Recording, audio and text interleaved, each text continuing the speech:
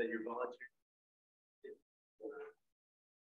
Recording in progress, great. So thank you first and foremost for being here. Um, second most important thing, snacks in the back are up for grabs for anybody. So if you get uh, need a snack at any point, they're there. There's coffee. Um, there are cold drinks in the refrigerator in the back, so please help yourself. Um, so we want to start by a round of introductions, and then we're going to introduce the process. So um, I'll get started. My name is Alex McIntyre. I'm the assistant unit leader for the Washington Cooperative Fish and Wildlife Research Unit. Um, I facilitated this group for the Northwest ecoregion um, in 2022, and I'm really happy to be here today. Um, so we'll ask everyone to say your name, where you're from, and why it's important for you to be here today. So for me, I really care a lot about public engagement, making sure that public voices are heard in decision-making processes. So that's why I'm here and uh, I'm honored to be here. So I'll pass it to Sarah next. Hi, everyone. Yes, I'm Sarah Sells. I'm the assistant unit leader at the Montana Cooperative Wildlife Research Unit in Missoula. And I am excited to be here because I've been involved with these kinds of processes for a long time. I assisted with facilitating last year's uh, Northwestern Montana Eco-Regional Committee too. So um, yeah, great to be here. Go ahead and I'm Cody Henson. I'm from Philipsburg. I've been a guide and outfitter for 30 years. Um, also done the uh, mountain lion monitoring of fish wildlife parks for eight years now. I'm John McClernand. I'm from Butte. Um, I work over here in Anaconda. Um, and I basically just enjoy both ungulate and lion hunting. So just want to make sure we have it for our future. Uh, Trent Sullivan, Boulder, uh, same as like John, just want to see a healthy population. Uh, Scott Cargill, um, there on uh, Ironwood Guest Ranch for deer and elk outfitting, and then uh, Montana Mountain Adventures, which is uh, mountain outfitting as well as mountain conservation um, organization. Jocko Lisbon, I'm out of Missoula, um, studied mountain lions and then sapphires for over a decade. Josh Morris out of Boulder. Uh, same with these guys, both common, um, good conservation. I'm Josh Pallister, uh, I'm on Boulder as well, I'm thirty year cat hunter and, uh, everything I do, and involved in my cat hunting season, but, um, I'm here also just to, uh, see what I can do to help the situation as far as cat hunting. Matt Lumley Gardner, managed a large ranch, uh, federal trapper, former, one of experience that way.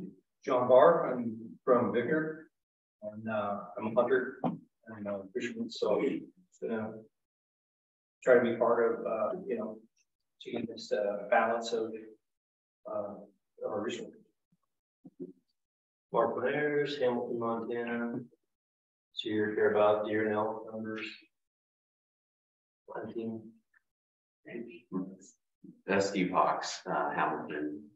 I'm just here to learn a little bit and try to be part of the process. Todd Smansky, Great Falls, Montana, uh, mainly here for the, hopefully for the preservation of the mountain lions and trying to find a balance between the big game species and, uh, which I hunt everything uh, in Montana that flies or runs, I'm usually after it, so find the balance. My name's Bill Mitchell. I'm from Missoula. Pretty much like everybody else. I used to run lions, but knees wore out, so that doesn't happen anymore. But I still hunt everything else. And I uh, just want to make sure that everything's taken care of.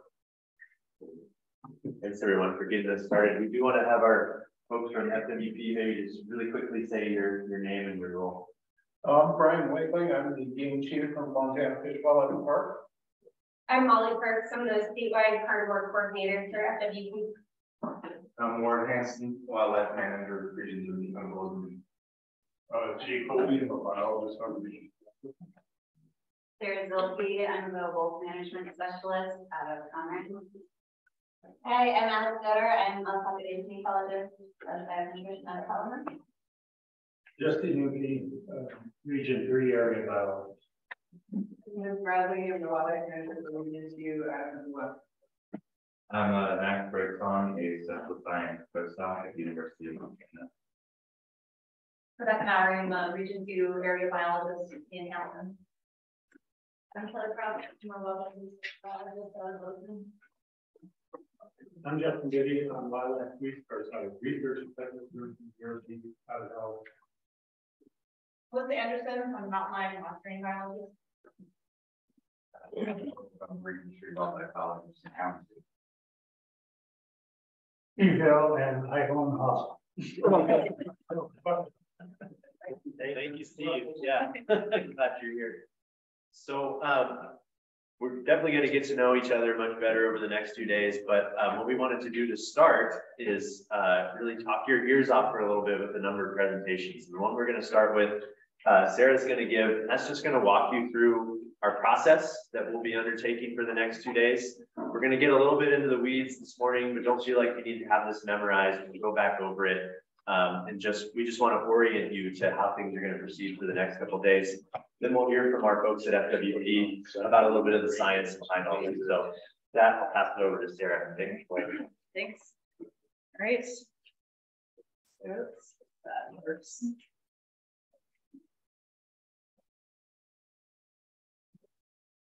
All right, so to begin with, um, what we're actually here to do, as you all are aware, is to work through a difficult decision and to make recommendations to decision makers.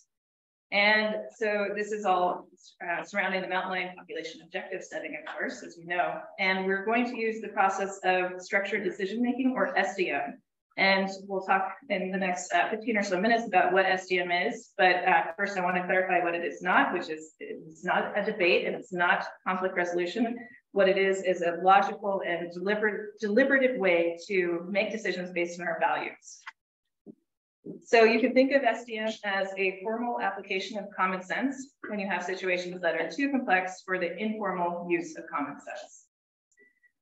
It's a way of thinking, so it formalizes this process of making decisions. We make decisions every single day, and most of the time they're really trivial, small things. We don't need to think much about them, but sometimes we have these bigger uh, decisions we need to make with bigger outcomes, and this is one of those situations where this more formalized decision-making process is super helpful. Another thing about SDM is it's not going to make the decision for us. It will just clarify what we care about and how we can achieve the different objectives for managing the mountain lion population. Uh, it will lead to decisions that are then transparent and explicit and a deliberative process that will um, help us make sure that we fully understand the problem and what we're trying to achieve and how to achieve it. So SDM follows the PROACT cycle, where we first start by defining the problem. We then define our objectives or what we really care about. We then think about the different ways we can meet those objectives through different alternatives or actions. We then get into the predictive step of looking at the consequences. So how well each alternative meets each objective.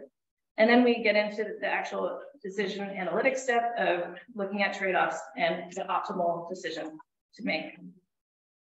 So when we think about a problem, usually the first thing people ask is, what can I do about it? What are my options?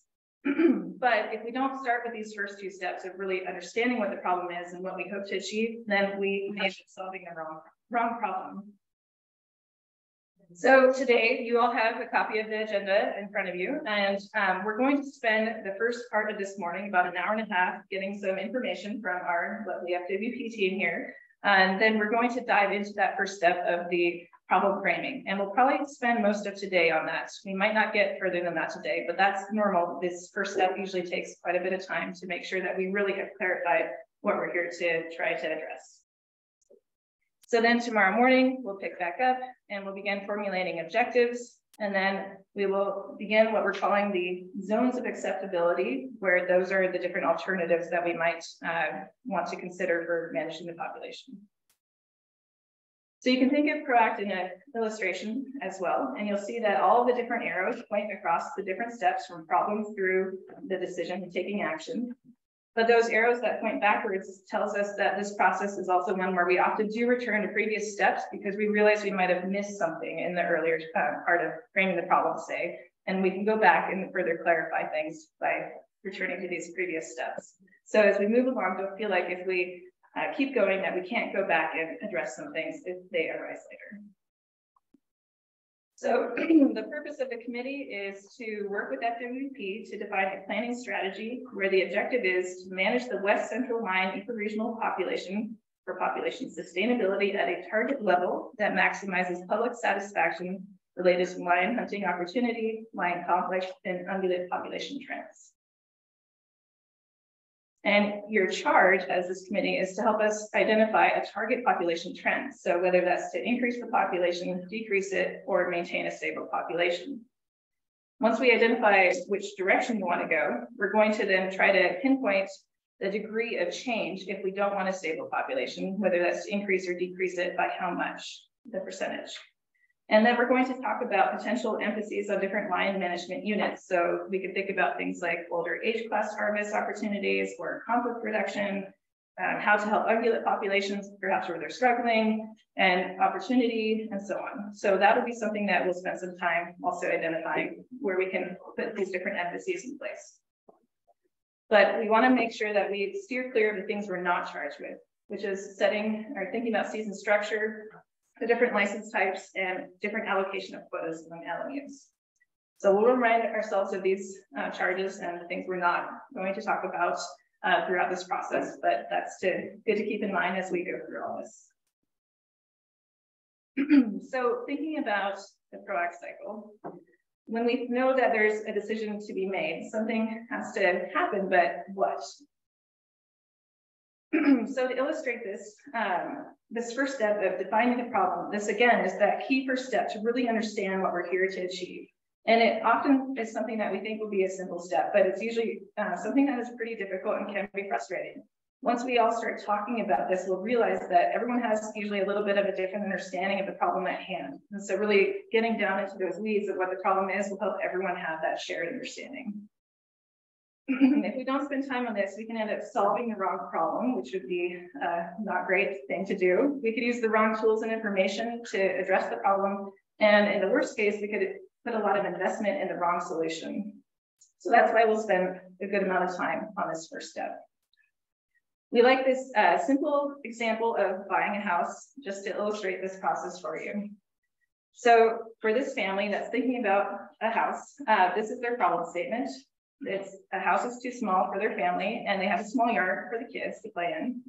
They could add on to their current house and live with that small yard, or they might purchase a larger house, but either option would be costly, of course. They live in the city, so commute times to work are short, but schools in the suburbs can be better. And we can afford to increase their monthly mortgage payments, but need to stay within budget, of course. So that captures the different elements that this family might be thinking about. Moving on to the step for objectives. This is where we get to talk about what we really care about. So if we could solve the problem perfectly, what would we accomplish? When we think about objectives, we want to think about where we want to uh, end up. So what is the bottom line? And again, what is it that we really care about? For this home buying example, you might have these six objectives where the house should be large enough, the yard should be big enough as well for the kids, schools should be high quality, neighborhoods should be family friendly, commute time should be reasonable, and costs should be minimized. So then we're ready to dive into the step everyone wants to start with, with alternatives. Again, um, if we don't really start with this problem definition and the objectives, then we can't really figure out what our alternatives should be. And so these are different things we could do to meet our objectives. There are options and solutions and management actions. As we get to this step, we'll need to make sure that everything that we consider is financially, legally, and politically reasonable. And so for this house example, the family might do nothing. They just live with what they have. They could renovate their current house and they could consider maybe these three other homes on Eaton, Wade, or West uh, Streets and Boulevards. All right, so on to the consequences step. This is where we get a little bit more technical. We need to predict the outcome of each objective under each alternative. So this is where we use data and professional judgment to say, how does this alternative meet objectives? And this is usually a difficult step because this kind of prediction is difficult to do. so with this house example, we can organize everything into a consequence table. You see you have the different objectives there by row and the alternatives arranged by column. And so this can really put everything in one table, right, where you can more easily see the different uh, elements of this decision. From here, the first thing we can recognize perhaps is that Eaton Street is uh, one of the ones that's actually not doing great compared to the other different alternatives because it has the same number of bedrooms as other homes, as a couple other homes, but it is smaller than some of the others. The schools are only fair. The neighborhood is poor. It's a long commute time and it's the most expensive option. So here we can immediately see that we can eliminate that um, alternative from our consideration because it's outperformed by all the other alternatives that we're considering. Once we do that, we can also focus in on, say, this objective for short commute time. It only varies by five minutes, 20 minutes, 20 minutes, 25 or 15. And so maybe at that point, this isn't really that important as an objective. It was important, but the alternatives we're considering all have about equal performance. So we can also eliminate that one from this table. And that simplifies things a little bit. so then once we have gone through those consequence predictions, we need to look at the trade-offs and optimization step, where we evaluate how the alternatives are meeting those different objectives. and this is where we're going to be able to really help the decision maker understand the proposal you put forward for mountain lions, because it will put everything in the most transparent and explicit uh, context possible. So in this example, we can put numbers to the previous table where we took the which home was large enough. We said the biggest one gets a score of one and the smallest home gets a score of three. And you can see that we did that for each of the different objectives there. And this makes it a little bit easier to compare everything now. We're not comparing apples to oranges, but apples across. We like everything with ones, and we uh, know that those with threes are not doing as well. So then one thing we could do is sum up these scores. And we can see then that if uh, we look at the Wade Street, it had the highest score. But say we have minimizing cost is actually a really high priority, and we can see that it had a three. So maybe that Wade Street alternative isn't really one we want to go with. Again, this is not making the decision, it's just clarifying it. Possible we decide to renovate instead, it gets a good score as well. but again, maybe these other things are important and you'd be willing to pay a little bit more cost to achieve the other objectives on that table. And so again, we're not making a decision with a table like this, we're just clarifying it. And so at that point, once we have gone through all these steps, we'll be ready to decide and take action. And for this family, simple example, maybe White Street is what they go with. So um, just ground rules for this process. We ask you to honor the process and uh, walk through each step with us. It, again, it might seem frustrating at times, but we have good intention here. We ask everyone to have mutual respect and to also avoid filibustering. So we'll stop you if we have really long um, topics that we're talking about sometimes. Don't feel offended. We're just trying to keep the process moving. Um, so we're going to really try to stay on course then. And so again, minimizing stories and respecting the breaks that we've built in and stay within the charges of the committee. And again, as I said, we'll remind you of these often. So we'll stay within that top part and avoid those other topics. And so uh, that's all I have for, for this. Um, and I think next up, we are ready to dive into our information session. But before we do that, any questions about what you just saw? Great. Thank you, sir. This is the first time thing. Science. Yeah. You don't have time, right? No Okay. All you get is me. Hopefully I'll be entertaining enough. Um, I just wanted to cover a few things before we got started, kind of put all this stuff in context and maybe um, talk a little bit about an elephant room. Um, you know, I think probably just about everybody in the room is somewhat familiar with our commission and uh, and trying to work with our commission. Many of you probably uh, spoke to the commission at commission meetings or outside of the commission. Um, in my role as the game bureau chief, I get to spend a fair bit of time standing in front of them and trying to share uh, the department's recommendations.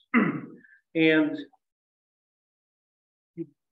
you know, we did this this Lion Ecoregional Population Objective Committee once already. We did it two years ago with the Northwest uh, Ecoregion. And was based on a conservation strategy that the commission at the time adopted in 2019. So this isn't a brand new idea. It isn't a brand new process. It's something we've been working on. And we took the commission or the strategy in 2019 to the commission. Um, they endorsed it, adopted it, um, went through the Lion Ecoregional Population Objective Committee uh, with the northwestern portion of the state, came up with some recommendations. Uh, we then took those recommendations to the commission the first year and the commission adopted those and we were kind of moving along.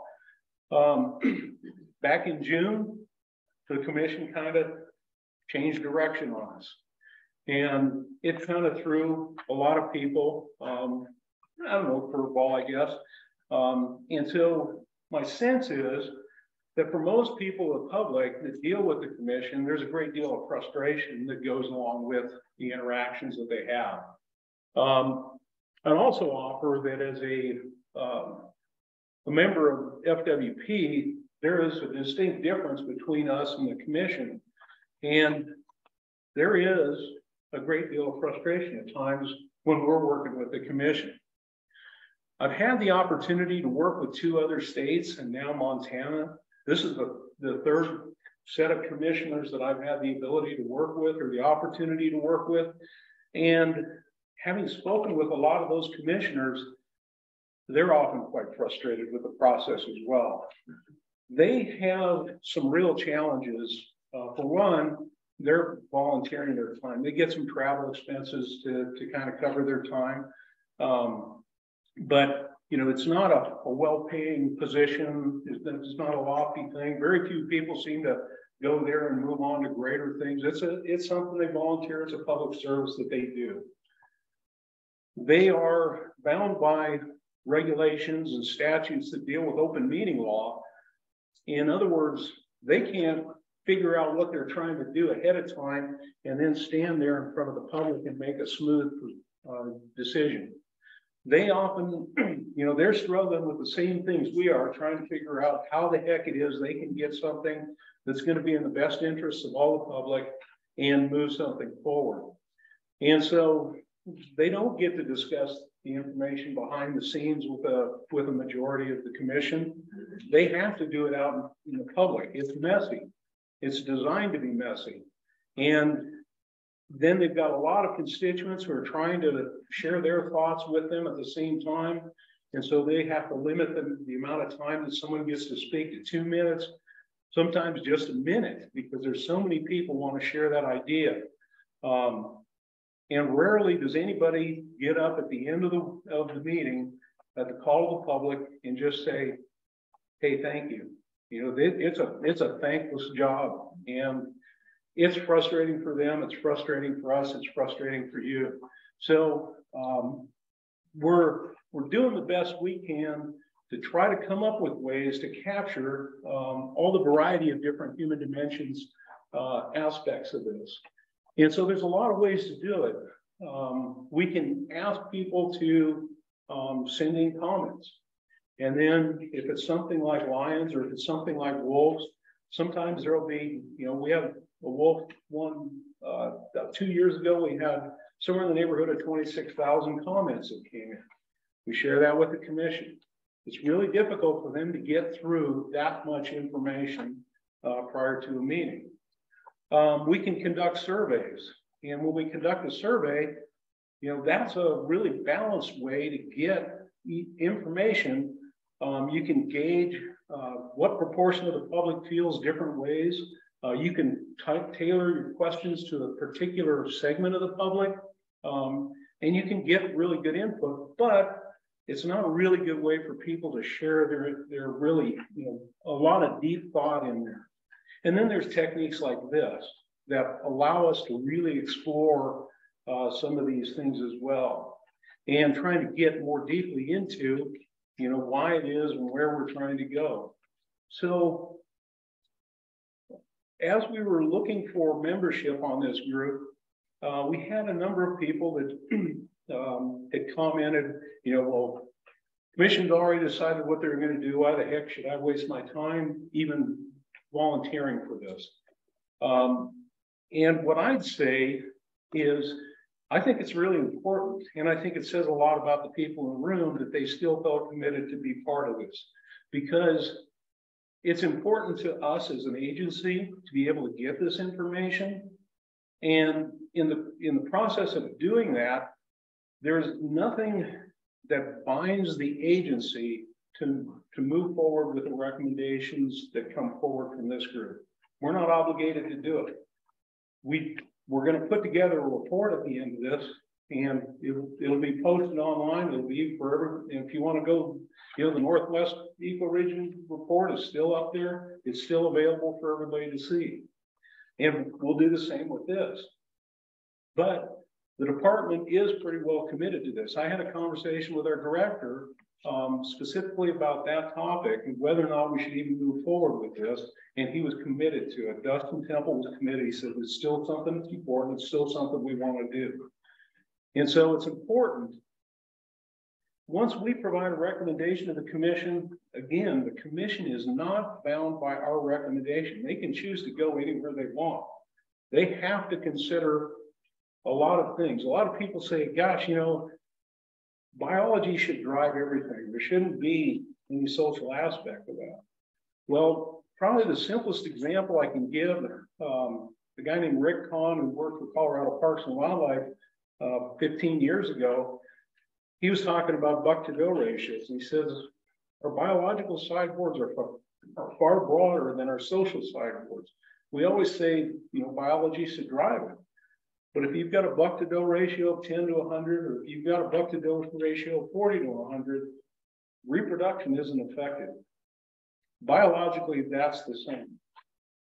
But socially, those are vastly different outcomes, vastly different things. And so there's a lot of interest in that. And so that's where, you know, we, we, we hire wildlife managers. We just about every biologist in the room has a degree in wildlife management somewhere. Um, but wildlife management is really the interface between biology and sociology. And what is it we're trying to attain? What is it we're trying to get to? So today we're going to end over the next four days of this, this exercise. Um, when you talk to us, we'll definitely share with you what we know. Uh, we'll share with you why we believe we know it. And we'll also share with you what we don't know. Um, thing that we talk about statistically, we often refer to as confidence. Um, a lot of times what I talk about is certainty. You know, how certain are we that we we know this? How, you know, a lot of times I talk about, you know, trying to forecast into the future is a lot like being on the shooting range. You know, if you're in the field away from the shooting range, you know, you might be able to get a two inch group at 100 yards. You move out to 200, you hope that that stays to about four inches. But the further you get into the future, there's a lot of other things that, that mess with you the wind, rain.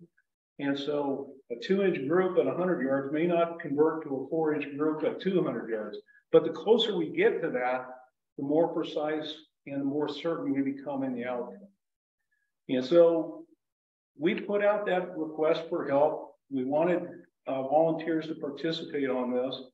And what we wanted and what we look for are people that are familiar with different aspects of lions and the effects lions have and the values that people place on lions. But what we really look for in the individuals that participate is that not only are they experienced and do they have interests in it, but they're also independent thinkers and that they're willing to step away from, you know, gosh, I don't want whatever group I'm a member of. We don't, we don't really, uh, we certainly care about it, but in this exercise, we don't want the input of the group. What we want is your input. That's the expertise that you bring to this room, the experience you bring to the room. And so we want to hear your independent thoughts and your ability to, to think about it and uh, talk about what we're going for. We will be sharing this with the commission. I have no guarantees about where they're going to go with it, um, but we also don't have a problem coming back to the commission with the same recommendation in subsequent years if they didn't agree with our our recommendation last year. If it's the right thing to do, we'll bring it back. So that's all I wanted to do to kind of kick this off. Um, certainly be willing to answer any questions if anybody has any. All right, well, if not, we'll uh, move to more of the uh, the information that we've collected online. And uh, thank Kelly, I think you're up. What's up? Thank you, Brian. Kelly Proffitt's going to talk to us about integrated alkaline management.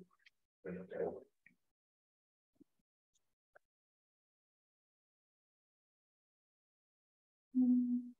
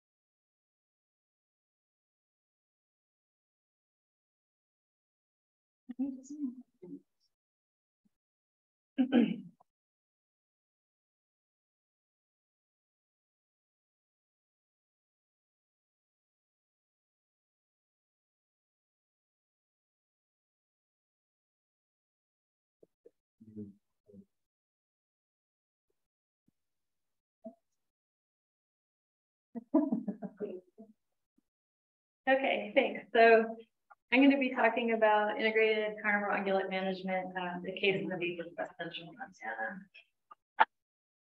So um, leading up to about 2010, there are fairly widespread declines in ungulate populations across administrative region two, so West Central Montana.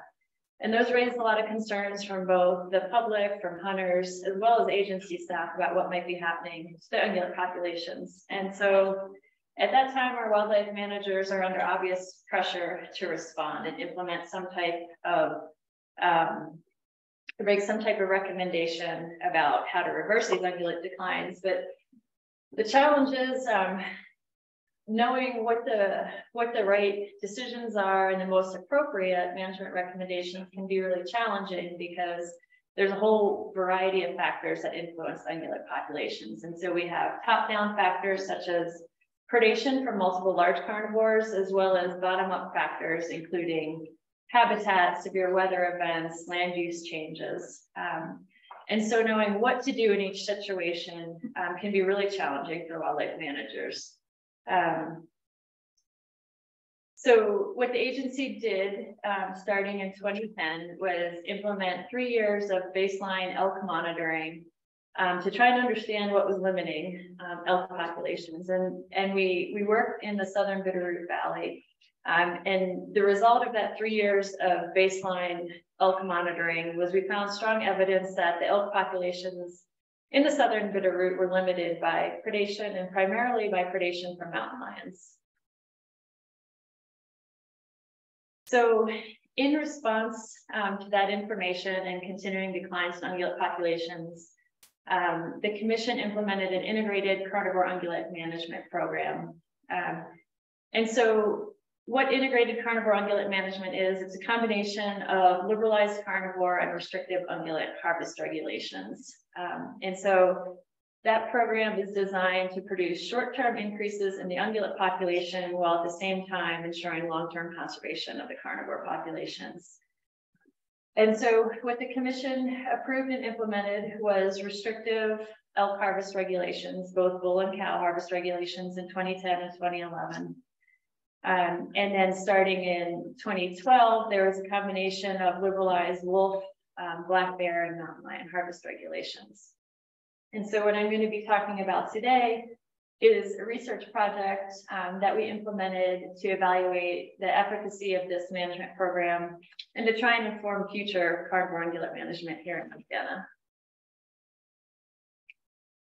So um, the objectives of the project were to evaluate the effects of this integrated carnivore ungulate management on both mountain lion and elk populations. And so we had two primary questions. Um, first, did the changes in the mountain lion harvest regulation result in changes in mountain lion population abundance? And if so, did those changes in mountain lion population abundance result in any changes in elk calf recruitment or elk population dynamics?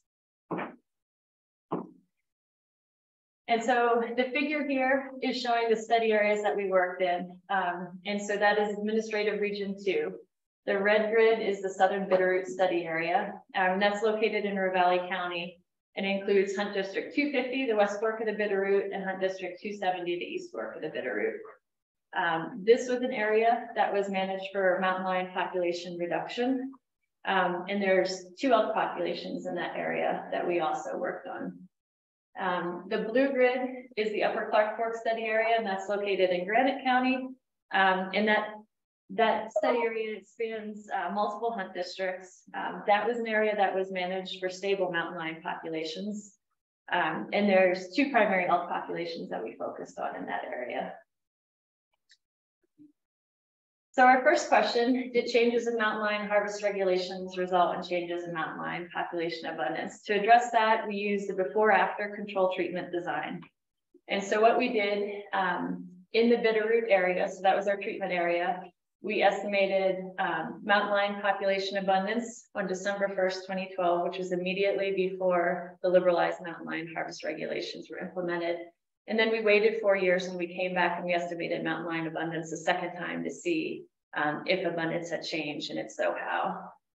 Um, in the control area, the upper Clark Fork area, we also estimated mountain lion populations there in 2013 and again four years later in 2017.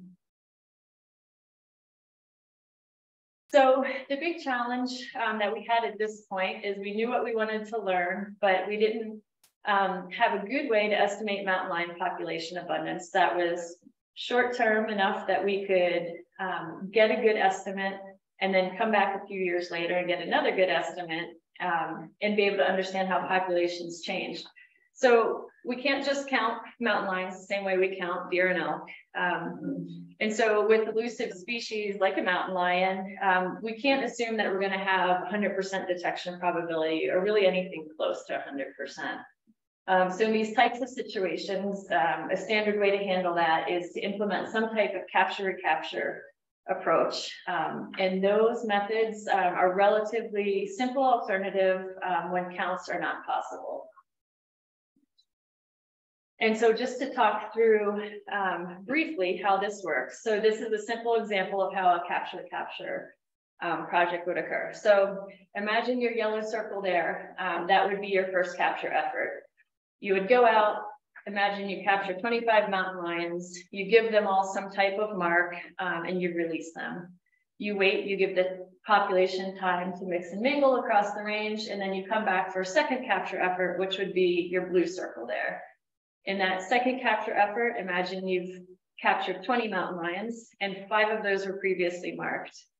Um, so what we can do then is we use the proportion of the marked to the unmarked lions to estimate the total. And so in this case, um, in our capture event two, five of our 20 mountain lions are marked. And so that has to be proportional to our original 25 marks um, deployed divided by N. And when you solve the equation, you get an estimate of approximately 100 mountain lions. So the basic principle here, and Alex and Alissa are going to talk more about how this works, but the basic principle is that you can learn about animal abundance um, by the proportion of marked animals that you recapture in repeated capture events.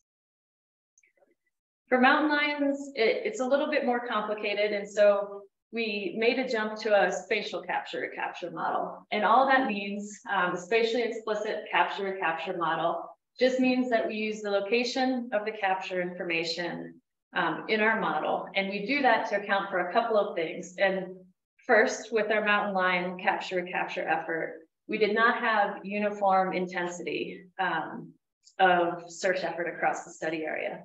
So we have a big study area. Some areas are not accessible due to snowpack or um, ownership, access, those types of things. Um, so we need to account for the fact that our search effort is not uniform across space. Um, also for a species like a mountain lion that might be occupying more of a home range and just randomly walking around the study area. Um, we know that the probability of capturing a mountain lion a long distance from where it was first captured is going to be less than if you return to somewhere else nearby within that animal's range. Your probability of capturing the individual is going to be higher. So we need to account for those types of spatial patterns in the landscape um, when we're trying to estimate our capture probability. Um, the last thing here is that we can also assume that mountain lions are going to be most abundant in higher quality mountain lion habitat. So the habitat within the study area um, and within the hunt districts where we're working, it's not going to be uniform during the winter across space when we're working. So how did we estimate mountain lion population abundance? If you look at the um, figure on the left side there, um, what you can see, that's an example of the Bitterroot study grid. So those black lines is a five kilometer by five kilometer um, sampling grid. The background is the green to red. So that's representation of habitat quality. So the green is going to be the poorest quality wintering mountain lion habitat. Those are primarily high elevation areas. Um, the red and the yellow are going to be higher quality uh, mountain lion habitat. And then what you can see there, the purple lines. So that is our search effort. So that's where people went to look for animals. So we're not going to be making inference about what lions exist in places that we didn't search. Um, and so that search effort there, there's purple lines um, across the two study areas in two years. Um, search effort was anywhere from about 8,000 kilometers to 20,000 kilometers. And that search effort was concentrated December, January, February. So that's how we searched for mountain lions. Um, when an animal was encountered, the handlers released their dog, they treat the animal, and then rather than drug the animal and pull it out of the tree and give it a neck band or an ear tag or a permanent mark, um, we used a biopsy dart to collect a DNA sample. Um, and so the, the picture of Cody here on the right, um, that's a biopsy dart with a little um, meat and hair sample at the end. Based on that, we can get the individual identity of a mountain lion based on its unique DNA signature. So that's our DNA-based capture recapture approach. So when we went out and we estimated the mountain lion population abundance in the two study areas before and after the mountain lion management treatment was implemented, um, what we found, um, so the estimated population abundance is going to be on the vertical axis and our study area in years is going to be on our x-axis here. And so what you can see is that the predicted abundance in the Bitterroot study area uh, in 2016, so four years after the management treatment, um, was lower than before the treatment was implemented. Um, in contrast, in the Clark Fork study area, you see approximately um, stable population sizes in 2013 and 2017. And so this provides us with evidence that there was a relationship between the liberalized mountain lion um, harvest regulations and the abundance of mountain lions on the landscape four years later. Um, we also get information from the DNA. We can tell if the animal's male or female.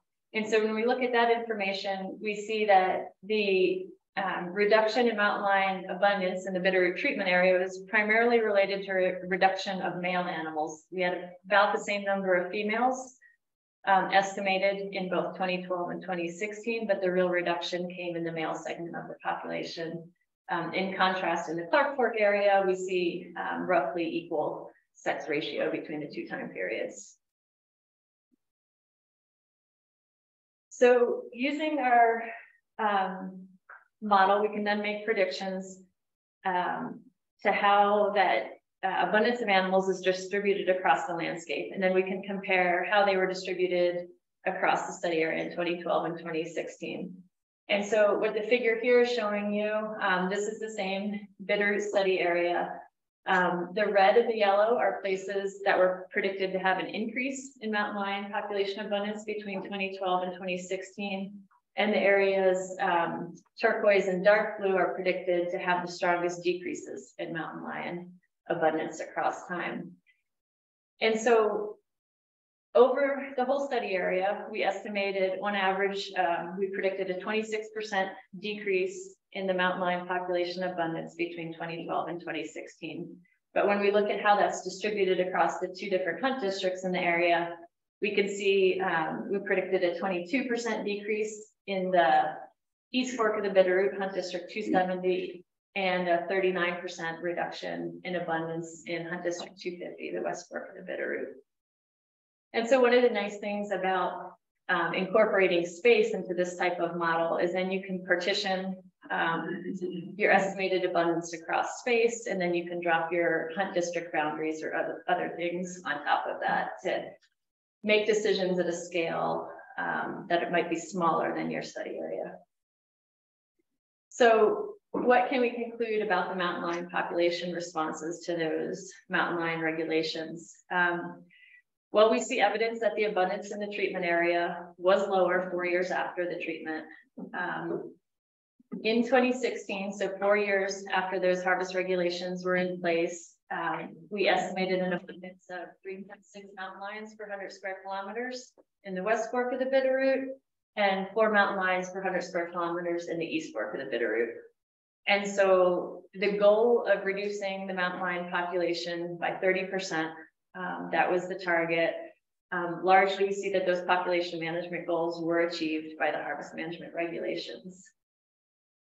Um, mountain lion abundance in the uh, control area was similar between 2013 and 2017. In 2017, we estimated um, an abundance of 2.1 mountain lions per 100 square kilometers.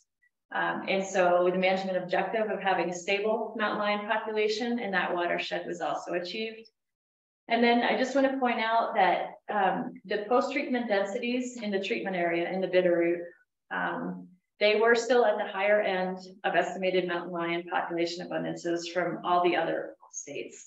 So 3.6 and 4.0 mountain lions per 100 square kilometers is still a healthy population of mountain lions on the landscape. And so largely the long-term goal of conserving mountain lion populations was also achieved. So the second question, did changes in mountain lion population abundance result in changes in elk calf recruitment or elk population growth? Um, to address that question, if you look at um, the figure on the right, so again, this is our study area. You can see the two red, District 250 and 270. Those are our two elk populations that occupy the treatment area. And then District 210 and 216 um, in Granite County, those are our two elk populations that occupied the control area. So what we did was we developed an integrated elk population model um, to evaluate um, if there were changes in elk calf recruitment or elk population growth rate comparing the five years before 2012 to the five years after 2012. So um, we use survey data, um, and that included elk count information, um, as well as age ratio data collected from elk counts together with elk harvest information um, to construct the elk population model. And then in our population model, we were able to also account for annual weather and growing season conditions, other things out there that might be impacting um, how that elk, the elk populations and calf recruitment are changing through time. Um, so we use this model to estimate the recruitment rate and the population growth rate, and then we compared between the two time periods. And what we found, um, so the vertical axis here is the predicted elk calf recruitment rate. And then the um, horizontal axis is the um, four different elk populations. And so on the left-hand side, districts 210 and 216 are control populations. We predict roughly equal elk calf recruitment rates um, during the five years pre-treatment and the five years post-treatment. Um, the two populations here on the right-hand side, District 250 and 270, um, we do see evidence for increases in elk calf recruitment during the five years post-treatment and that's particularly strong in District 250. Um, so District 250 was the place that we predicted a 39% reduction in mountain lion population. And that's where we see the strongest predicted increase in calf recruitment rate. Um, in District 270, we see some evidence for an increase in calf recruitment rate, and that was associated with a predicted 22% decline in mountain lion populations. So one thing to point out here, these are the actual observed the predicted um, recruitment rate. And so it's important here to consider that um, this is what we estimated given the actual annual winter and growing season conditions. So was this weather, was this real? We're able to then, um, using our model, make some predictions about recruitment rate in the two areas by holding um, all of our covariates at their average conditions. So during the 11 years that we did this, we took the average winter severity, the average spring precipitation, all the average conditions that an elk might experience. And we develop these predictions um, and they largely confirm um, what's in the, the previous figure. And that is um, in the Bitterroot study area, the treatment area, we see strong evidence for an increase in um, elk calf recruitment in the five years post-treatment. But what we can see here um, is that that predicted increase in calf recruitment, it was the strongest in 2013, and then it kind of waned over time. So immediately following treatment, we see the strongest change in the elk population. And then over the five years, um, we still see some evidence for changes in calf recruitment, but that effect starts to wane. Um, in the control area, we see roughly uh, consistent recruitment, calf recruitment over time. So what can we conclude about the effects of harvest management? Um, carnivore harvest management, it may be an effective tool for increasing ungulate recruitment. So in this particular study system, what we found is that um, a two-year estimated 17 and 12% mountain lion population harvest rate resulted in a predicted 26% reduction in the population. And that didn't achieve a short-term increase in elk calf recruitment population growth rate. Um, with those increases um, in calf recruitment being greatest immediately post-treatment and then declining over time. And so while we do see evidence that these prescribed harvest regulations achieve both the carnivore and the ungulate population management goals, um, it's important to, to use caution in generalizing these results to other systems. And I say that because, like I mentioned in the beginning, there's a whole variety of different factors that influence ungulate populations, and the relative influence of all of those factors is going to vary across space. Um, so the specific carnivore harvest rates um, that we documented here, they may or may not correspond to these specific ungulate vital rates in other systems. Um, and that's because predator-prey relationships are complex and they vary across space and they can vary pretty widely across space. And so before I end, I just, I want to acknowledge um, this work. It was an effort by a whole variety of agency staff, as well as students and professors at University of Montana and Montana State University. Um, and I, I want to acknowledge the folks in the Bitterroot Valley that supported this work, and then all of our field crew and hound handlers that, that made the work possible and worked with us to figure out how to do this and how to do it well. So that's all I have. If anybody has questions. Would you suspect a similar outcome if it was mule deer instead of elk? Um, not necessarily.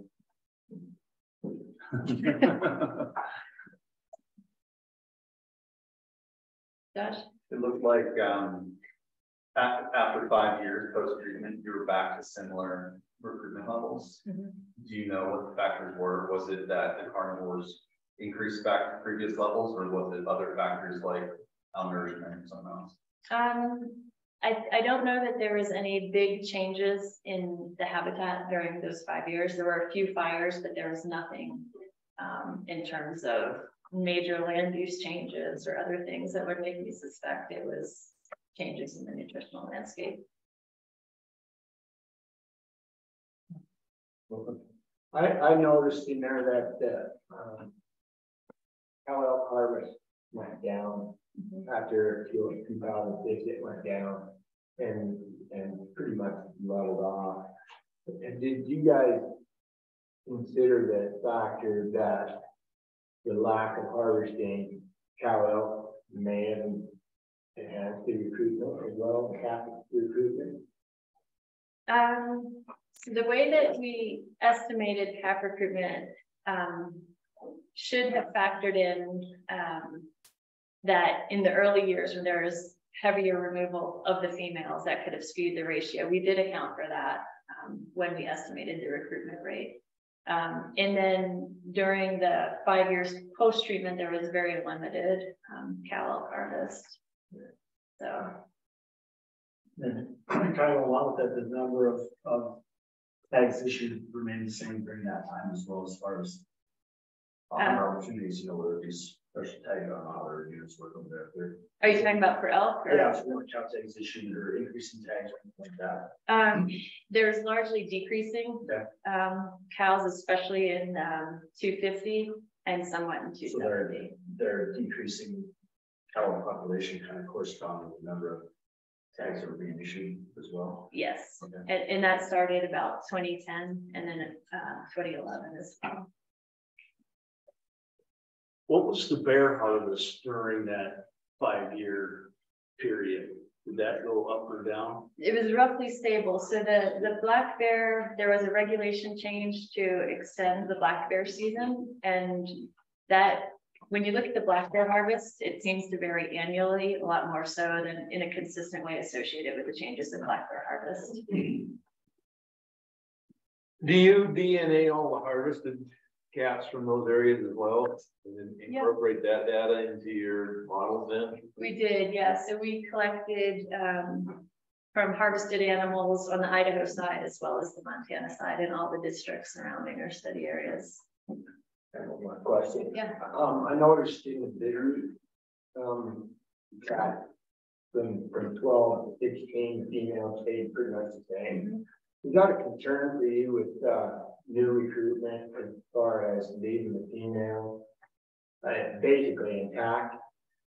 That's gonna, your, your, your, your, uh, population is gonna just go right back where it was, yes, if you don't address that, right? Yeah, so I, I think that's an important reason to point out, um, that the abundance may have changed, but what is the sex ratio? Um, just from a long-term population management standpoint, as you're pointing out, um, maintaining the same amount of females, um, is probably gonna re- result in the population going back, um, if that treatment was removed.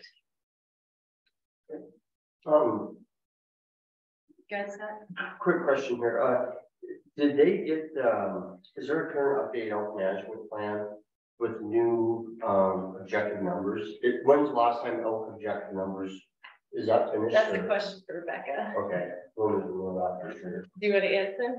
Yeah, we're, we're still in that process of, uh, redoing, um, updating the elk management plan, so our public comment period on that was closed and we're.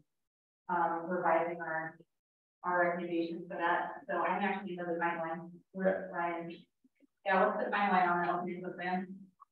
It's, uh, we don't have a precise timeline. Um, we have to uh, take the time to respond to all the comments that came in on the plan and on the EA.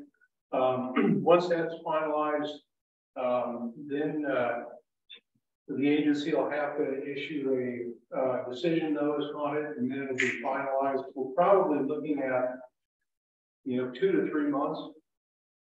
But, but we didn't recommend, uh, change, uh, decrease in the objective for the Westport you to be.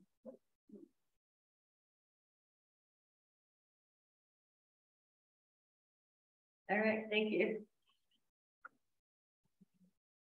Kelly. Uh, Alissa and Alex are gonna come talk to us next.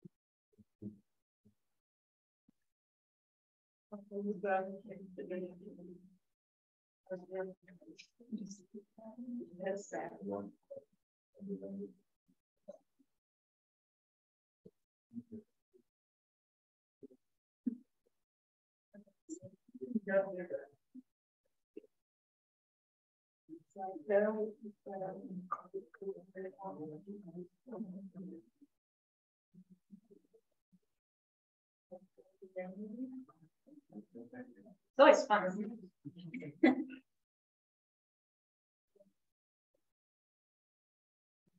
there. Okay. Thank you, Sarah. Okay. Uh, no. Oh, on the. You know. Oh, there. Can I change this just to? Yes. Okay. okay.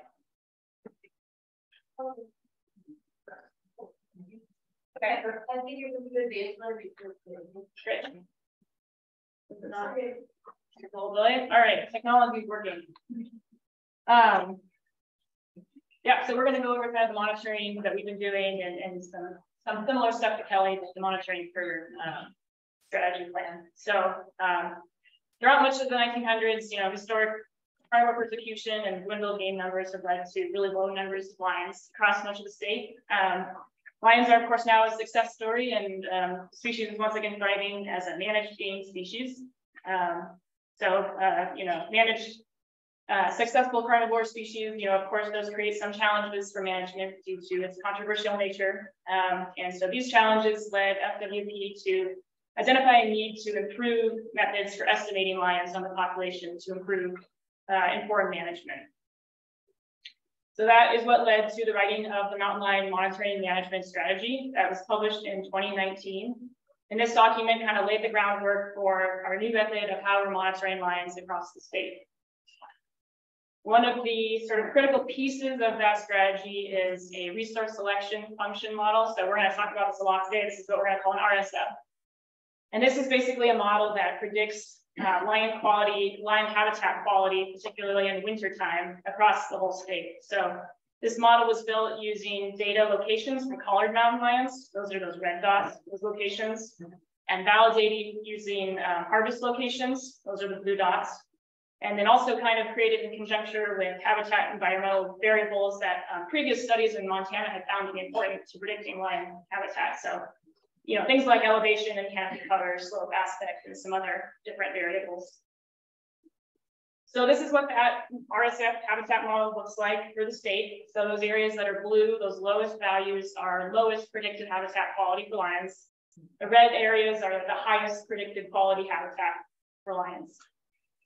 So the uh, 2019 strategy then kind of broke up the state into these four different ecoregions. And these aren't based on administrative boundaries, but they're um, sort of, you know, large areas with broadly similar uh, habitat quality, considered contiguous habitat quality. Um, and these areas are large on purpose. Uh, it's important to have a large area in order to be able to mitigate the you know, influence of immigration and emigration on lion populations and on management and monitoring because lions are such large ranging mobile species.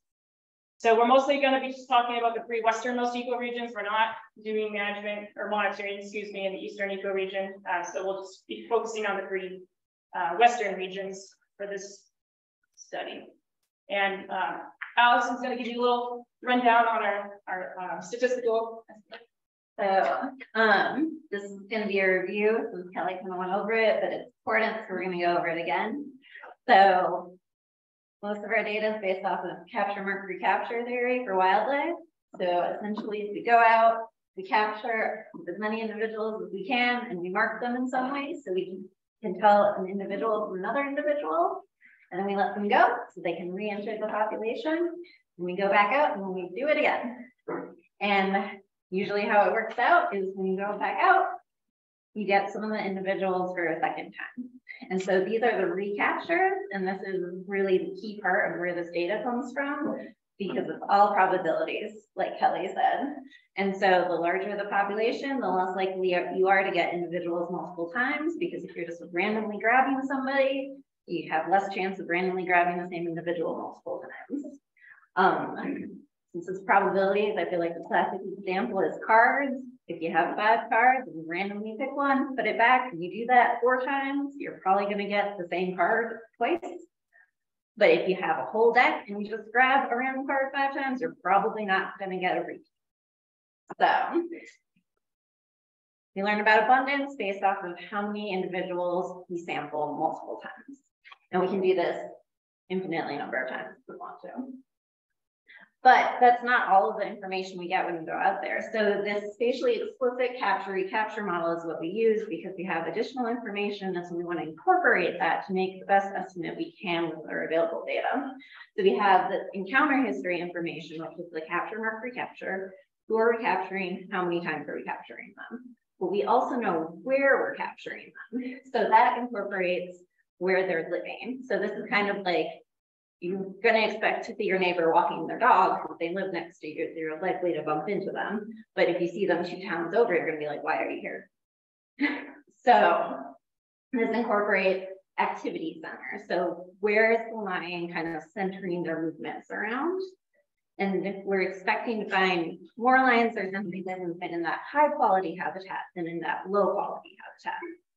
So we can get density is linked to habitat quality and then we're also incorporating how many times we're capturing people. And then we have that detection because we're more likely to encounter them if we're sampling by where they're living. So we're incorporating all three of these pieces instead of just the capture mark recapture probabilities to give us a stronger estimate of what's going on with that population. And once we have all of this, we are linking that lion density to habitat quality because that's one of the steps of that model. And so we have our survey areas we're linking density to habitat quality, and we can apply that relationship outside of the areas we surveyed to the rest of the ecoregion to get an estimate for what's going on in the rest of the area. And so this is the extrapolating abundance across the ecoregion. So we're basically applying what we learned in our survey areas to the rest of the ecoregion to get an estimate of what's going on in the places we did not sample. And with that, um, so each of our three ecoregions um, has a trend monitoring area, and these are study areas basically that we're going to go back to again and again and kind of re-sample and re-monitor our populations. Each ecoregion also has a supplemental um, study area, and these we have more flexibility here in how we monitor. So these areas, you know, we might go back to and survey again, we might change up and go to a different area. This is kind of where there's more flexibility and strategy. Um, so since the implementation of the Lion monitoring and management strategy in 2019, we started doing our monitoring work up in the Northwest ecoregion, monitored in the trend monitoring area in Libby, um, then moved down the next winter to a uh, supplemental monitoring area on the I-90 corridor. And then of course we did the Northwest LEPOC. We then moved down to monitoring in the West Central ecoregion in the winter of 2022 in Lincoln area. Last winter, we were in the supplemental monitoring area on Little Belts and here we are doing the West Central LEPOC. Next winter, we're going to move down to the Southwest ecoregion to monitor the trend monitoring area in Paradise Valley and Gallatin Canyon area. We'll then move to a supplemental monitoring area that's yet to be defined. And then we'll do the Southwest LEPOC. And then the winter of 2026, we'll go back up to uh, the Libby monitoring area and survey that again. And that's how we'll be able to see, you know, how has harvest in the past six years impacted the population since we last monitored. So all of this is still kind of part of what we call an adaptive harvest management. Um, and this is, again, sort of part of that cycle we go through. Um, part of that is where we're at right now is when we're engaging stakeholders, that's you guys. And it's your job, is we're focusing on today and tomorrow primarily to um, develop population objectives. So these are things, you know, different objectives that we might have for the population. Um, these are going to be specific, achievable, measurable, and time specific objectives. And this is what we're focusing on right now. After this meeting this week, um, the FEOP science team will get together and they will identify different harvest alternatives that could be used to meet those different objectives. And so that is going to be done with the integrated population model. Um, and we'll you know, probably talk about that more at the next meeting, but that's a way that we can sort of um, predict how harvest might impact our populations over time. And that's a model that'll take into account the data we're talking about today, but it also it's integrated, it's able to incorporate lots of different kinds of data. So it also incorporates all the harvest data, sex ratio, and age class harvested lions. And then we're going to get back together in October, and it'll be your job then to evaluate all those different objectives, or excuse me, all those different alternatives, and find one that you can all agree on, which will then go to the Fish and Wildlife Commission next spring, which is, as Brian talked about, kind of where the decision is ultimately made. Um, We'll then move into our implementation period where harvest is implemented. And then eventually we'll come back and resurvey um, those trend monitoring areas to evaluate how harvest impacted our populations and how we might adapt from there if need be. So that's the big cycle. Um, I'm just now going to kind of give you more details on how we actually do our monitoring. Uh, so this is, first of all, we the crews that we actually have on the ground gathering all of our data are contractors who are um, trained houndsmen and houndswomen and, and their hounds who are, you know, folks who have spent a lot of time out in the ground hound hunting. And so these are the people we have actually gathering our data for us. Um, so, you know, one of our study areas, you know, there are all these little grid cells. It's the same five by five kilometer square grids as Kelly had on hers. And, you know, every cell has a number. Um, part of the importance of this is that in order to decide, you know, how we work through our study areas is we actually create a randomized list of all our cells and we actually try and move through and focus on those different cells in a random order. And that's important in order to mitigate uh, bias. You know, like if we always go to the best spots on the best days, you know, it's just going to impact our probability detection. So we try and move through in a randomized way. Um, so let's say today our houndsmen and women, whoever's up, um, this is the cell that they are charged with surveying today. They're going to go to that area and it's their job to, you know, search for lions in that cell um, as well as time permitting as much of the adjacent cells as they can. So they'll hit the ground on stone machine, foot or truck, however they can, and they're going to carry a GPS unit so they can track their search efforts, since that is also part of the model. And so if this is our search day, um, or our start cell, you know, search effort might look something like this. So they're definitely hitting that start cell, but also they're going to be looking in some of the adjacent cells as well. Hopefully, somewhere along the way, they find a fresh lion track. Um, houndsmen and women then have to decide, you know, are they able to run the track? They have to figure out, you know, is it safe for their dogs? Are there wolves in the area? Are there hazards? You know, are there other hunters in the area who, you know, we don't, we don't want to disturb their hunt? Um, is the track heading into private land where we don't have access? You know, questions like that. Um, hopefully they're able to go then and grab their hounds and collar them up and get them ready, um, put them on the trail, uh, and then run the race wherever that might take them. Um, and hopefully that ends up with a lion in a tree.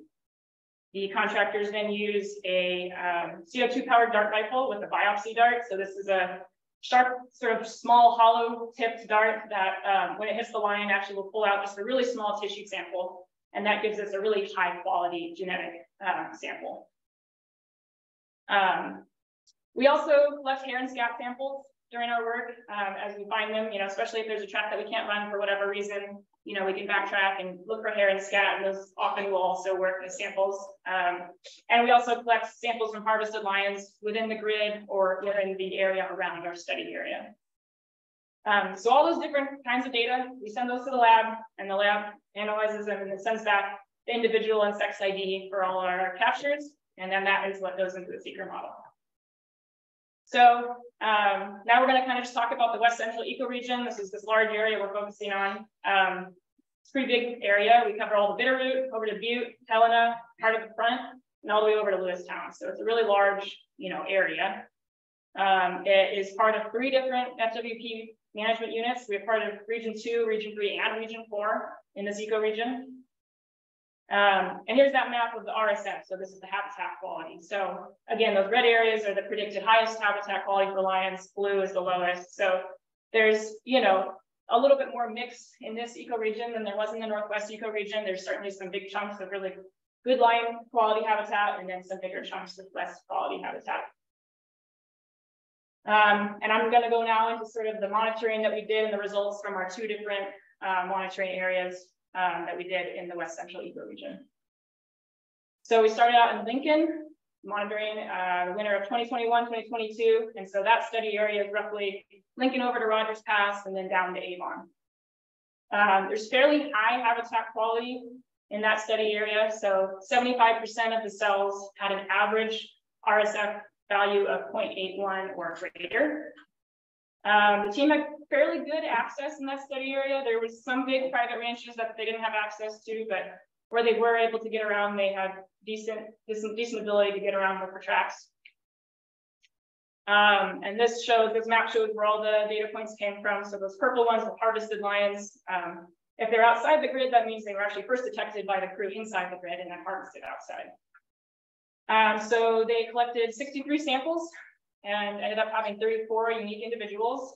They had 13 males, 21 females, and they actually had 18 of those individuals had recaptures. Um, so that was a pretty high, I think that's the highest recapture rate we've had in the monitoring so far. Um, so the SECR estimated overall density of about two lions per 100 kilometers squared and an estimated 120 lions with activity centers in the state space. So what that means is basically activity centers is like the center of the home range. Um, and we, we estimate the number of lions, not just within the grid that we surveyed, but in this state space, which is this rectangular buffer around our grid. And we, we do that because lions have large home ranges and they're very mobile. So an, an animal that might have a, you know, a home range center over here, um, you know, it might still wander into our grid. So we still want to consider that area. So the supplemental monitoring area that we worked on last winter was over in White Sulphur Springs area, the Castles and Little Belt Mountains. So south of Great Falls, you know, west of Austin. Um, there was slightly lower habitat quality in this area um, than any of our previous monitoring areas. 75% of the cells had an average RSF value of 0.7. There were definitely some, you know, a lot more high elevation habitat kind of in the middle that had lower habitat quality. Um, we had much more limited access in this study area. So this is the, search uh, routes from all of our contractors. There were some big chunks of areas we couldn't get to at all because they were roadless or areas with just, you know, one road going through a pretty large area. Um, and it was a much larger study area than previous study areas. Uh, we collected 62 samples, which ended up being 44 unique individual lions, about half male and female. Um, again, this map shows where all the different uh, samples came from. The purple were the harvested samples. Um, and importantly and unfortunately, we had a really low recapture rate. Um, only five individuals had recaptures. So this is something, you know, Alex and Kelly both talked about is that the model is really built to, um, it really needs recaptures in order to work how we want it to work. Um, and so these few recaptures are going to lead to higher uncertainty than we would have liked and then we've had in some of our previous um, results. And unfortunately, we can't go back and fix that. That's just how the cookie crumbled. Um, so we're just going to have to move forward with what we have, but just keeping that in mind we'll have higher uncertainty because we had fewer recaptures. Um, so that SECR estimated the density of around 2.8 lions per 100 kilometers squared um, an estimated 327 lions total with activity centers in the state space. So again, that's that big rectangle around the, um, the study area. And now Alice is going to talk about our extrapolation. Okay, so um, extrapolation, exciting time. But for the two state spaces, we have an estimated total of 453 lions within those two squares. And, but we still need to figure out an estimate for the rest of the ecoregion. So this is where that extrapolation comes into play. So we need to figure out how many lions we need to add to those 100, 453 to cover the whole ecoregion, which is where this relationship between habitat quality or those RSF values and density comes into play. So RSF or habitat quality across the bottom, if low quality habitat on the left, high quality habitat on the right, and then density, lion densities on the y-axis. And some of you have probably already noticed this gigantic spike on the right. This is problematic. Um, so essentially, there's a couple of reasons why this happens, but we're getting these lion estimates of that like 300 lions per 100 kilometers squared, which is not really feasible.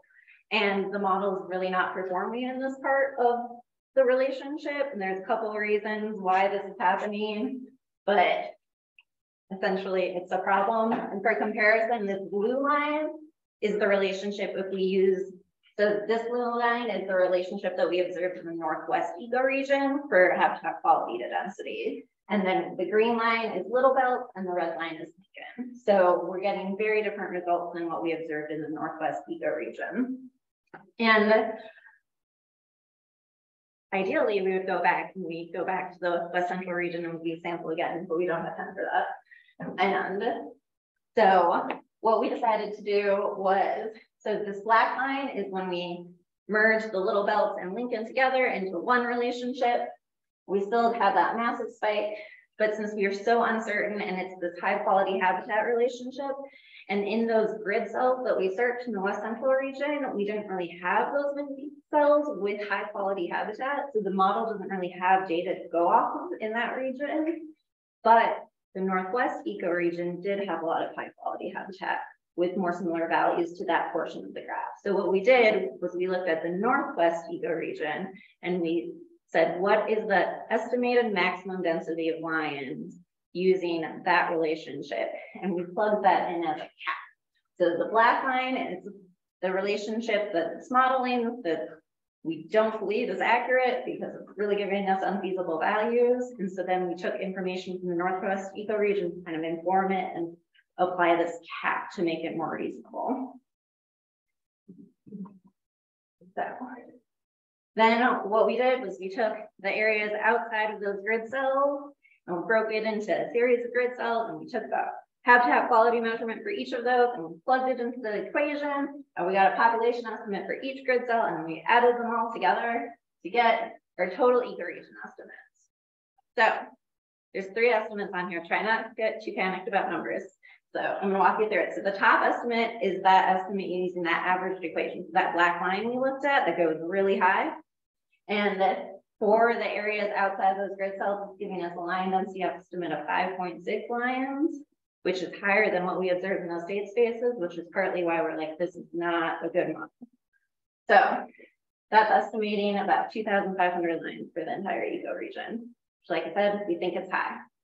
For comparison, we have the estimate using the northwest relationship. So that blue, that light blue line in that first graph, that was a lot lower and didn't have that giant spike.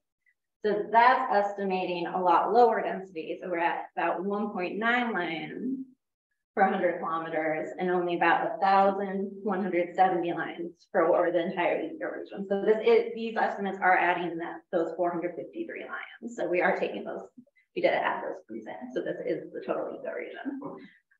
But the relationship did look different than what we observed in the West Central region. So we don't want to use that equation to look at the lion density in the West Central region because they look different. So then we have our cap relationship, so taking that west central relationship, but capping it at the estimated maximum density that we have for the Northwest region. So then that takes our density estimate to about 2.5 lions for, per 100 kilometers squared, and our total population estimate for the entire ecoregion is 1,402 lions.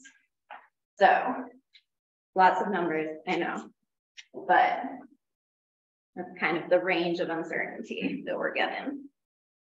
So how these densities compare, so we have the Lincoln estimate for lion density on the left, then we've got little belts next to it. So you can see, since those are informed by all of the data, we've got a lot tighter, we have a lot more, less uncertainty around those.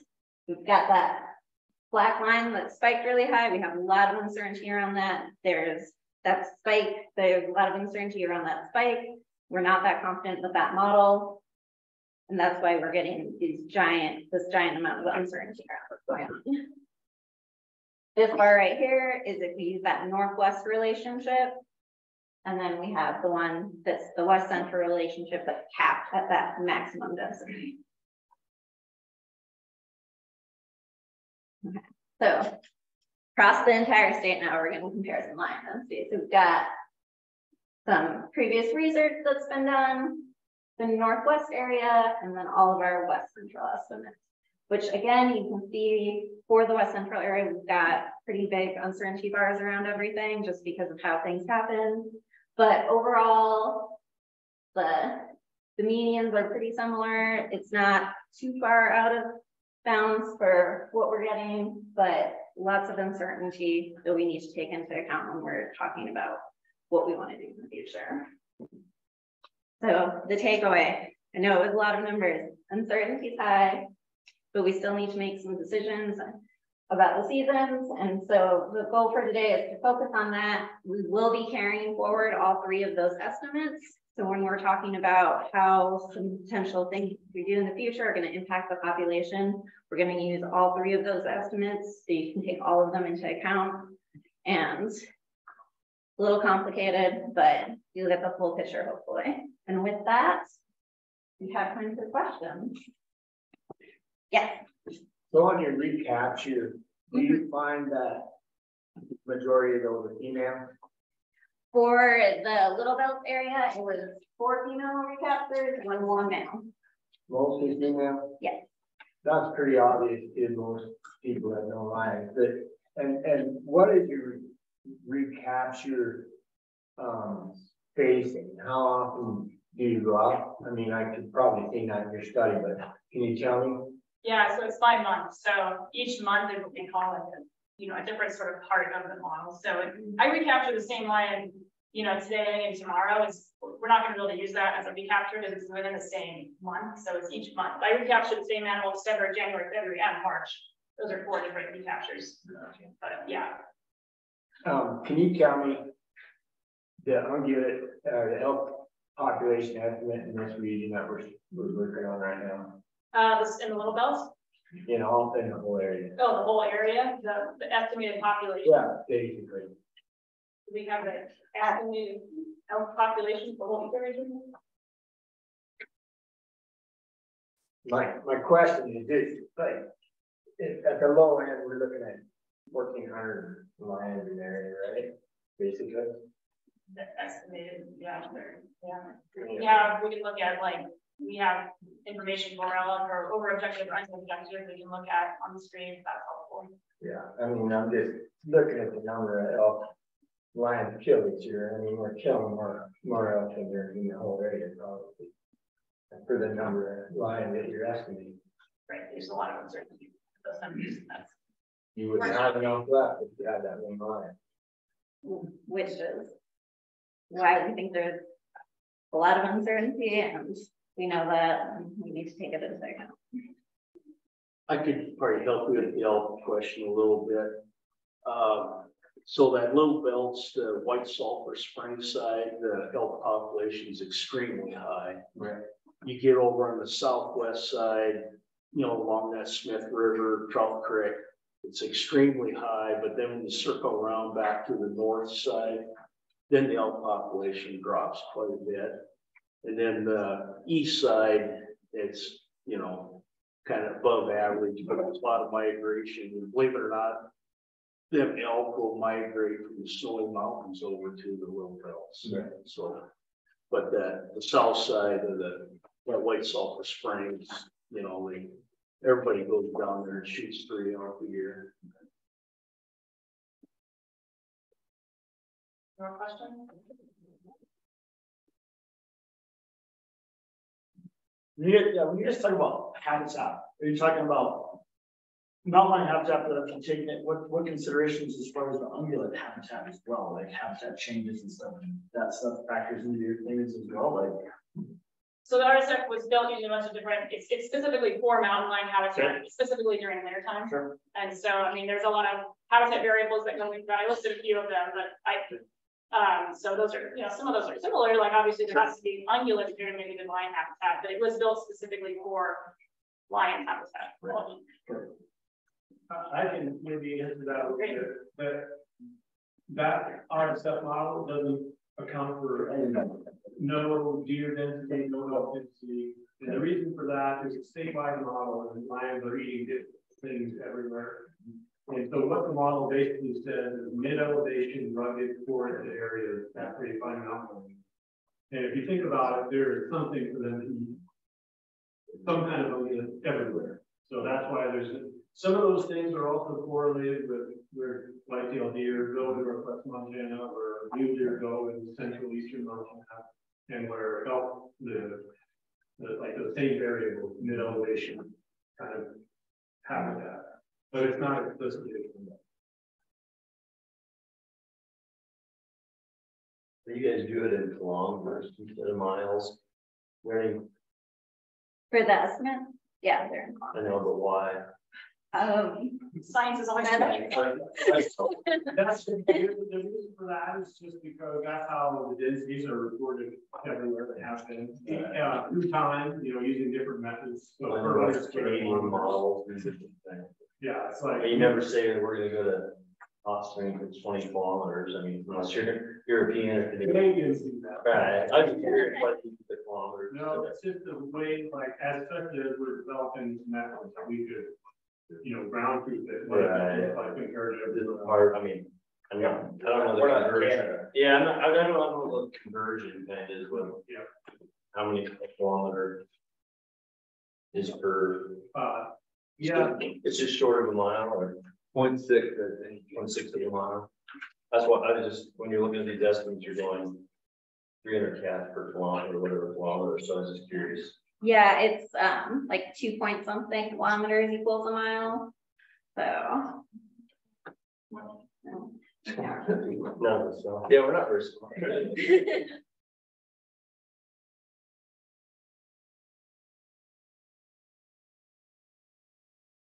We're quite a bit ahead of schedule, so I want to encourage everyone to ask more, more questions, not just to these guys, but to the whole science team that we have here. You know, They're a great resource. I know at least one person has to leave.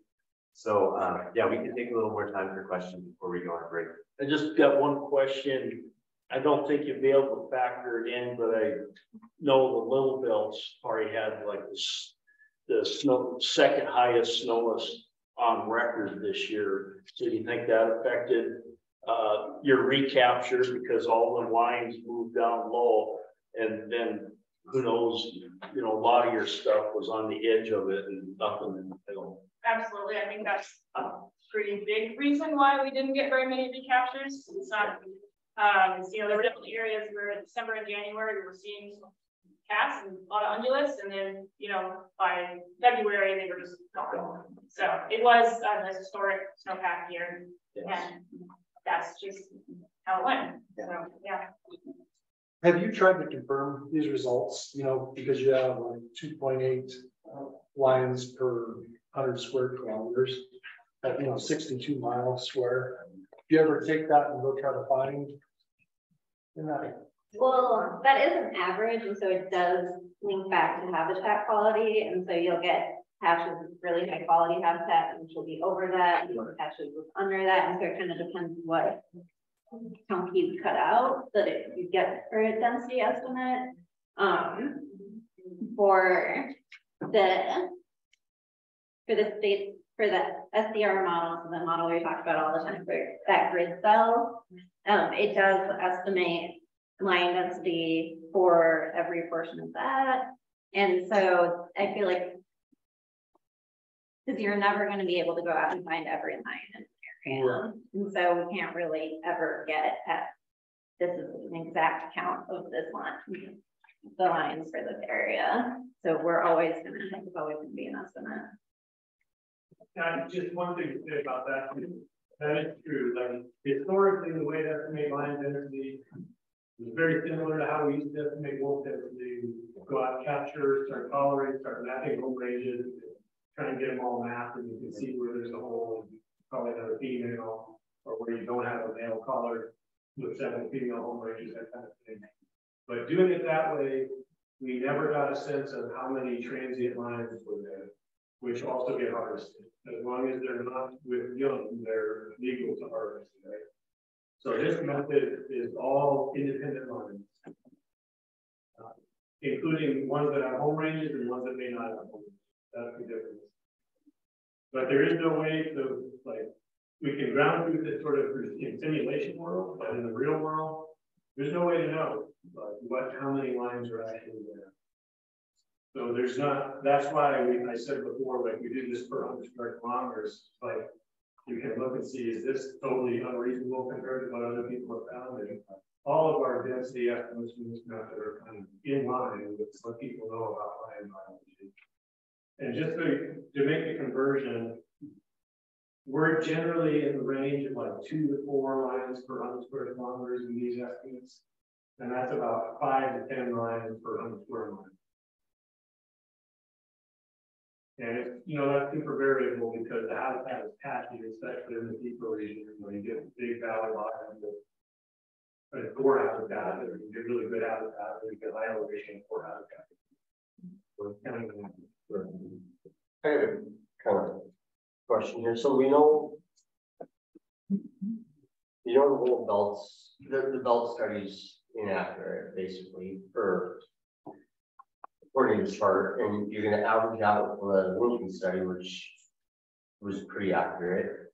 Then six years down, when you come back in six years. Say you get a much higher recapture rate due to conditions and, you know, things work out better. Um, then is it gonna show a major decline? You're gonna show that we have this major decline over the past six years in lion populations when it really didn't. You know what I mean? I think I know what you mean, um. With. With that. I mean. Hopefully with. If we get a lot of recaptures in the future, it should give us a strong, the uncertain, it'll still be within our uncertainty range for what we think is going on. Uh, I don't see us changing outside of that because, well, we do have a pretty wide uncertainty range. And so any effort in the future would look at that. And so it's, we're not that confident with this estimate. And then if we come in in six years and we get a really good estimate and we're really confident with it, well, it, we, it will still be comparing it to the range of estimates we're looking at for this year. I'm just thinking like, so that six years later, when we come, when we get back and recycle over that area, if you get a, a really good result and the lion number goes from wherever you have three point eight or something down to two point two, then is, or is the commission or somebody gonna look at that and say, well, we're overhunting our cats, we need to regulate hunting? You, you, you know what I'm saying? Like, it's gonna give us false number going forward. To where they're gonna say, oh my gosh, there's this giant decline in cats. In six years, we gotta cut the hunting way back. I don't know. You how know, people look I- I- at it in the future. Think, yeah, It's gonna be hard to evaluate what the effect was for any degree of certainty. And that's just a fact. Right, there's no way around it. So when they do a tooth, they have a, you know, probability, you know, you shoot that certainty level, um, for your line, you know. Yeah. So did they, when you, the, all of these have a number, like, uh, certainty level of seventy-five percent or? Yeah, yeah, we'll definitely be able to make those kind of estimates, like how confident are we that it was stable or? There's all for each individual. Yeah, we will be able to say that, but Alex, what she said is also right, because of the high degree of uncertainty right now. Our confidence is in the amount of change, if any, is going to be low in six years. Okay, that, that was, but Yeah. yes. But I look, there, I just want to point out though, that. That's just reality. You're gonna, you're gonna deliberate this and come up with a recommendation, and that is gonna be a fact. that You have to live with, because the lion team gets that. But this whole program, you know, the plan that Jay wrote, it sets us up so that over time, we can start to reduce that uncertainty. And that's not just in this ecoregion, in every ecoregion. As we see what happens when different harvest regimes get put in place, when we go back with repeated monitoring, twenty years from now, we'll be in a better position than we are now. We have to start somewhere. It's not easy to estimate lion density, but for this time period, this six-year time period and looking forward, there's just gonna be a lot of uncertainty. I got a question, um, given the fact that you're pretty grossly over your, your population estimate and live well, um, have you, have you had any discussion about going back and resurveying that area? And just uh, doing a little reset? I mean, I, the plan is set for a while into the future. I don't, there wouldn't be a budget for that. Because the conditions were bad, you couldn't get to the area, I mean, it was pretty tough last year. I think we're moving ahead with the plan that was put forth, and we're just gonna have to accept that last year wasn't a perfect survey and move forward with that. And we get, we have to move on to the southwest. We haven't even started monitoring there. We still have to do two winters monitoring there and do our leaf walk there. And I think it's just, again, like Justin said, over time, as we do these surveys multiple times. And again, there is with the supplemental monitoring areas, we have some flexibility, you know, whether we go back to the little belts or we decide to do a different monitoring area. In the western ecoregion instead, you know, that's all kind of something to decide in the future, but again, every time we come back to these, they're uh, gonna get more certain and that will improve. Mm-hmm. But yeah.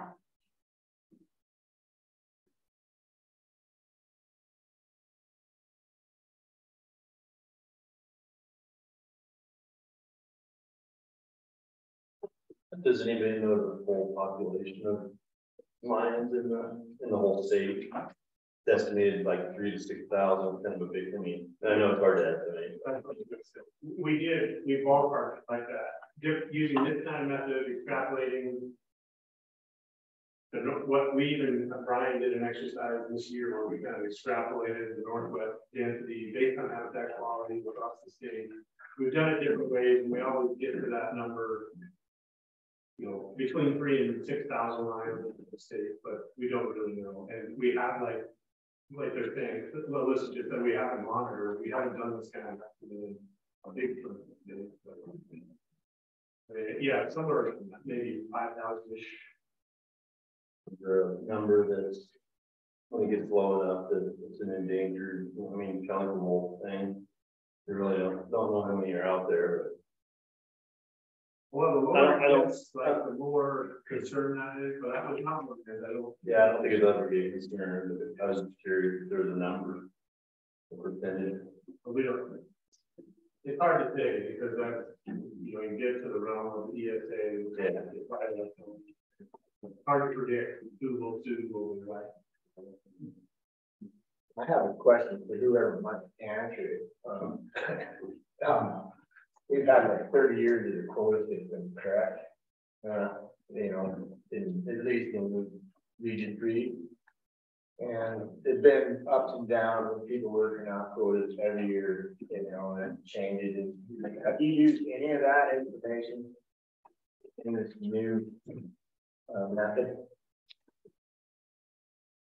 Any information like, okay, we, we say in Elkhorn, for instance, one year we had fourteen cats available. We killed them all. And the next year we had seven. And the next year we had six. And it's been that kind of a thing for thirty years. And so we've gotten to a status quo with these quotas over the years where we pretty much know within a cat or two where we need to be every year. I'm wondering if you guys are looking at that data and using it in the new, uh, population model. It doesn't use the quotas, it does use the number harvested every year though. So. The integrated population model, which is the next step, and we'll, we'll talk a lot about in our next meeting in October, uses the number harvested. But we haven't incorporated quotas.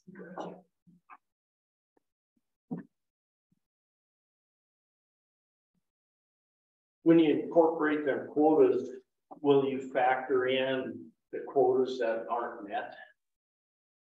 Or just harvest? The model currently is just set up to incorporate harvest. If incorporating quota as, well, that's more of a human dimensions thing, and so it's usually not incorporated into IPMs just because there's so much of a human dimensions aspect. And then you'd want to incorporate a lot more about that side of things, which would very it's not a lot complicated. So usually to keep it simple, it's usually just number harvested. Some of the areas in my area, the quotas aren't, aren't even met and they raise the quota forty percent. Um, so I think, I mean, Well, fill a line, I mean, it depends on who's hunting that year too, I mean, it could be weather, the weather, it could be there, there's guys that don't shoot females in our area, there's a lot of guys that don't. some of the male quotas are. Yeah, So, and they're. That's We have, we have that analysis stuff. There's a lot of, like this year, there's a lot of outfitters in our area that didn't, weren't able to go out, because they were also like HVAC guys or whatever they were, and just didn't have time to get out there. They kind of do the heavy lifting in our area. We're, uh, that's a lot, I don't think you can really determine lion population by quota. I don't know how some of the other ones around the state are, but I know that Missoula Special Management Unit, when they, when they did that, when they wanted that, they wanted to get as many cats as they could there, because that's all urban, and they've never got that quota. But they keep it high, this would keep, and I live in that unit, and I had a cat kill a deer in my driveway last year, they're there. What, what is the, um, we talked about the, the, uh, calf recruitment rates and up and down and all that. Is there an ideal calf recruitment? Is there, what do you, what is that? Predict or who's, who's determines that?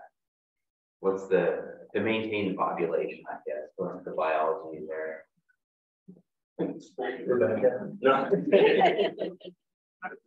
I'm gonna be trying to get a. It's really hard to say. So in, in a, a popul- uh, sort of stable population with cow harvest at a kind of standard level, like some opportunity, but we're not trying to reduce the population. Yeah, Recruitment, maybe like twenty-five to thirty-five uh, calves per hundred cows, to keep the population stable.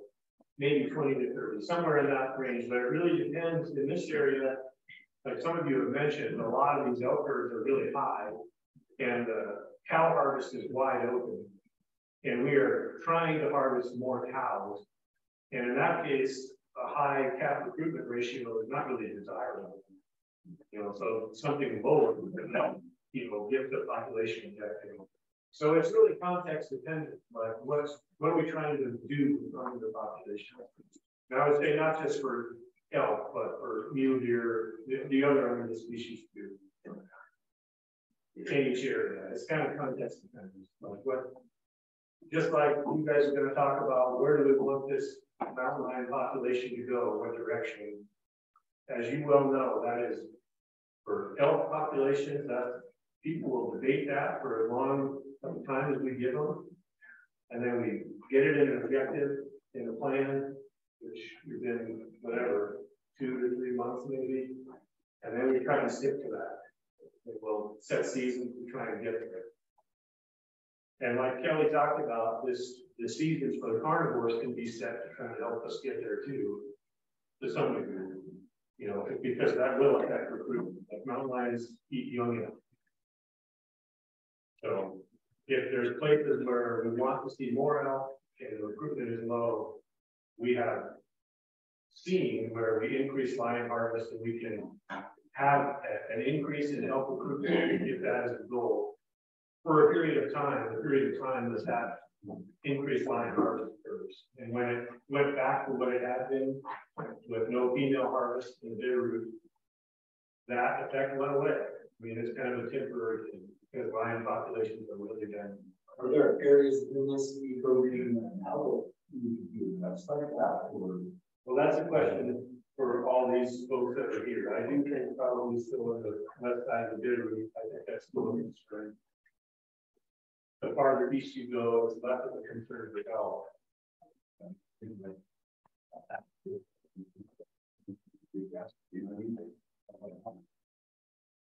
Yeah, I mean, uh, numbers are down in the ones, how much of it is true, well, lion, but my professional opinion is, uh, human harvest has far greater impacts. But then I was under this not trying to do the. We, I'm saying is that something that we should be looking at in this meeting, are there areas that we. With that. Yeah, and I, we've got all that information about self population status relative to objectives, legal objectives, and you know, that is. When you guys look at, at, uh, the elk population, when is it, when do you guys do the count, I mean, is this? Uh, do you adjust for the migration, the elk migration, like?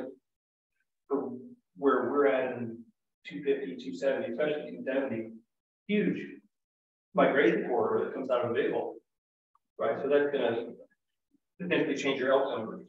I mean, how, how do you guys count, account for that, or when do you count for elk? So we said literally, we count them when they're still on their range before they migrate. And so we can compare that year to year, you know, so we're always getting that wintering elk population. Okay, so it's a constant, yeah. Yeah. Baseline, And okay. it it is a little bit more difficult in like the West Fork because we know that there's a migratory component in Idaho. Sure. Um, and so there's also there in hunting season that are not there when it and so that's harder to get a handle on. Yeah, sure, okay. Yeah, Pretty much all of our elk surveys are done typically from, for the most part, sometime probably mid-January till as late as early April. And, you know, watching depends on timing, pilot availability, but generally it's they're still on winter, on winter range or early spring green up areas. Uh, you know, one nice thing for most, most of the west central ecoregion, elk occupied areas that we typically good counts on. Um, I can't speak to, know, all of the Rebecca's area, but, uh, um, you know, it's not like northwestern Montana where you got heavy timber. And, and we still run into issues depending on the day we're surveying, we end up with groups of and timber, but for the most part, you know, I think most of us feel we get a pretty, pretty good count on our elk.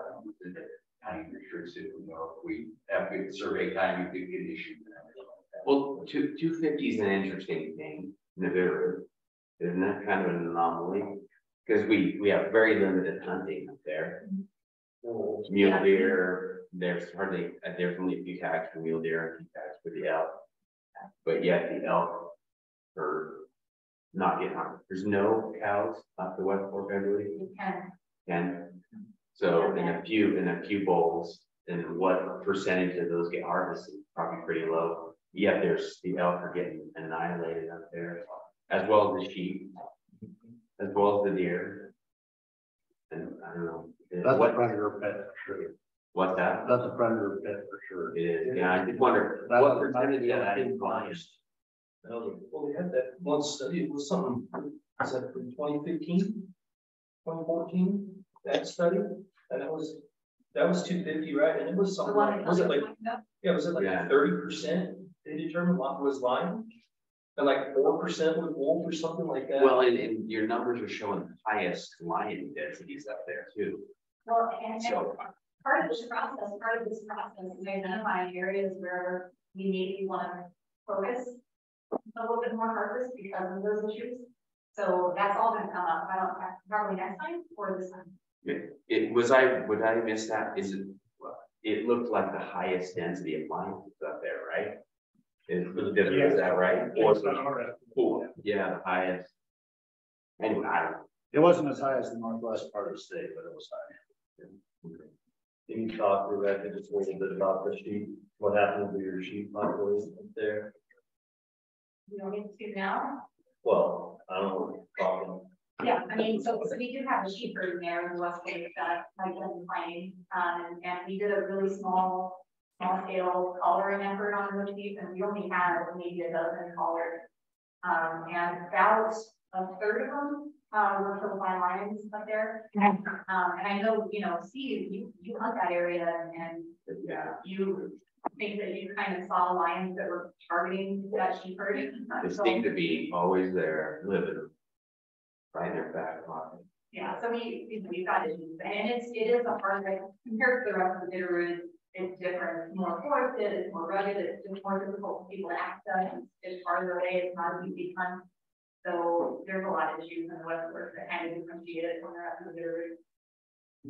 And some of the information from across the western United States, particularly in regard to sheep populations, will sometimes get individual, literally individual lions, or they start specializing in sheep. So it's not always the function of the overall lion populations, it's literally sometimes a function of those one or two lions that just start, you know, specializing in that particular So I killed an old female on my ranch, she killed three of their sheep in one week. And you know, this, this lion thing is so dynamic, I- I'm from Gardiner. You know, in nineteen ninety-seven, they killed twenty-seven hundred cows in the late season hunt. You know how many cows they kill in the late season hunt today? None. It's the greatest loss of hunting opportunity in the world. We killed five cows in sixteen days and closed the season. I had four more cats to run that week. It's an unlimited sheep area. About a dozen years ago, they took away that unlimited sheep area, the borders department's never been given back. Eighty-seven one two seventeen, state statute man- mandates that predators will be managed to the benefit of owners. That's a law. It's as simple as Hunter Orange, Granny G bush, right? That's why we're here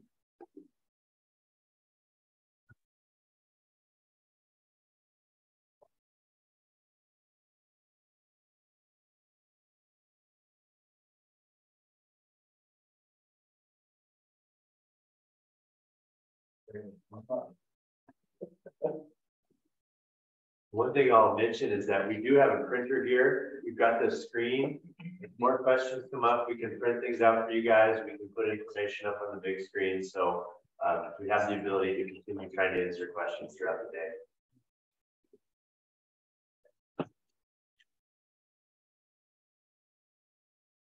I got one, one last question. When you go out, where you recapture, and when you, when you go look at the cat recapture, do you actually target cats that you know are in the area? We'll often like if, like we have our cell we have to go to that day or that area and go and maybe we get one cat, but we saw tracks of another cat and then another cat there, we'll go back there the next day. The idea is to get, you know, if we have to go revisit some places to get all the cats that are there at that time, we will certainly do that. So you'll bypass the track that you know is you recaptured, that you captured before? To bypass the track, Or do you, will you run all the tracks? Yeah, we try and, Yeah. we try and run all the tracks that are in that general area, so sometimes, you know, we'll, we'll spend multiple days there if we have to. Yeah, for sure.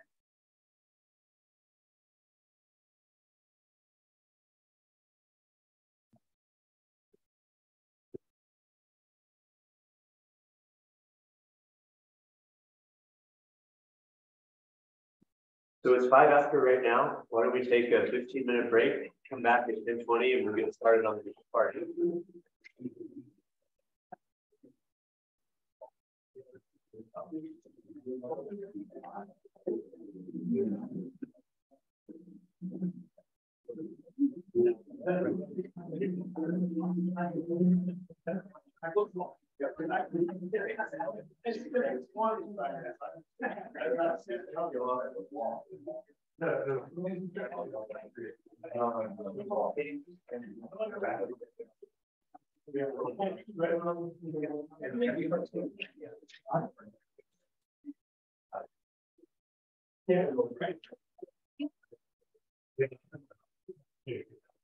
Uh,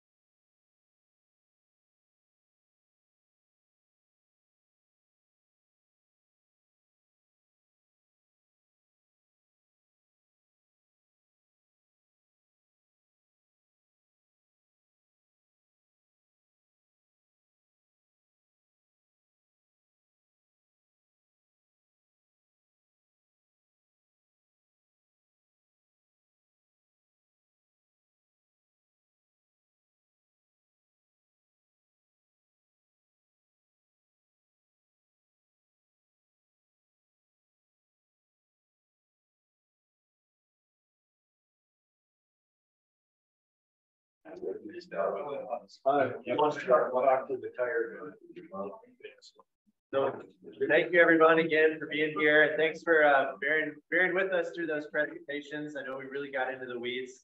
We're gonna move into the next part of this, which is us listening to you instead of you listening to us. Except we're gonna have one more short presentation just to remind you of the process here, what we're gonna do next. So we're gonna start working on the problem statement. Like Sarah said at the beginning, this is really important step. So we're just gonna dive into that a little deeper and then hear from all of you about your problem statement. Take it away, Sarah. All right.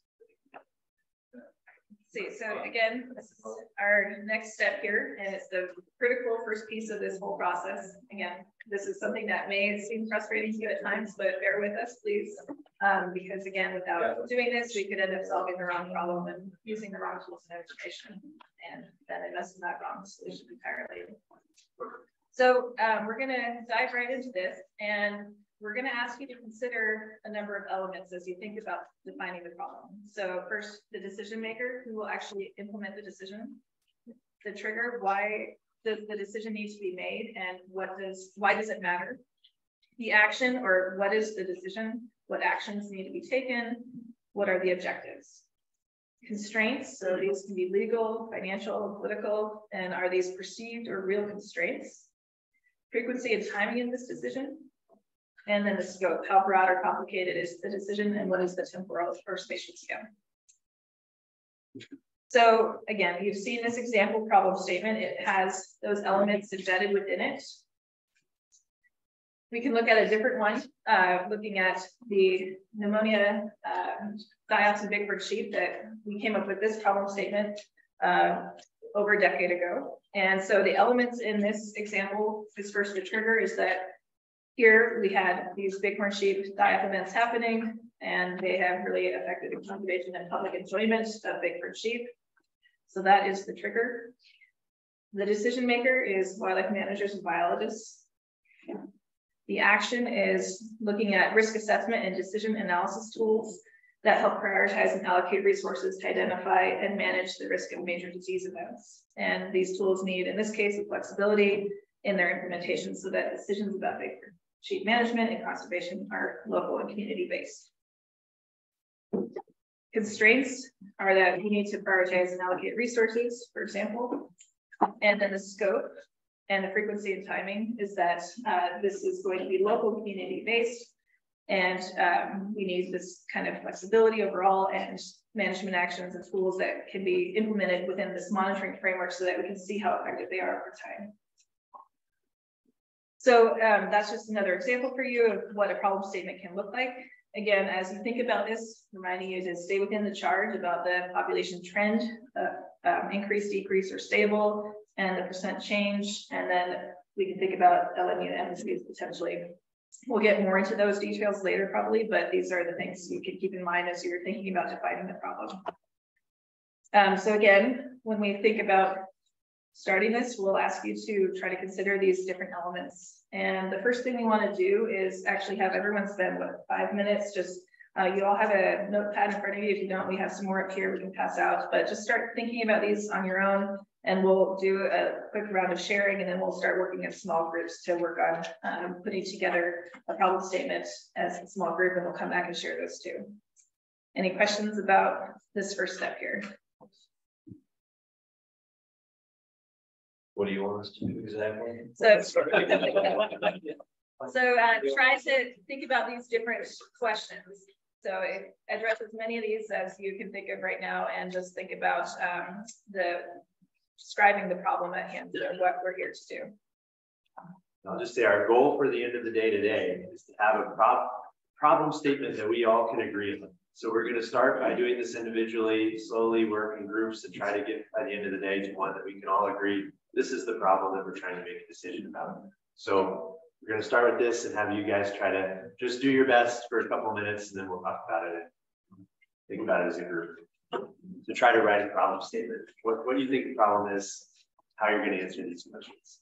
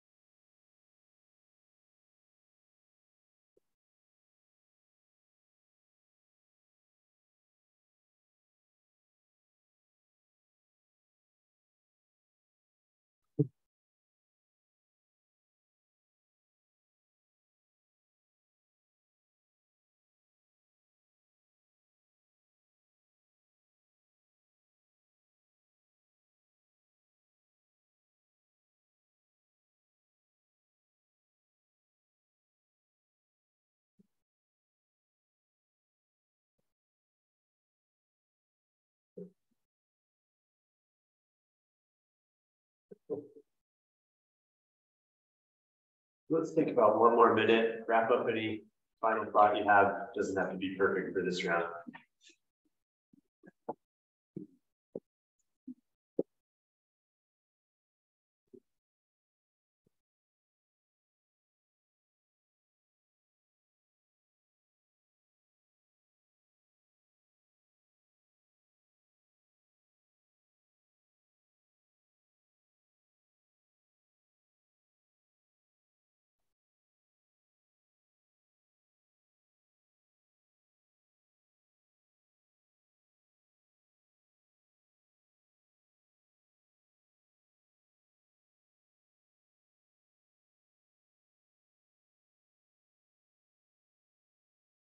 Great, so as we move into this part of the work, I just want to remind everyone of our ground rules. The core of that is mutual respect.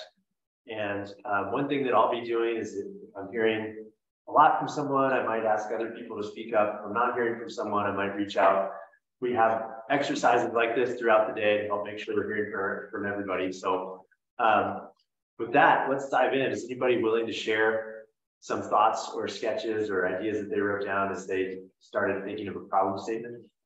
Well, I'll start, I guess I will. And, and you'll say your name before you start, just for now, so we can all be. It's probably funny, Josh Powell. But, um, my, I mean, I'm, I know we're not supposed to be political. We don't have enough biological input in the decision making. I mean, the commission ultimately is gonna make the decision. And these hardworking people, their information is basically gonna be put on hold. It's gonna be considered, but ultimately it's gonna be the commission, I think. So, and in that respect, I think somehow maybe biologists need to be able to make those decisions. Appreciate your statement. I think we're getting a little outside of the scope and charge for today, but yeah, thanks for. Yeah. I think one of the problems is we're making decisions for a very diverse group of people with different interests. Yeah, go ahead. Um, so I actually wrote down the eco-region is so diverse, um. And it's really hard, because like we're Lumber was talking, you know, that's even the eco-region, but when you look in the eco-region, um, I just pulled up the emails, um, for. The areas I'm familiar with, five of the LMUs, and all of those LMUs are above objective for, um, deer and elk numbers. Um, but that's not gonna be the case everywhere, so, um, I guess. I don't have a problem for the five areas I, I'm looking at, because deer and elk numbers are, are there. So that's gonna be different for different individuals in different areas in this room, but, um, areas that I directly am involved with and all of the biologist numbers, those numbers, the ungulate species are good there. So therefore, um, I don't see a problem with the lion management in that area. You know, that, that section of the, um, eco-region. I think there's, we're being asked to make decisions with a lot of uncertainty. Um, and how do we, how do we expect to make a decision based on that much of uncertainty as far as, you know, the methods that we use, the results of those methods, and I understand about how things extrapolate and, and that, but it just seems like we have, and kind of Scott said, we, we have a lot of different issues of what we're seeing here in, in our area versus what they're seeing over in Hamilton or Gardiner or wherever. And we're tasked with making decisions on this eco region for what's best for the eco region and, and I get money and, and that I get funding and stuff at the same time. There's a lot of, a lot of uncertainties that are going into this decision making or recommendation process. John Barr, uh, to me, I definitely come from a different area of the state, right? With the eco region. So I totally get that as far as the differences across this whole region. Uh, to me, it was fairly easy for a trigger. Um, we don't have enough ungulates, um, primarily hunter, not houndsman. Um, So to me, it's predator control. So action to me was really easy to increase predator, predator control measures, increase quotas, et cetera, on lions. Constraints, uh, also want to maintain a sustainable number of mountain lions. They're important, they're important for hunting, they're important for the environment. And um, that's a constraint from my point of view to find what that balance is for lion numbers. Um, for my primary thoughts on that, yes. Thank you. Well, we go from the same area, so, uh, same thing I said, problem, many lions in our area, decision needs to be made to bring back the ungulate population, at least, you know, to a sustainable number there, proposed, and action is higher predator control, which we actually got for, for our area. I'm happy with what we have in our area with the numbers that the commission put out, so. Um, I say we just try it for a few years and, you know, in our, that's uh, the scope to try it for a few years and just like, it's not, nothing permanent, so these things can be changed, so. I think, you know, we get to a point where it's like the lion population is crashing and go back to the way it was. I mean, we used to get hundred, I mean, our quota was over hundred for, for many years back in the day, and then they reduced it to thirty, you know, 30, 35. I don't know, I think so. Now we're up back up to seventy or eighty, I think, is what it is. But even within that region, um, there's spots of it, parts of it, we talked about a little bit that are. Um, and even harder, some of the areas, you know, we might get our health numbers and others. You know, there's, hard, hard pressed to find things, so. You know, it's, it's a challenge, definitely a challenge trying to figure out where that is and what. How to come up with it.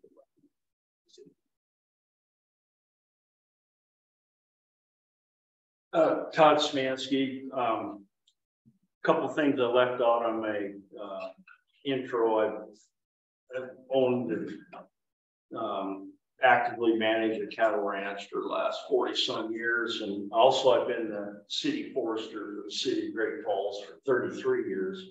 So it's both the science and the ag part, uh, where my place is, a cat wanders through every now and then, so it's not that big an issue. But uh, the trigger is, you know, everybody wants more deer and elk, which is, uh, you go around the state, go on the east side of the snowies and you'll find more elk than you'll ever see in most people's lifetimes. But uh, there, it's so complex. And unfortunately, the lion has taken the run in of it because uh, you raise a quota, you know somebody's gonna go there and kill the cats, boom, done, over with. Uh, it's a little better now that you gotta pick a region, you don't get the quota hoppers.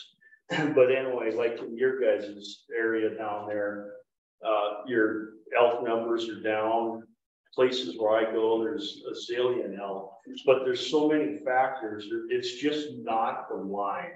Uh, look, we got to go back. We got to go into hunter numbers. I've been, I've hunted down there uh, on that 270 mule deer tag. Um, the check station had like 14,000 people go through it, you know, and so there's hunter numbers. There's our our forest is crap basically. There's no food. You know, they every fire that pops up, we got to put out. And trees, something I know about, evolve over with fire. All our whole ecosystem evolved with fire. And so we eliminate the fire. There, there goes the browse. A mule deer, they have to have browse and elk. They, they're a grass eater, but when they hurt the mule deer is when they switch over to browse because, because their stomach allows them to. So it's, you know, just picking on the lions is kind of frustrating for me. I'm not an outfitter. I'm a more of a week semi-retired weekend hunter now because of age. But uh, uh, my daughter has a long-legged boyfriend, so that helps. But anyway, so it's hard to. Uh, Montana is so wide and diverse. Um, I just think this up in the quotas and killing everything without doing anything about the other factors is, uh, you know, I'm frustrated with that. Uh, now, now the last five, six years, maybe not, what's the name of that big ranch there out of Darby where all the elk? Yeah. Prime example that there, your elk study down there, I think, what is it, Rye Creek or something off to the. The elk started moving to that ranch right at archery season. Um, you know, I, I've hunted most every western state with hounds and big game. I do a lot of big game hunting. I've hunted every region in Montana. And all these other states, Arizona and stuff, you know, they, the only way they can manage the people and the, um, quality and quantity of animals and season dates and stuff. And so that's the frustrating part. I do not know the answer, but it's bigger than just up enough, you know, killing eighty-five females out of the Bitterroot. It, it's way bigger than that. Um, unfortunately, this committee won't be involved with that, but I'd like everybody to keep that kind of in mind once we start. And now in the last five, six years, um, we got, uh, uh, Montana's gotten pretty attractive to some wealthy people. And they're buying huge tracts of land. And, uh, then the minimal amount of hunting and that, boom, the elk are, you know, some of the units, uh, I hunt, you know, got tremendous elk. You can shoot three elk and shoot them like vermin down there. And so it's hard to come up with a definite answer. You know, this fellow down here, Gardiner, you know, they wiped out that northern herd. I remember the days of the twenty-seven thousand elk. And yes, lions, I'm not disagreeing that the lions haven't ate some of the line, but there's several factors. Your grizzly populations increase, they introduce the wolves. And where I hunt now, I hunt down in region seven. And, uh, you know, I do shed hunting, know, all that down there. The only time we see bears is, uh, calving season. And then once the, um, um, elk or calf elk, the bears disappear, how many they're eating? I, you know, cause some of this is antelope country, so you see a big black bear out in the middle of, uh, you know, two sections of sagebrush and one thing he's out there for, and that's to eat the calves. So kind of, in my opinion, we're picking on the lion a little too much, but I understand that is one of the things we can control more because we find a track, you know, even though we are starting to bear hunt, but I don't think you can use hounds in the Bitterroot. can you? Yeah, you can't. You can in this area. Yeah, okay. Yeah, But no hopefully, hopefully they can make a dent in the bear population. They will. Yeah, cause I just read in, uh, region four, like twenty years ago, they killed, uh. Eighty some bears, you know, and like last year they killed two hundred some bears, so. Hopefully, you know, that it's gonna take a. Effort on everything and not just single out lions. And I guess I'm just rambling on too far. I probably didn't get to the point, but. Then you're still, Thank you. Yeah, my skill, that's my skill. Well, this, it, it's unfortunate though, we have to factor in forage base and all that stuff and just killing more lions don't do that. They will move themselves. They, you know, they run out of deer, you know, our deer seasons are ludicrous, you know, how long they are and stuff, so, but, okay. We hear another voice, yeah. Yeah, I guess so. I'm coming from a. I'll say your name. Oh, sorry, my name's Joshua Lisbon. Um, and I'm coming from a hunting district that is like over management objectives for deer and elk. So we're not seeing some of the same problems that people have. We also do have a pretty robust cat population.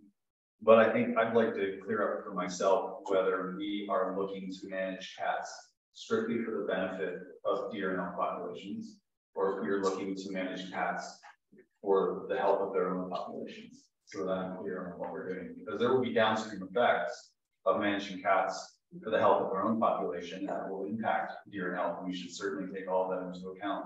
But I want to be clear about why we're doing it, so that I understand. that. And then I think for me, the problem that we came up with here is like, how do we manage the mountain lion populations? And are we doing that not only for the benefit of deer and elk or sheep, the health of their own population? And within that, is it possible to consider the social structure of given individual territories? Because if you're coming at this from just a numbers game, and you're like, there are X number of cats in this area, I'm gonna pull out X number of cats.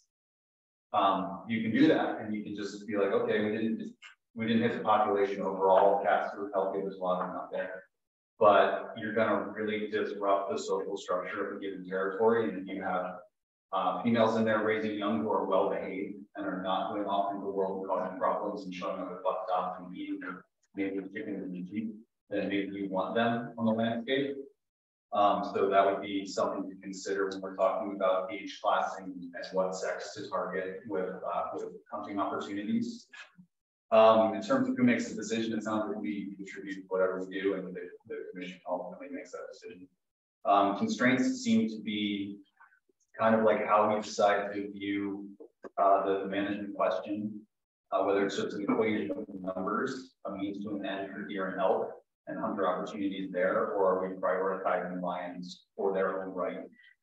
Um, and do we view the cats as having a right to their own prey base? Or is that strictly a resource that we want and are in competition with them for? And something to consider too is um, the ecosystem services that they provide. Mountain lions research is pointing towards the fact that they do not get chronic wasting disease. And so they are a fantastic cleanup crew for the forests and they will target the animals that are slower and are weaker. Can they hunt the most robust animal? Of course, they're amazing. But they will go after slow, easy things because they want food and it's risky to take down elk with your face. So they don't get CWD. If we don't want CWD in our populations and we want those animals removed by an individual that cannot contract it and spread it, then they are an important ingredient to have on the landscape. And so these are things we should also take into consideration while we make these decisions.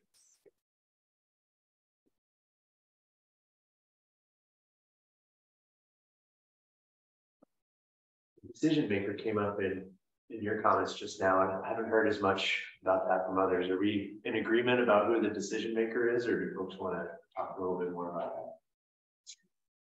Well, I would think the ultimate decision makers would be the public. Over, you know, a bunch of years, I think the public is going to decide whether we like or not. You know, Montana's growing and, you know, pretty soon I can see where we're gonna have to put in for tags for, for certain ungulates, you know. It's just, everybody's broadening out, subdivisions are going in, more cap human conflict. And I think, you know, I would, I would think the goal would be to establish a, uh, a number of lions that's good for everybody involved, you know. And unfortunately, the people in this room are probably the minority of what, what's out there.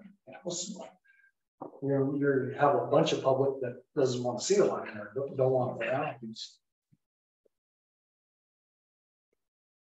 There, there's some things in play right now too. Um, that'll be interesting to watch. Utah just deregulated lions. And so it'll be interesting to see what that does to the lions as far as managing and what they what happens to that population of lions and how they how they fare as well as what it does for their their deer and elk. I think that's probably a push more maybe an opinion, but um, I think they're really trying to manage for the deer and the elk care about the lions is kind of the the uh, opinion or that's kind of what it seems like that is um, showing us. But um, I think don't. We could probably do a better job of managing the lions and and the deer and the ungulates, the deer and the elk. If we, I mean, I would hate to see that actually. I would hate to see that just totally lions being annihilated like that. And I'm not sure that will annihilate. Who knows? It'd be an interesting, an interesting study that we can kind of sit back and watch, I think. Um, anyway, just think that's an interesting perspective. There's a couple of things that have done that. And what has that done to their minds and having Um, sorry, I thought I saw your, did I see your thing? Yeah. Yeah. So I wrote wildlife management in Montana, it's a diverse, multifaceted situation. Management varies from region to region and LMU to LMU. The state is mandated by 87 217 to manage predators to the benefit of ungulates, protect people and livestock. There is no silver bullet. However, decades of status quo has left management in question. Predator pits need to be addressed. There is no silver bullet. That gentleman hit on that. We have a grizzly issue. We have a black bear issue. We have a wolf issue. And you can't talk about this one issue like it's a silver bullet because it is not. But what we can talk about is like, I maybe I'm going off task here, but in three fourteen, I've lived there seven years.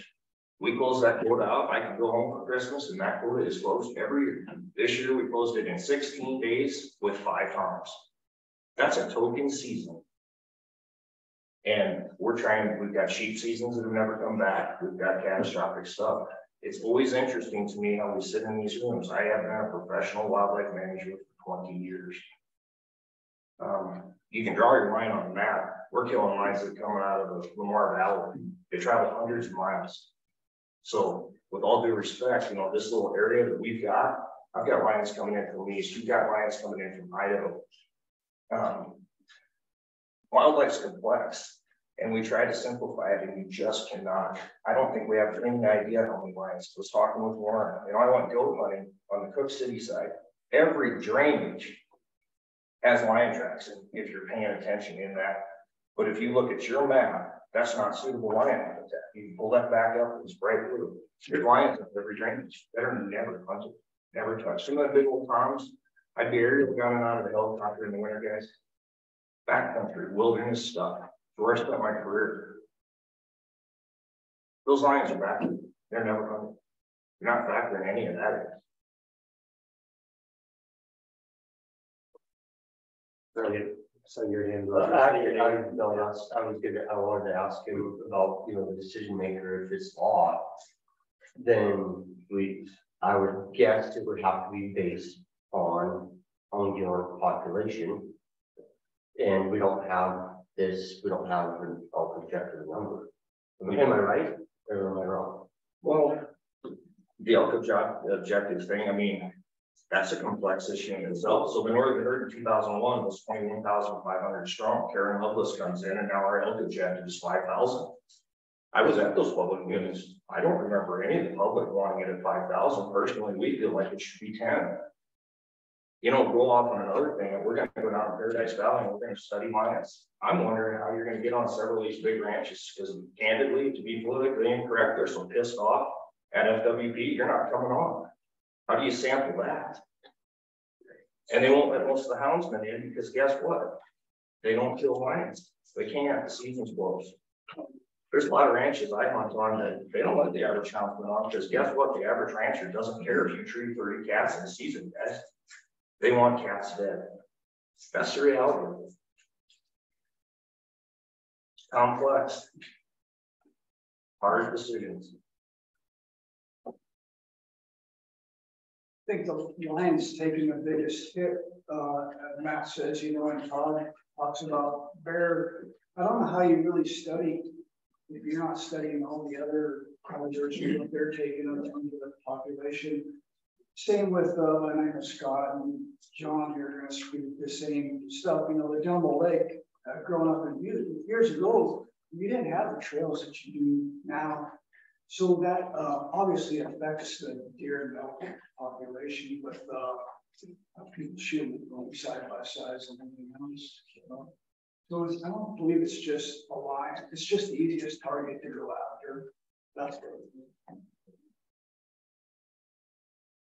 I also, I also view this lion, um, public view of lions right now seems to me that there's one behind every bush. And that the lions are also escaping, and that would put extraordinary control measures on lions where we can't put them on wolves. And we can't put them on grizzly bears, things that are protected. I mean, if you could do the same thing with wolves, it, it, it'd, it'd be done. I mean, you can hammer down on the road just like you're gonna hammer down on the lion. So I think public perception is a huge another problem right now. And education is at a real low and people, people don't understand it. General rule, how many cats are really out there and what they're really doing? You know, so if we can get some sort of public perception change out there, I don't think things are gonna change. So I'm gonna try to reflect back some of what I'm hearing. If You can tell me if I'm hearing it right or you wanna uh, update anything. So for the decision maker, maybe in the short term commission, but in the longer term, the broader public are gonna have an influence. Um, for the trigger, we've got our LEPOC meeting that we're at, but also perception that maybe ungulate populations are not exactly where everyone wants them to be. Um, for the action, that's pretty clearly mandated by our charge. We want to increase, stay the same or decrease the lion uh, harvest. Um, then we heard a lot about constraints and context. There's uncertainty, that's huge. There's complexity. There are multiple driving factors uh, for ungulate declines and for mountain lion populations. There are things happening at the ecosystem level and economic changes. Um, and then there are questions about the health of the mountain lion population itself whether that's something we care about or something that just matters for the ungulates. Um, frequency and timing, we're here, it happens again in six years, we know that, and we know the scope for this charge is, is uh, focused on this west central region. Um, so th those are some of the things I heard. Sarah, if we could go back to the charge slide. Um, So we have a pretty narrow charge ahead of us today. And I recognize that a lot of the uncertainty and complexity, it feels really frustrating to not be, be able to talk about that because we all know it's so important. But I do want to um, just remind us of our charge today and the decision that we've all kind of agreed to, to convene around. So um, yeah, here's some of the things that we're charged with and not charged with. I'm not trying to stifle discussion, but just as a reminder of what brought us here and, and where we're headed. So um, Does, does it have to be one or the other? Or could we say, hey, in region two, two fifty, we want more, and, and in some of these other regions, we want less? Or we like where it is, do we make those decisions, or do we have to say, oh, we want it up, or we want it down, or we want it leave? So I'm gonna turn to Justin and Brian, who might be able to tell us. Okay, Yeah, you guys, one of your charts is helping us to identify areas of emphasis, focal zones. Um, so just as a very brief example, of the Northwest Ecoregion, they did identify ungulate focal zones where we could intensify harvest as an option to look at.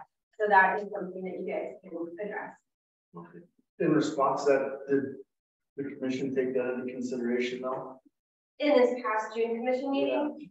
I mean, maybe. No, I don't, um, they accepted our recommendation from the Northwest LEPOC Committee, but then this year we're going to took a new direction. So I don't know how much of that previous recommendation informed.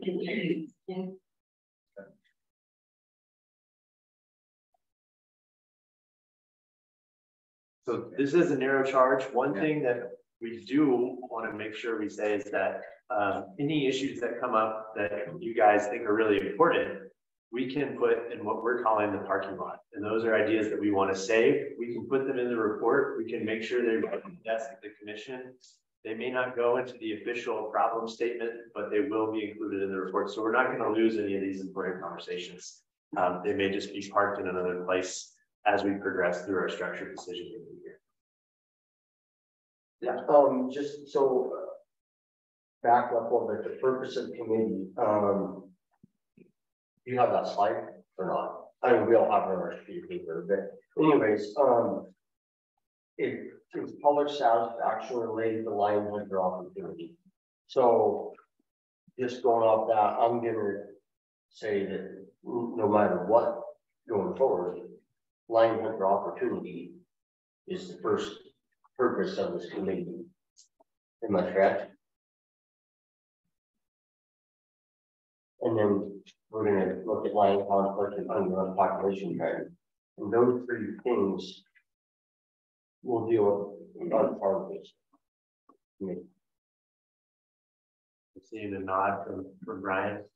Yeah, I didn't hear, could you repeat that? So I'm just, I'm just going to the very basic here, that, um, public satisfaction related lion hunting opportunities. Okay?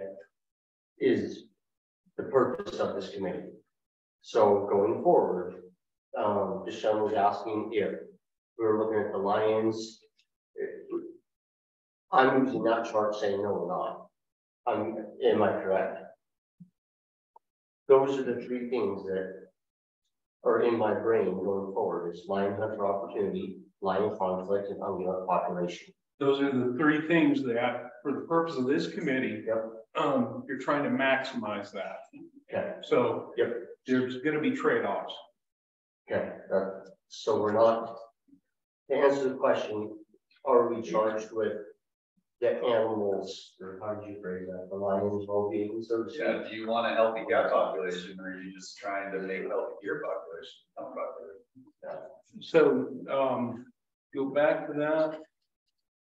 And I So- guess then further, are you trying to create better cat hunting opportunities for everyone, or you're trying to create better deer and elk hunting opportunities for everyone?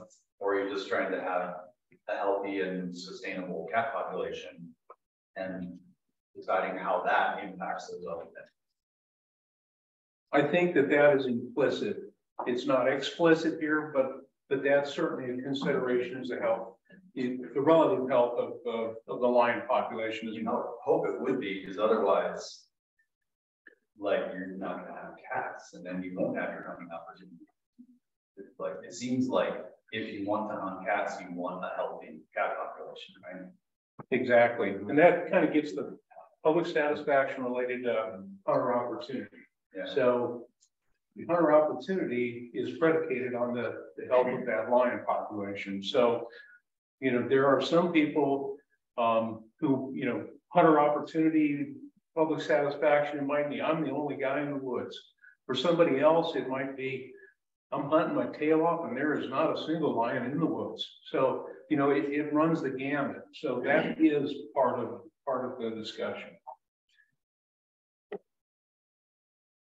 It is often helpful to describe all these different challenges, right, in this problem statement, and when we get to the next step of defining objectives, we can make all those different considerations explicit, so that then when we get to the later analysis phase, we can see the trade-offs of, you know, each of those different objectives and how well they're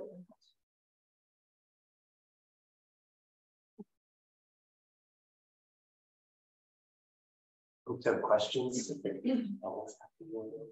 I was just about these guys that have the over objective elk areas. Is that mostly because of the private land? I mean, there's a lot of private land in the area, like over by Lewistown and the Wilks brother. I mean, you got all that huge herd. Are you counting those, that number for over objective or are those actually huntable elk? Or I'm in the northern sapphires, so it's, it's like hunting region two oh four. 204. So, uh, some of it's private land, a lot of it's public land. Uh, we've seen a, a large increase in cow elk numbers. is that statistics, I mean, fish and wildlife statistics or? Yeah, but the counts, the, those aerial surveys. So like we were winter elk habitat for like two hundred and fifty elk in two thousand nine. Currently, we're wintering five to And are those, are those, um, migrating elk or they just? They do move around, yeah, actually, they they did a northern sapphire elk research project to track migration, and yeah, they're not just yarding up in one spot, they do move around quite a bit. All of that's, like, I think it's on that. It just seems like, uh, one, uh, from my experience, seems like everywhere that's over objected is, is usually a lot of private land. Yeah, there's some big chunks of private land there, but it's huntable private. It's just not a free for all. So like Yeah. every day of the hunting season, inclusive of early and late shoulder seasons, there are hunters on those private lands.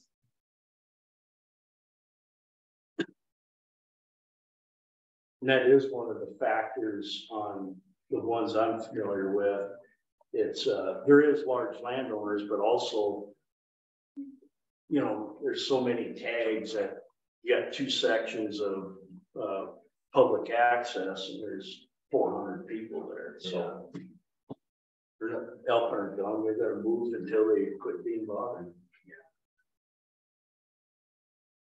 Seems like it's regional with the problems that Yeah. everybody's having. I mean, we got, it's great habitat too, right? So Yeah. like there's, there's food, there's water, like they wanna be there. It's a great spot for them. Um, and then of course, then we see that the cats wanna be there too. Yeah. But we do have like, we have a cat population that is like quite dense compared to all the numbers that we're looking at here. And They are surely not eating themselves out of house and home. Like they're not putting a dent in the deer and elk populations. And they're not the largest contributing factor to mortality in either of those populations. If you, you feel if you double the quota there, it would impact the cat population at all? For cats, I mean, you reckon, I think, like, I think like, what I'm looking at. Two oh two. Yep, two oh two, it's two oh four is the, is the deer district anyway, but like, or the elk elk deer district, but like. There's a ton of dispersers that move through, so you've got a lot of young cats just passing through, and, and there's tons of them. And if you went after them, you're, you, you hunt all of them, and you're not really gonna screw up the resident population at all. Um, but it's when like, what I see is like the most disruptive thing that you could do is pull out the territorial females that have, like, have an established place. Because when you pull them out, then it's like a vacuum, and then you just get whatever in there, and it changes the whole dynamic. But we see the adult male disappear every year. If an adult male lasts a few years, it's kind of a miracle. So they get hunted every year, every two years, they're gone, we get new genetics, and that doesn't seem to disrupt stuff too much. And all those dispersers, if they get pulled out, they don't seem to disrupt them much, so like. In terms of hunting opportunity, you could go after those guys, but like, it's the adult females that seem to create the greatest disruption in the population when they get pulled out. I think, well, it looks like, I don't know exactly, it looks like there's eight is all on the quota. For this, for twenty twenty-three. Four female, four males in that area, and two of, two of four, you said. Yeah, I think it just depend which. I don't know what it was last year, they raised it, but. I mean, adult female have, what, three kittens, Yeah, one to four. depending on the population, I don't know. Yeah, we see like survival rates vary depending upon where those territories are and what the prey base is in those territories. So you'll see like some females that don't have the best hunting territory, like one of every four is surviving. Females that have better hunting are like, you know, three, four, maybe of every four. But then they don't make it, you know, more than, you know, one of those will make it to three years old. you know. The biology here. What's that? For others. You don't have the data on like the age on those, do you, I mean, two oh four ones? Yeah. Uh, you don't have to do it, I was just curious. On I think- hills, someone. I think it's really hard when we go from species to species to species. Two oh four is my backyard. I've been there for over twenty years. That's where I hunt. Every year I see less mule deer. Elk numbers may be going up, but our mule deer just aren't what they were. Well, some of that is because you're on. Because, well, whatever, I'm, I'm, not- I'm, not- I'm, I'm not a, like I said, I've chased lions for a good part of my life. Uh, love lions, uh, love hounds. But I also like, you know, I like to see everything else, so that's gonna be the hard part is quantifying. What we're gonna be able to live with, what the effect is gonna be on the ongoing population. Of that's gonna be your age class, you know, if you wanna pull out all the big cats, then you leave the little cats and they're gonna hammer your deer. So the big cats are gonna be able to go after like, you know, cow or a spike bull. And so if you pull all the ones out who are gonna try to go after those, then what's left over is gonna be all the mule deer. So I'm gonna pause this here because what we're doing now is starting to get into that later stage of this where we're talking about alternatives, what to do. And today, today, our singular focus, and this is really frustrating, is just saying what the problem is. So um, we're gonna stick with that a little longer and then wait to get into these important discussions. Um, so we want to show that. uh, have another round back, try to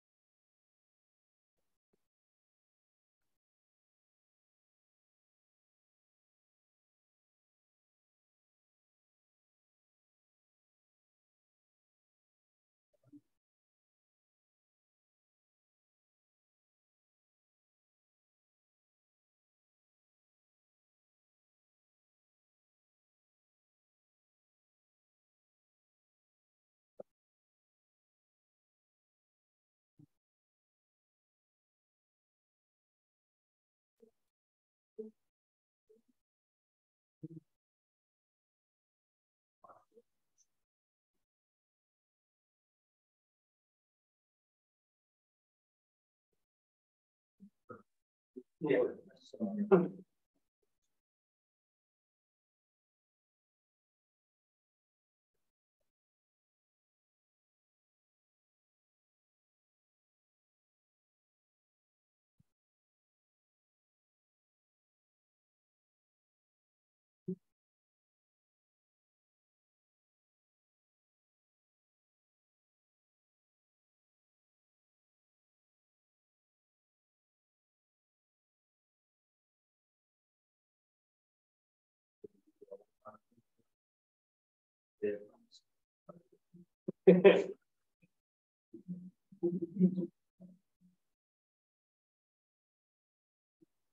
Think about one more minute to just wrap up your thoughts, and we're gonna break into groups that you guys discuss. Problem, right?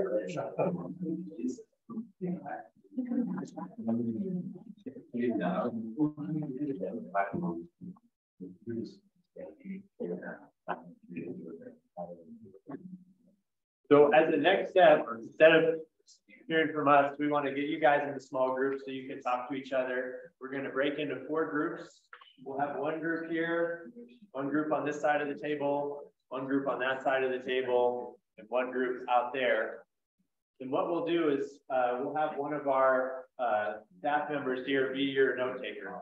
So they can write things up for you if you want, or if you want to be in charge of the laptop, you can do that. They're there you're at your disposal if you want to. So why don't we do uh, one, two, three. You guys will be over here. And then uh, one, two, three. You guys will be kind of right here at this side of the table. Uh, you got three, three. So I'll start. Yeah, one, two, three. And then one, two, three. You guys will be this. Actually, you guys will be out there. And then before, just stay right where you're at. Goal is to try to come up with one of these problem statements as a group. Okay. You're, three groups.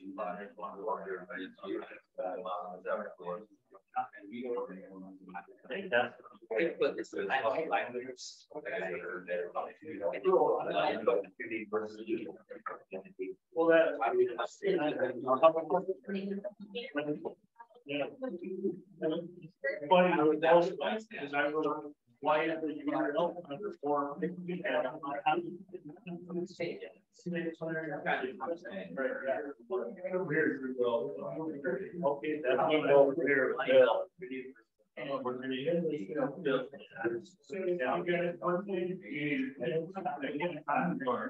That's not the area of use. I feel like- Yeah, that's the name of it there. Yeah. If you want, you can. I have. I was involved. Very sure that. Because.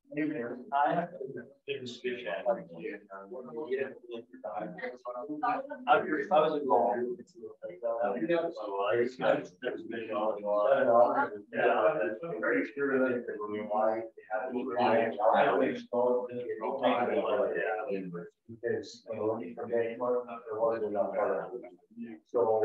Do you want to keep the timer or you want to? Go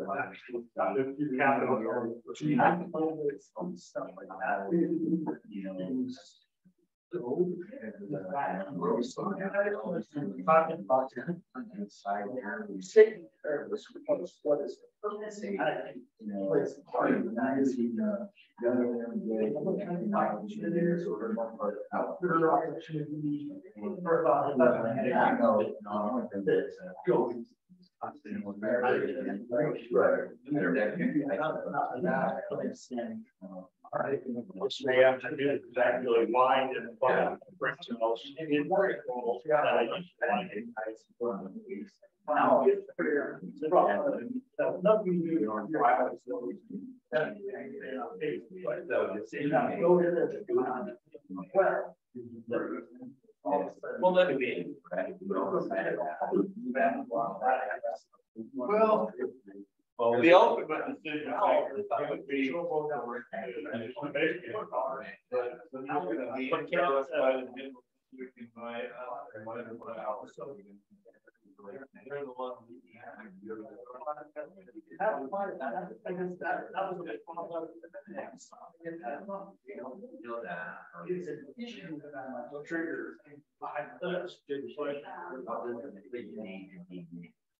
well,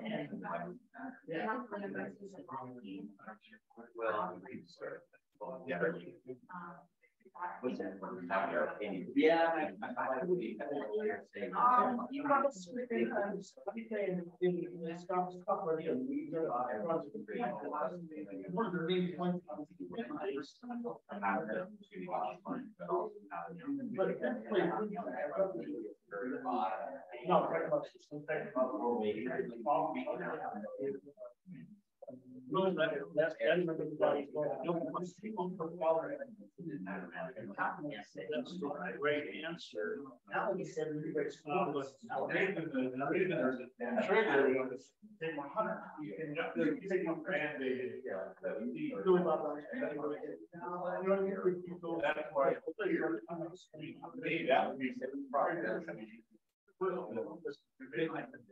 The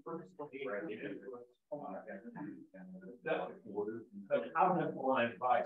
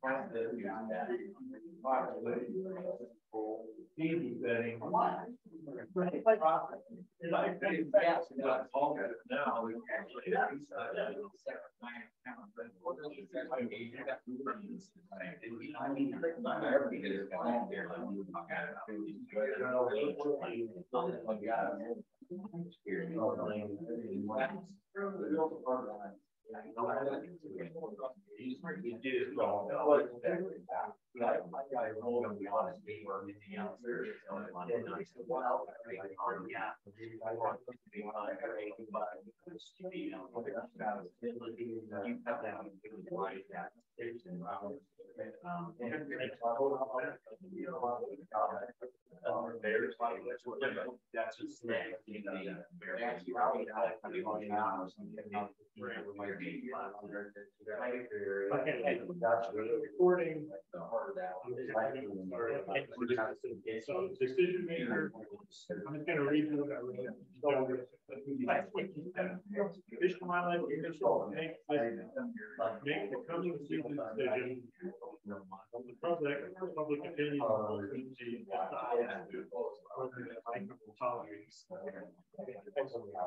Commission will be influenced by this committee's recommendation. Effectively, staff so does public interest. Montana. And then the trigger alliance that Stephen put in the commission being. And then you were. Yeah, they snuck it in on the meeting. If you had an opportunity to recommend. This one.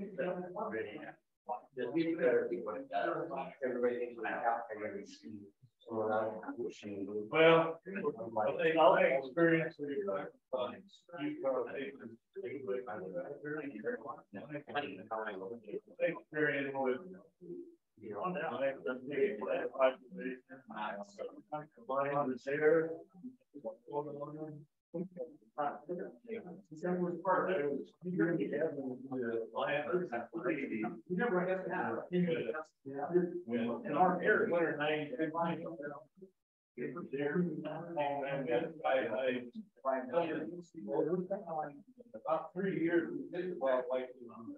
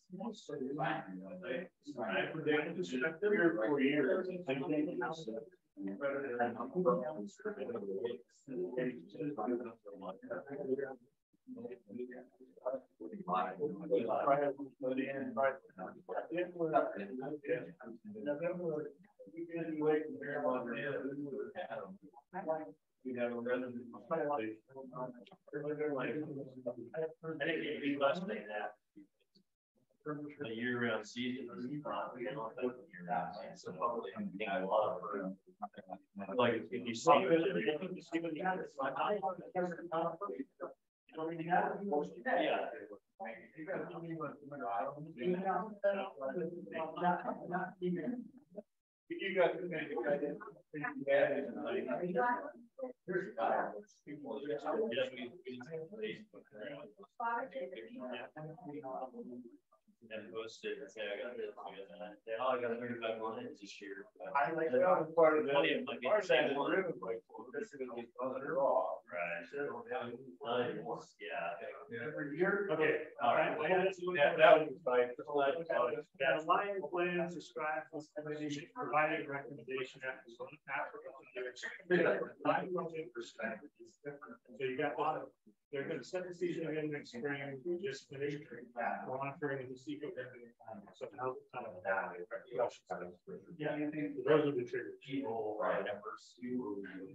And then the action. Lower. They, yeah, like three, four, they raised it. Like, uh,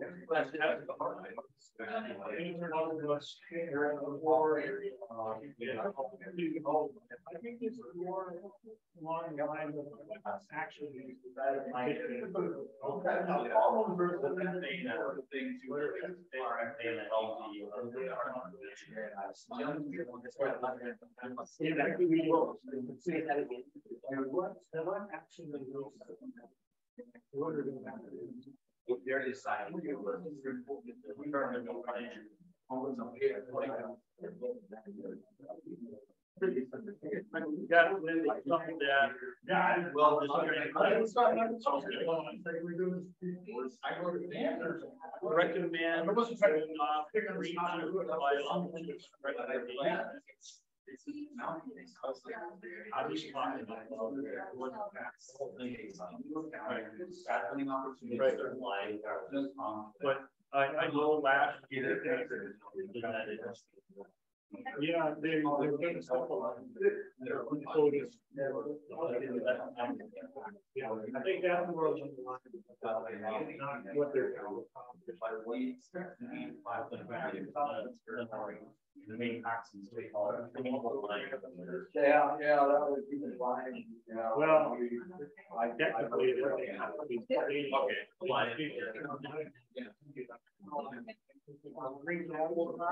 All I got is the thing on those.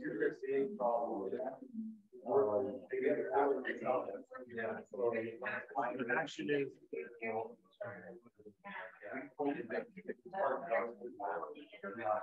View, uh, view on the front range, is very.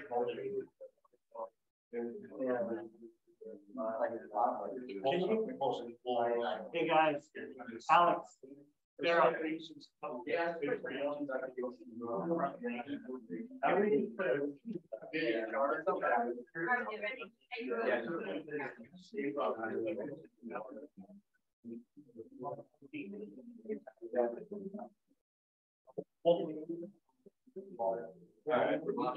This, I can rely on the charge to. Because line is, I got my recommendations and I'm saying, I could recommend line for them. To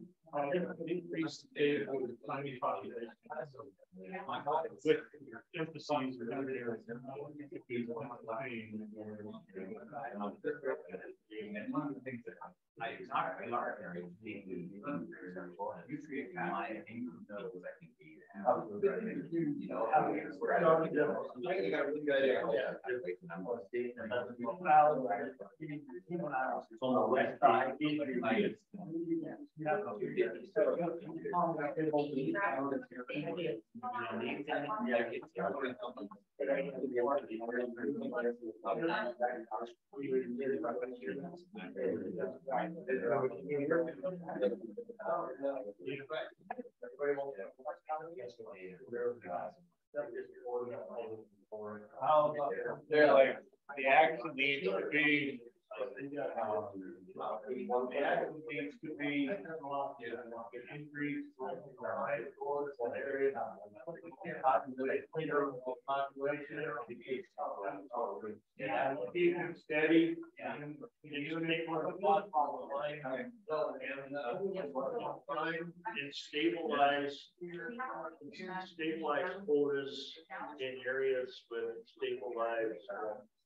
It's big issue.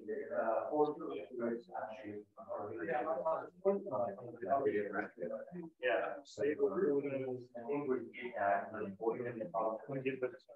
Like, say, maybe I'll. Stable. You wanna have, like, just keep working that. Right.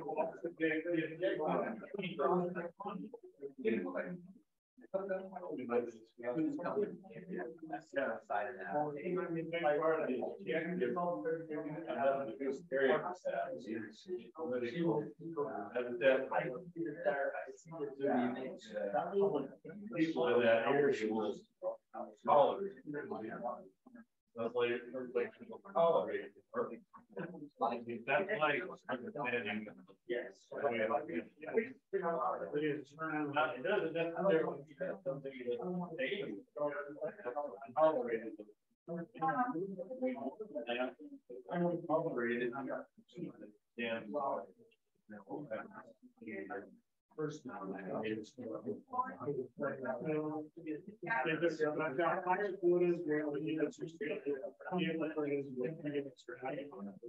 don't know, where you put it, where you got. Yeah. Lower floors, and if people over. Well, that's all that, that's what's not here, but it's, if you got five more minutes, if you're not. if you're not, you know, No, no, we're like. It'd be like, yeah. I'm be like, uh, for example, if you have out. Like over. like, Yeah. You know, there's been all this smaller. but- So that. four left, Why is for you? Bear, yeah, those bullshit. Okay, so we're not sure, your side of it, you know, what is- you know,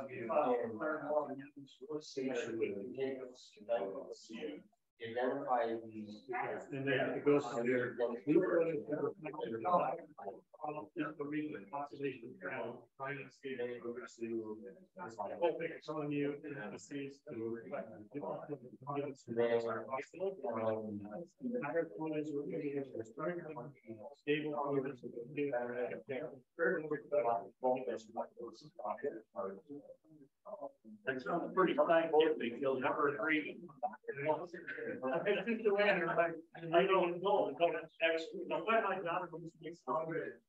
Yeah. Oh, that's, that's excellent, that's way better. Uh, that was. But, uh, does that reflect what you want to say? Yeah, that, yeah, I think I with all of these guys. I'm on flying, I'm a weed on flying, how are you putting the on? Yeah, we got, I take pictures. People our area, you know, so. uh, you're- I've already about. Yeah.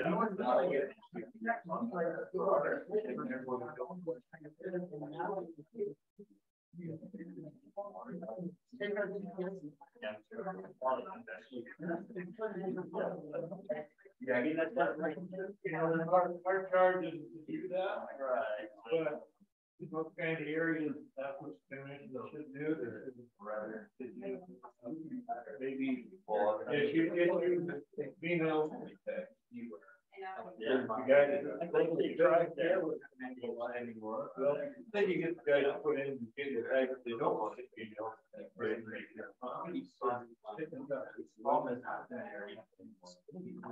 Yeah, it's, well, we're not here to talk, we're not here to, we're not gonna help out. And that is very unfortunate, because Montana's hunting population has expanded.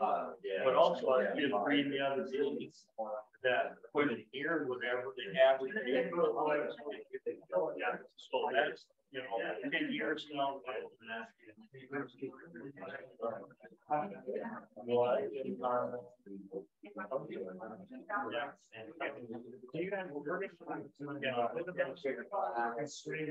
We want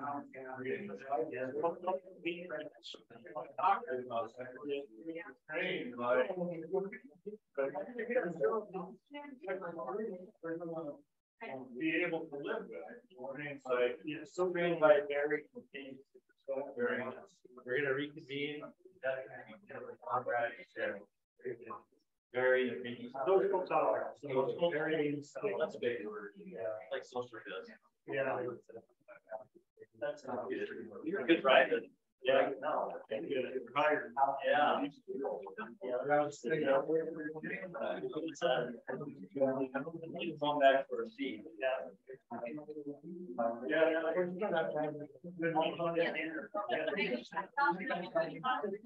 Yeah.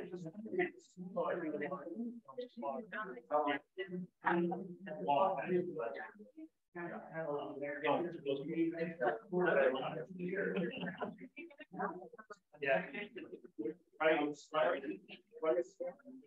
I remember right.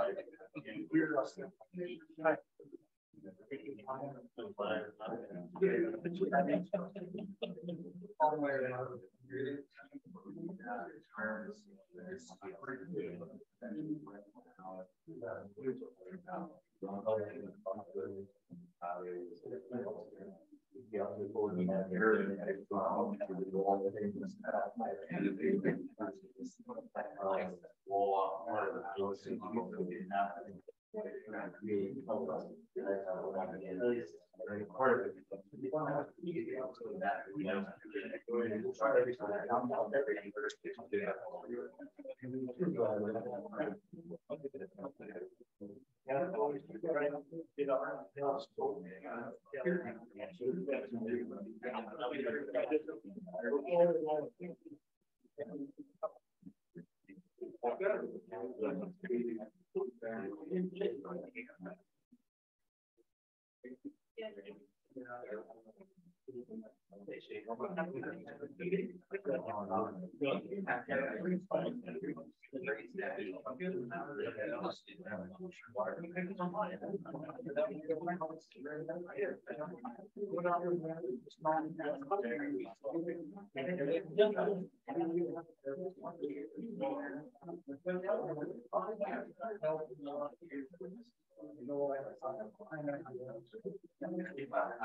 Okay, folks, we're uh, ready to, to reconvene. So what we're gonna do next is have each group walk us through what they wrote. We know it's not finished. Um, we've got the rest of the day to finish this. We're gonna do this for about 20 minutes and we've got lunch, half an hour lunch. We'll come back and keep working on it. So uh, Cody, John, and Trent, you wanna walk us through what you have here? You can read it or uh, just talk us through it. Um, I think that first one's mine. Uh, I think it's kind of a up or down. It seems like lions pretty much are, in my opinion, overregulated. Um, as young ungulates go down, they blame it on the lions. As young ungulates go up, different approach. They try to increase the lower the quota, get more lions in there. I think it's an overmanaged species. Um, with that being said, I don't think we should not manage them, but I think that I almost feel if you, you're trying to manage for a big region, so you break it down into smaller parts. So you have one canyon where all the lions are, you know, they're all going to get killed. So why not open the areas up, put 25 in this big area? They're going to take the problem ones where they're the easiest to get, and you're still going to have uh, more opportunities. But um, I take a stab turning that into SDM problem language. So the problem that I'm hearing is that um, it's we we need the tools to manage mountain lions more precisely, but we are stuck managing at an eco-regional level. Is that, is that Right. a fair characterization?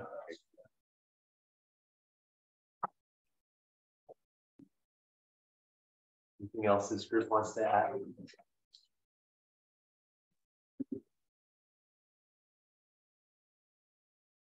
Can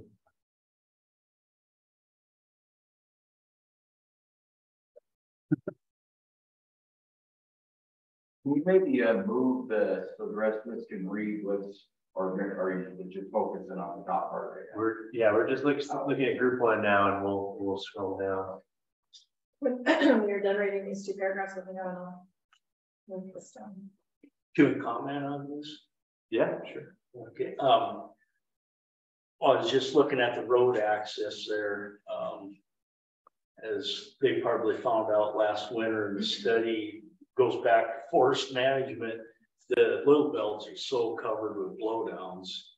That, you know, majority of the roads that technically are open, you got a chainsaw for half a day to get through there. Did you guys run into some of that? No. Blowdown? Yeah. They just love it. Yeah.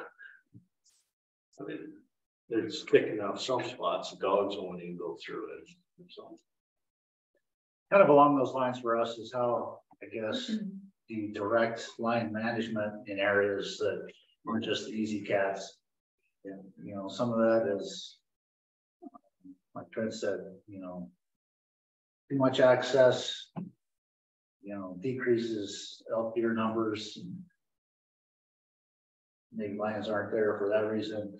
Other areas where we want to target lion harvest for sheep concerns or other ungulate focal areas. And the Forest Service is closing off these roads, so nobody's gonna just walk in there now.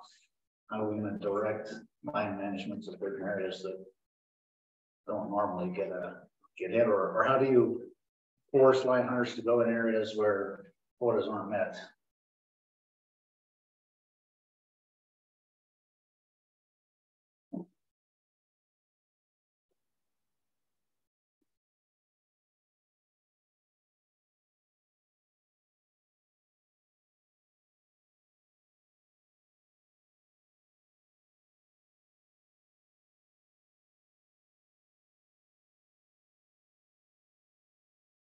There's a couple ones that I'll just point to here is really good examples of SDM style problem statements. So one is we can increase the quota, but it's difficult to fill if access is difficult. We're not presenting a solution there, we're just stating the problem. The one right after that, we'd like to see a robust lion population as well as a robust ungulate populations, but it's difficult to balance. I think that reflects some of what I've heard from the group pretty well. So those are good examples of how to frame the problem without jumping ahead to the alternatives. With no solution. We're not there yet. That- yeah, we've got time for that. Yes, that's a classic problem. Jump, jump to the solution, but we, we want to avoid doing that. Solve everything after lunch. We're just trying to figure out what the problem is first, and that's hard. Deceptively simple. Deceptively complicated.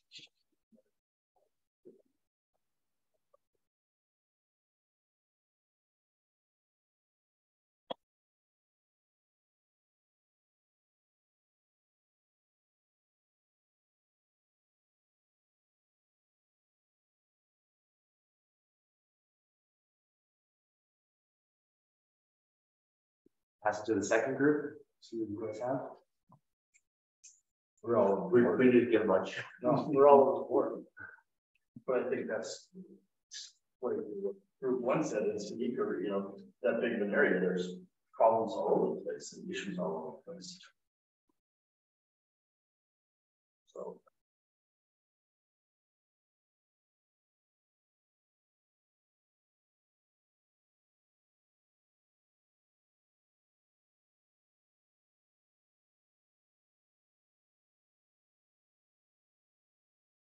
This your, yeah? Somebody want to give us the little Cliff Notes version here? That is.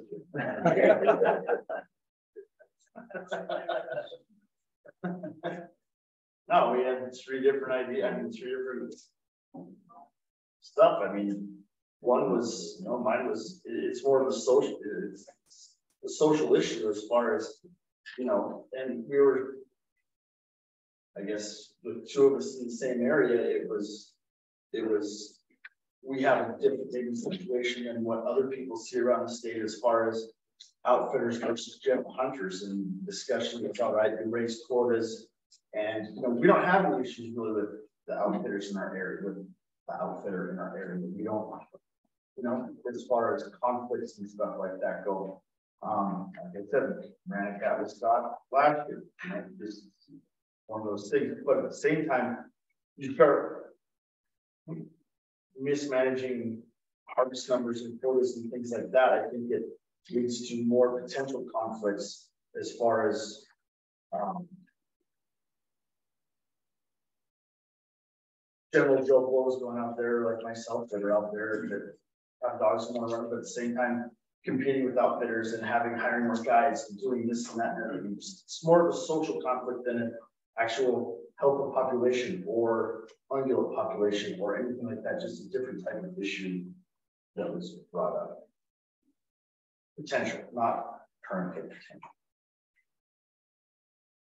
And, uh, one thing we mentioned, kind of, I guess, it, to, to sum it up is when you have high quotas in certain areas and they don't get filled, we have a lot of new town guys, um, in the Jefferson Valley. And tho- those younger generation, and we probably all did it, um, are not going to be mindful of the age structure of the cap. Um, so we kind of, all of us in the area typically don't shoot any young sub-adult juvenile type cats that often. But, but new hound guys typically the first cat they get in the tree, they're excited to shoot it. So to sum that up, we're talking about age structure. Um, and which is really on the, the ethics of the guy running the dogs. And then going forward, um, Josh was talking like, hey, if you take a bit, if you increase an area, um, back to the big, bigger LMUs and the quota then goes much higher. um, Does that mean that the outfitters can now take a bunch more hunters, creating more conflict? So just thoughts, ideas. No, I think no, we're all. in agreement that we want healthy cat populations and healthy year round populations and we're. I guess it seems like where we are, those are different areas, we're seeing both of those are actually okay. Um, so we're not seeing a, a dire need to make adjustments. And the concern, of course, is that there's not quite enough information. So if you go tinkering with the system in too great a way, uh, you, you're introducing more variables into a system that you don't have quite enough information to know what you're gonna end up with.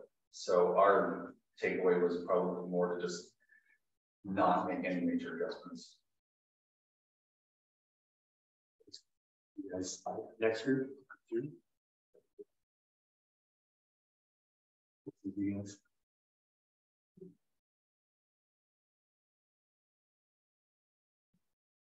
So we've heard a couple of these before, I mean, it's basically, we want to manage lions for hunting. Opportunity for lions, we want to manage lions for ungulate hunting opportunity. On a sustainable level, and again. We also, hear that eco region wise is what we have to focus on as a charge of what, you know, of our, of our committee. But, you know, to have that variability, the flexibility to look at LMUs. Uh, as far as the, you know, targeting uh, I guess, problem areas or super high, you know, uh, lion density areas. Uh, to leave that, you know, kind of flexible as far as setting quota system.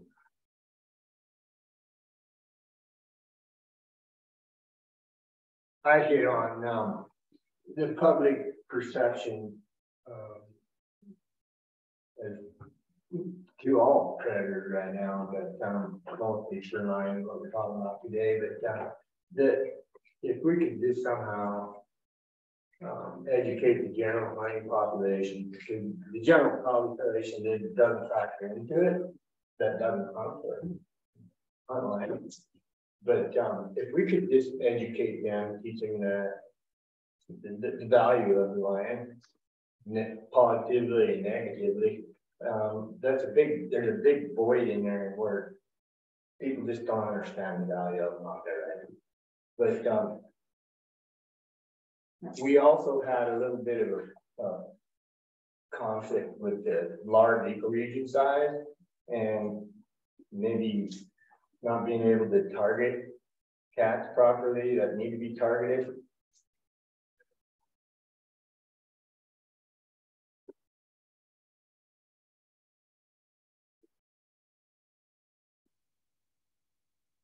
Last group.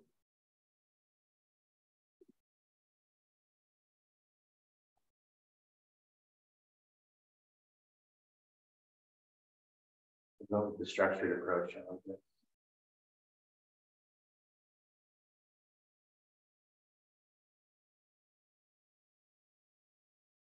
And in a way echoed everybody else, you know. We just have better writer.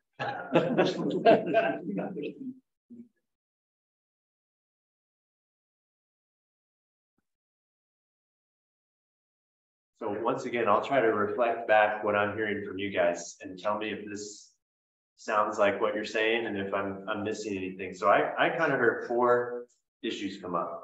The first one was the balance between ungulate and lion populations. Um, the second one is this issue of uncertainty that makes making these recommendations inherently difficult and maybe even problematic. The third is complexity, that this is an eco-region problem, but it needs precision solutions that are difficult to do, um, sometimes involve uh, ecological questions like age structure that we don't understand as well as we could. And then the fourth one that I heard is just generally the public. There's competing public interests and perceptions around this issue that all uh, are important to factor in. What did what did I miss? And is any of that wrong? I think it's right. I think another one is, is the social versus biological is, um. You know, like the lion numbers socially, what do, what, what do people want to see on the land? Biologically, that's completely different. You know, It doesn't really matter. In areas of ungulate focal point plains, points, um, obviously would, but. You, you can manage low, high, short term and then long term, you know, it doesn't make a difference, so. It is kind of a social, social, uh. Issue, really.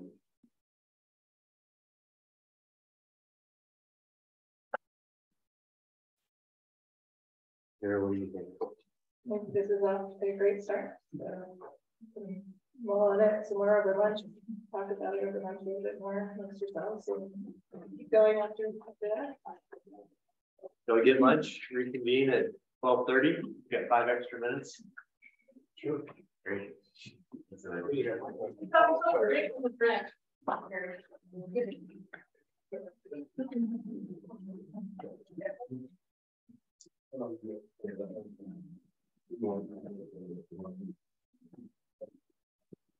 Yeah.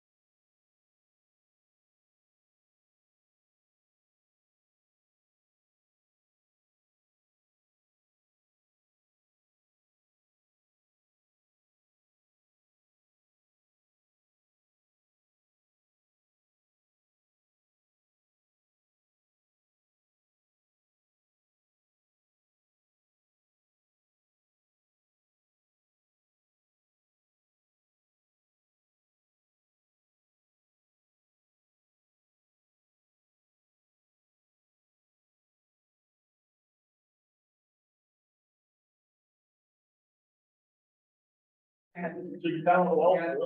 Yeah. That's good.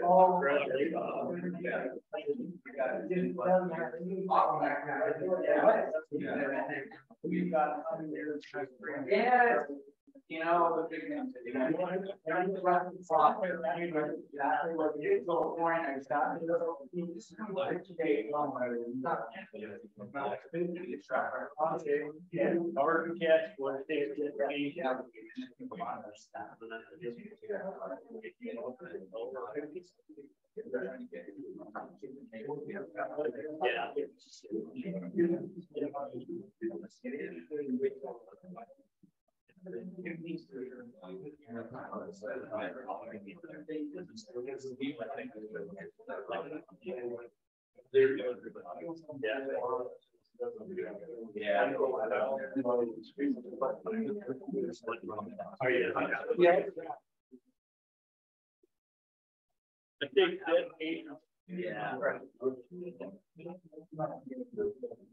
You know, Dan, how old were they? Yeah, I don't know. I think that's- I think, you know, kid, I don't know, maybe I'm pretty good at it, but We closed in on this. He's got one. He's playing. Yeah. I'm.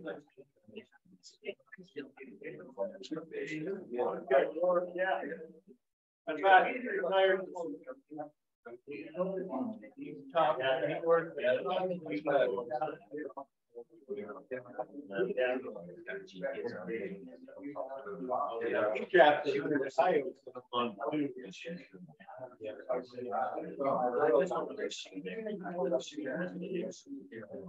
All right, folks, we're ready to start again.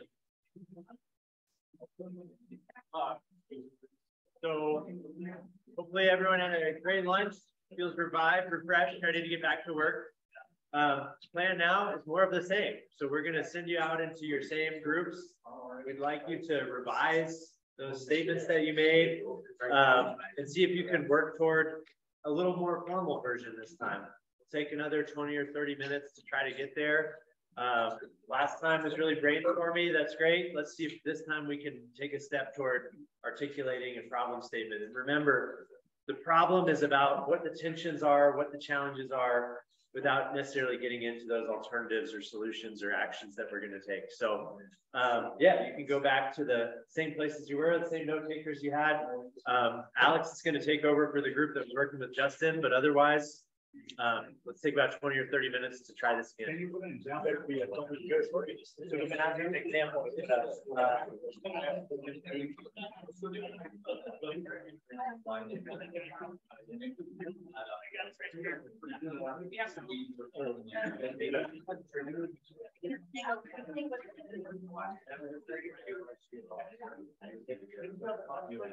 So we do, yeah.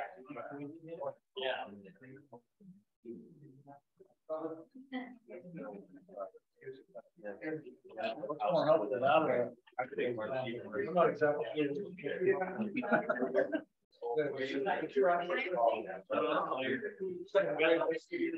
Hard pressed to keep up.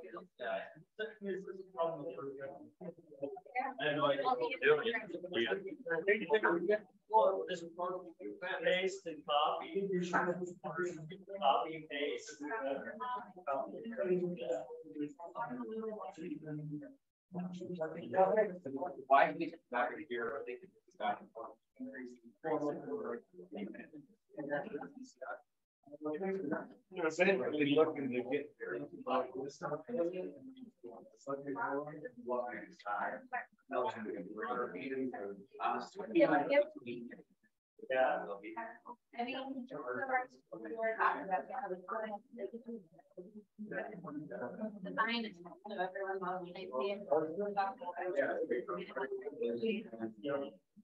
knows they see it. So, you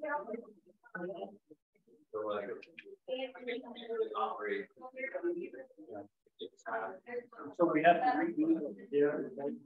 We don't have a problem existing.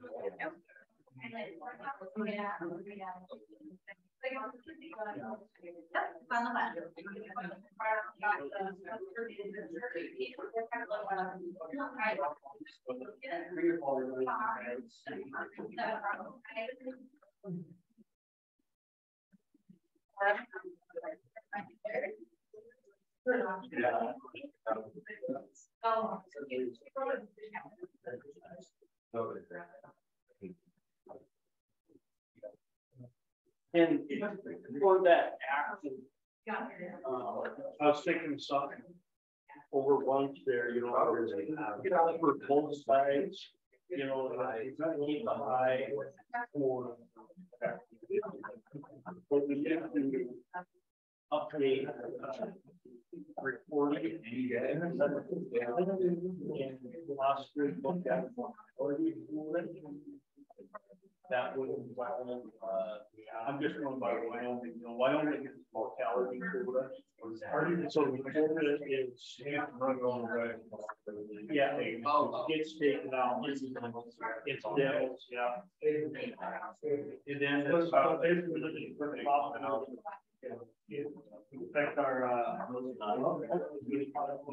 No, and here's the one that I have the trouble with, and I have firsthand experience with it. I'm not seeing it. Is, okay, so you build those out, smoke line, get rejected, we have what you need, it's not a approved. Mark, you decide to drop the dime on bill, first thing that happens is I'm just, yeah, carefully. Uh, first thing happens, we're gonna take that. Deadline, deadline.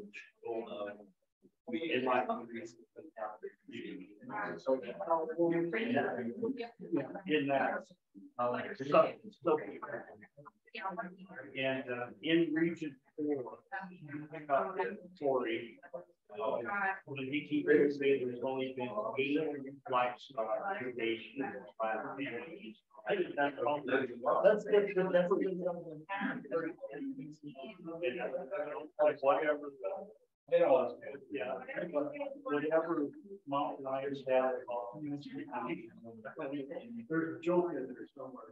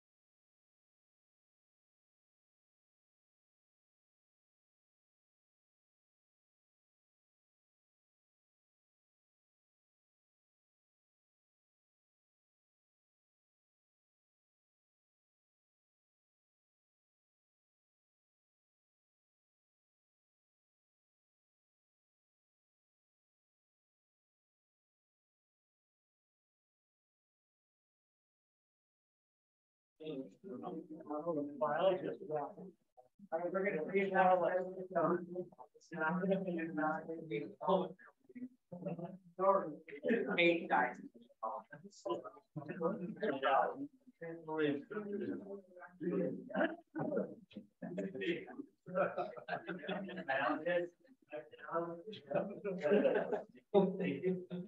Uh, So what we're gonna do now is, um, we're just gonna put these up one by one. We're gonna let you read through them.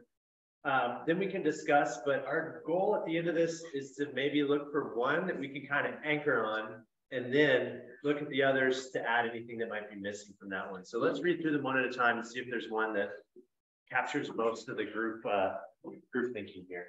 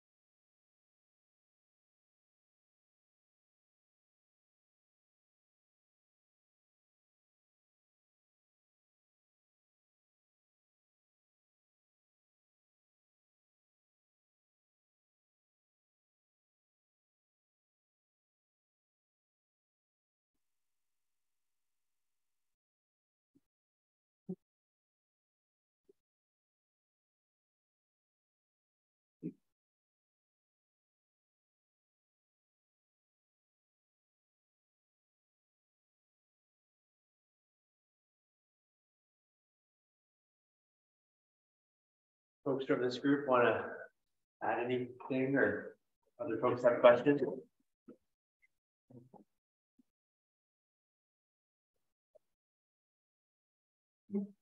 Great, let's roll to the next.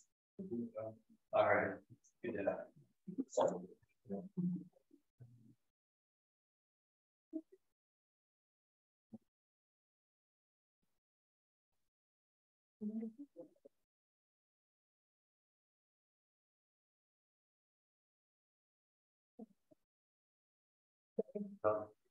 So is this it? Yeah, this is group one, we'll just look at two. Uh,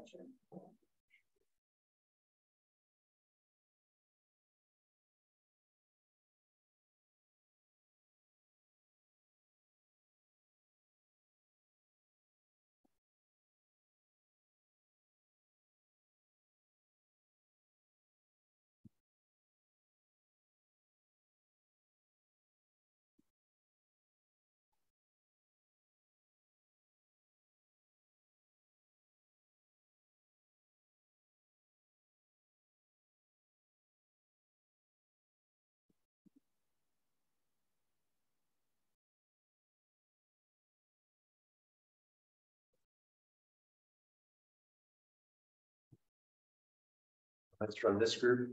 Questions from others?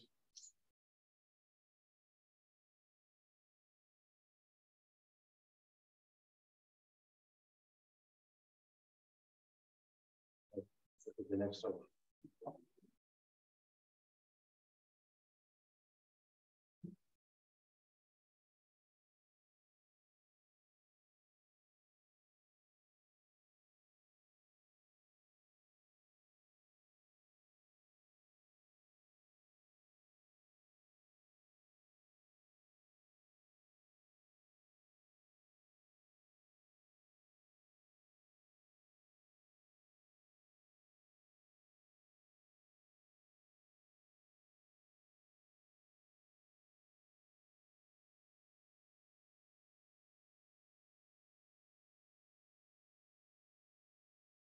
Group three, anything to add? Imitate? Well, uh, how do you manage age class?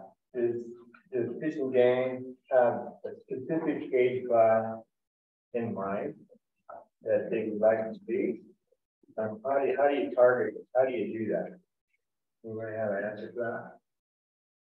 Is there a specific age class in mind that Fish and Game would like to see? We can take a quick answer and then.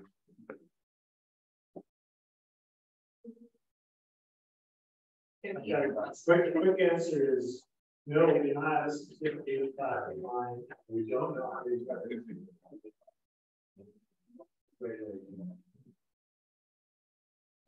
we can target text. I just say that. I mean, we can that. Yeah. I think from there, you know, it's. Uh, you just can't shoot a spotted kitten, right? Basically, that's it. That's your bar, that's it. That's, that's your age class. With discussion, though, with regulation, I know how it was structured today. Go open coded permit system gives the hunter more time to be selected and might advance in uh, age class. Like, It's a little bit theoretical. We can. Yeah. But that's regular.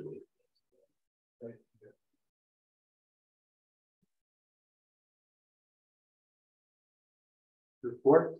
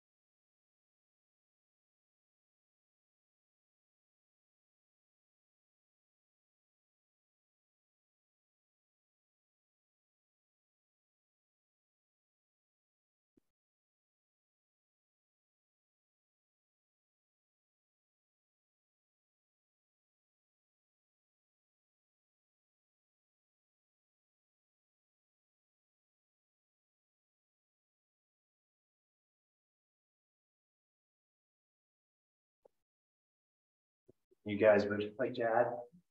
They to be all quite different. Yeah. Just word.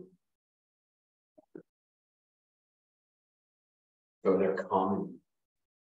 So what do we do from here? We kind of try to combine these four. We look at commonalities between group one, two, three, four.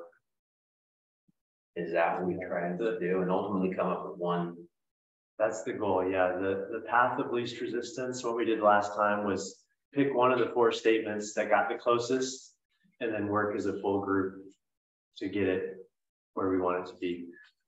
Not everyone has to agree with everything, but we all have to kind of settle on this is the best version of the problem statement. But yeah, by the end of the day, we want just one. Did we start over and pick, well, the most common theme out of each one, I don't know. Yeah.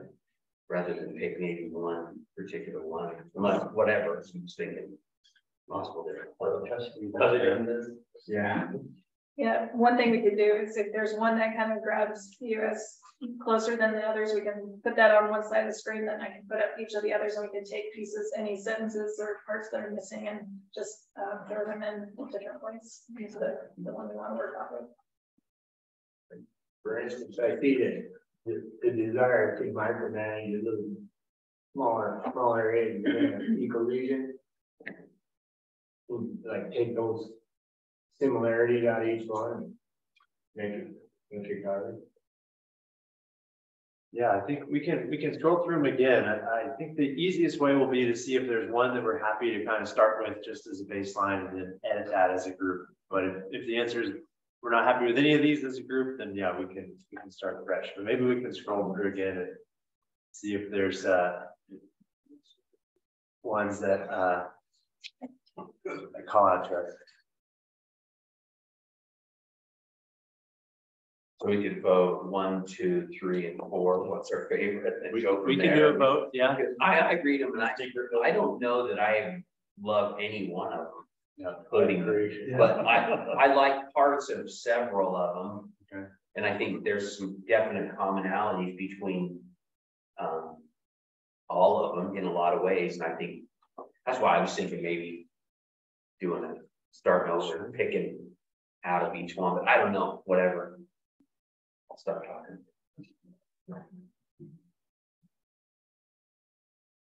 Let's take another scan through. See if, uh, any more discussion comes up as we look.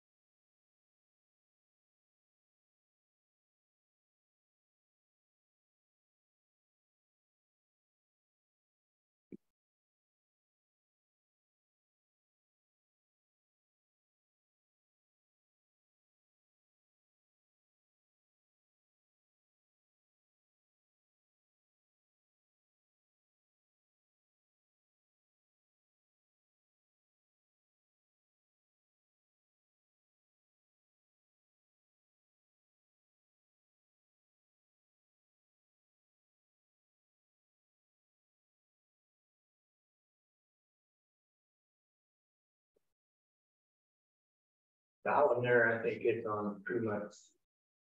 It's a little bit of everybody.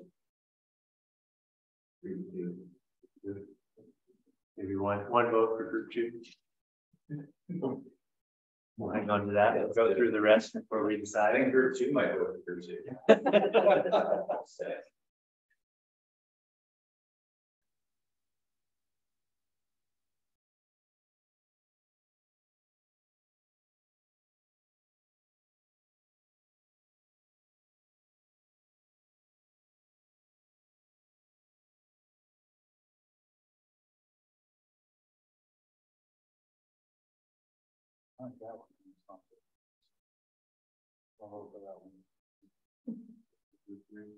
I'll be candid with you, you know, you keep asking, why are we here? What's the determining factor? You know, I don't know how your guys' lives work, but I'm always a half a day late, and an hour behind, and I might think that the interstate speed limit should be hundred miles an hour, but it's not, it's eighty. And if I violate that, I violated the law. That annotated code that I keep going back to, that is what the commission has to base its decision on. You can think we need this, you can think we need that, but what does the actual codified code say? And it specifically states that we will manage predators to the benefit of deer, elk, moose, sheep, antelope, and goats. Doesn't talk about anything else. That's the law of Montana. I would love to see the speed limit on the interstate be ninety miles an hour, because it might get somewhere on time. But that's not the case. That's not annotated code. Yeah, but maybe it's politics have to die by law. I'm not a politician. So does that directly go to the elk management plan? So see, that's, yeah, you keep bringing the elk management plan up. I, I understand the elk management plan isn't, give me the mule deer area in Montana that is over objective, because three forty, three twenty, three twenty-one. Okay, those three, that's why I think they need to, I, I agree with you in this respect. We don't need a broad-based approach, that's wrong. But we need to be able to be specific and we can target certain areas to bring these things up. That's what. That's what they're mandated by that annotated code to do. Um, Isn't by having a core system for lions managing uh, predator? It, I'm just trying to figure out. it, it is managing the predator, except when you start knowing them. Was it, who was telling me that the, how many goat tags they gave a few years ago? It was a hundred. Which one of you gentlemen was telling me? uh, Well, Yeah, it used to be a hundred and bidder, now it's one. Yeah, the seventies, there was a hundred goat tags in the, in the west side of the bidders.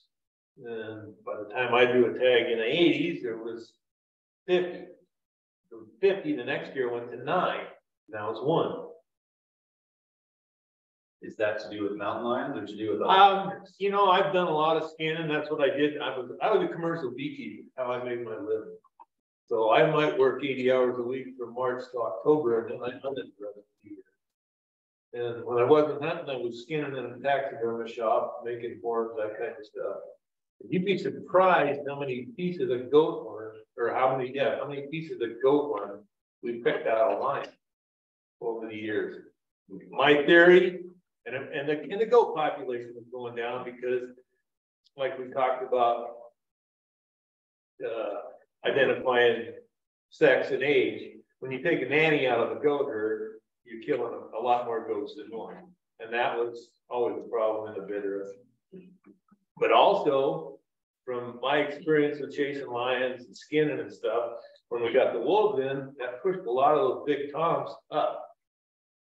They couldn't compete with the wolves, they were getting harassed. They went up where they could live, just like they were talking about some lions targeted sheep. I think there's some lions target goats. And goats are a really, really small population. And it doesn't take a lot of them. to Put them on a downhill slide, so my theory, I don't know whether it's BS or whether it's true or not, but that was my take on it. Well, if you get one cat that gets really good at killing goats, I mean, that, that one cat, it's not really like cats generally. Well, and like I said, we've had cats and goats forever. Yeah. Uh, but something, something changed in that population in the last forty years. And I'm curious too, with the like managing for this particular code. I think everyone here is in agreement that we would like more deer and elk because we all like to hunt deer and elk. And I think a lot of people in this room want healthy cat populations because they want to have cats in the landscape and they want to be able to have hunting opportunities. Or it's their business as an outfitter or whatever it can be. So I don't like, I don't, like, are we in disagreement around that? Because I think we're trying to come up with a plan that checks that box while also taking into account the health of the mountain lion population because it's an important ingredient in what we're trying to accomplish today. I off base, or does that? I don't think we're off base at all. I think Evan's gonna want us. Right on the money, yes. So I think we're kind of in agreement on that. Yeah. The biggest limiting factor here is we're not allowed to talk about the real deal. Th- th- This, this should not be a meeting about mountain lions. We can't talk, we can't talk about the elephant because they get sued when we talk about wolves. You know, they get sued, you can't even mention a grizzly bear, you can't mention this other stuff. And single species management does not work. It's a fallacy. You haven't addressed coyotes. Mule deer populations and coyotes is huge. Well, I think you speak strongly to the complexity of the issue and the, the fact that there's gaps in our understanding, gaps maybe in the data and what we're able to uh, address, but we're also limited in the scope of what we're trying to accomplish today. We have to just stay in our lane and kind of. I don't know if everybody can read that, maybe you or Sarah could read through that, that, that's the legislation or whatever, like that one, everybody. Yeah, so just with respect to the complexity and the things that we, we can't make a decision about today, we can include those in the report and make sure to flag that this group thinks, you know, multi-species uh, approach is really important. We do want to end our, our mission with coming up with a mountain lion recommendation, but we can be sure to include those kinds of ideas uh, in what we share with the commission. Just wanted to make that clear. I was thinking of picking on an easy target, and the only target we can. It's the only target they gave us. Yeah, but it is our only option, right? I mean, it's now like, okay. Well, we're gonna pick, up. we're gonna pick on these guys, and it's something that we, we, obviously, there's a lot of ecological stuff and. Data stuff and all that stuff that's, honestly, we're some. Guys that enjoy spending time in the outdoors and wanna make sure that. Multiple species are preserved and taken care of. Um, but it just seems like we're given, yeah, we're given. Very just limited, it's so many, just hamstrung in so many different ways on. Making decisions on that, that.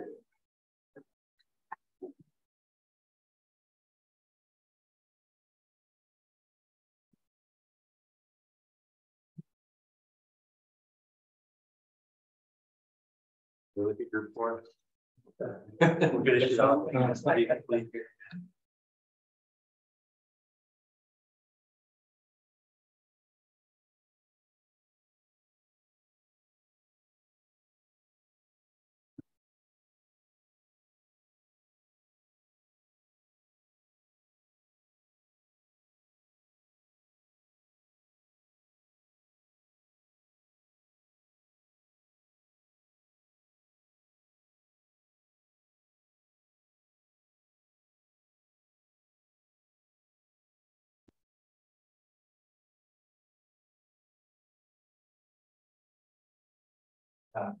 Maybe I made.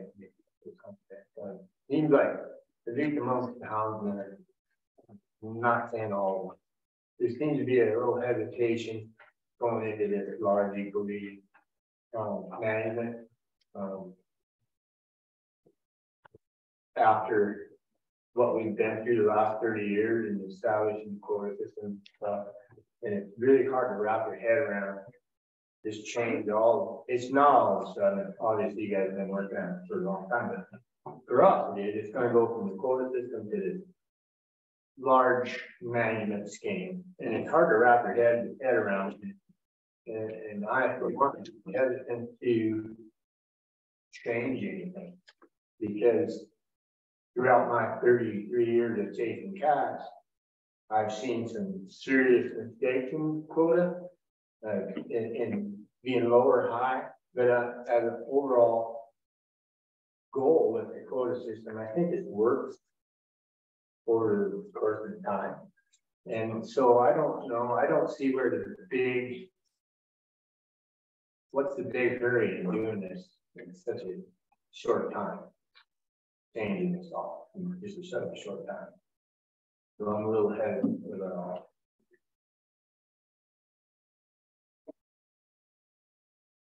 Can I ask you about that statement? So are you saying that the uh, the switch to the eco-region management is change enough in and of itself that additional changes beyond that seem like too much change or? I think this change, um. I know there needs to be a broader understanding of lions on the landscape. But I don't know, it seems to me. With the administration we have right now, that everything is just getting hammered through. And can we just take a step back, take a breath, and spend more time doing all this stuff? You know, because this seems to me to be a quick change, considering that the last thirty years has been pretty much a status quo. I think you'd still have quarter, you'd still have. Yeah, yeah, still have- yeah, still have a quarter, still, it's gonna be way different, way different. So I'm just, just saying, it seems like. Also not permanent. Right. I mean, Seems like, Yeah. just get, everything just getting changed through. Yeah, I, my re- reaction to that is that, um, be that as it may, we've kind of come together to address this particular charge and I, I would be concerned we just couldn't really do much as a group to reflect that, other than to note it and include it as another of these issues that we want to be sure to flag for the commission. So we'll, we can definitely take that down and put it in the parking lot, but. I mean, here we are, we gotta try Yeah. to go Yeah. from here and figure out, is it gonna be beneficial to increase quotas, leave them the same? Or decrease them, and then we can make that recommendation. That is gonna be hard, hard, but it- that's, I mean, there's not. As much as we would love to do all this stuff and really focus on all the predators and whatever. Um. That's not what we're tasked to do, right? We don't even have that as an option. So, Well, I think with all, all the groups, from our first breakout session, all of us had something on there about. One, the complexity of this, right, it's a multi-species approach. But we also had on there, uh, every, all the groups, right? Our preferences take this ecoregion. it's really hard for us. Some areas are, are, are good, some of them are overline populated, right? So to have a, be able to have the flexibility to focus on targeted LMUs as far as increasing quotas or reducing quotas depending on the LMU itself, right? I think we all had something in there. Um, right, as far as one of our constraints, it was fruit.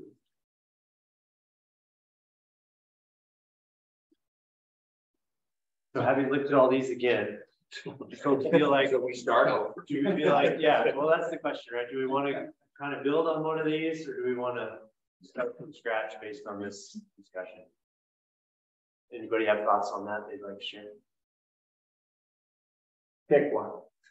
I put forward, we go through two suggestions and then pull out what you don't like and add in what you do. Why don't we, why don't we take a vote?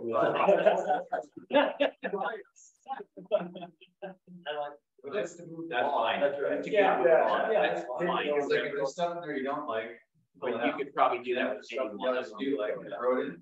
They all have such similar elements, right? I mean, we're, we're wanting a balance across ungulates and lions. Yeah. We're, we're wanting some flexibility with, um, with targeting different LMUs for increased, decrease, or or stable populations of lions, right? So I mean, we have a lot of commonalities, it's just written vastly different ways. Yeah. I think really that's all it boils down to, is just semantics. So that being said, let's just start over and pick common points out of each one. Yeah.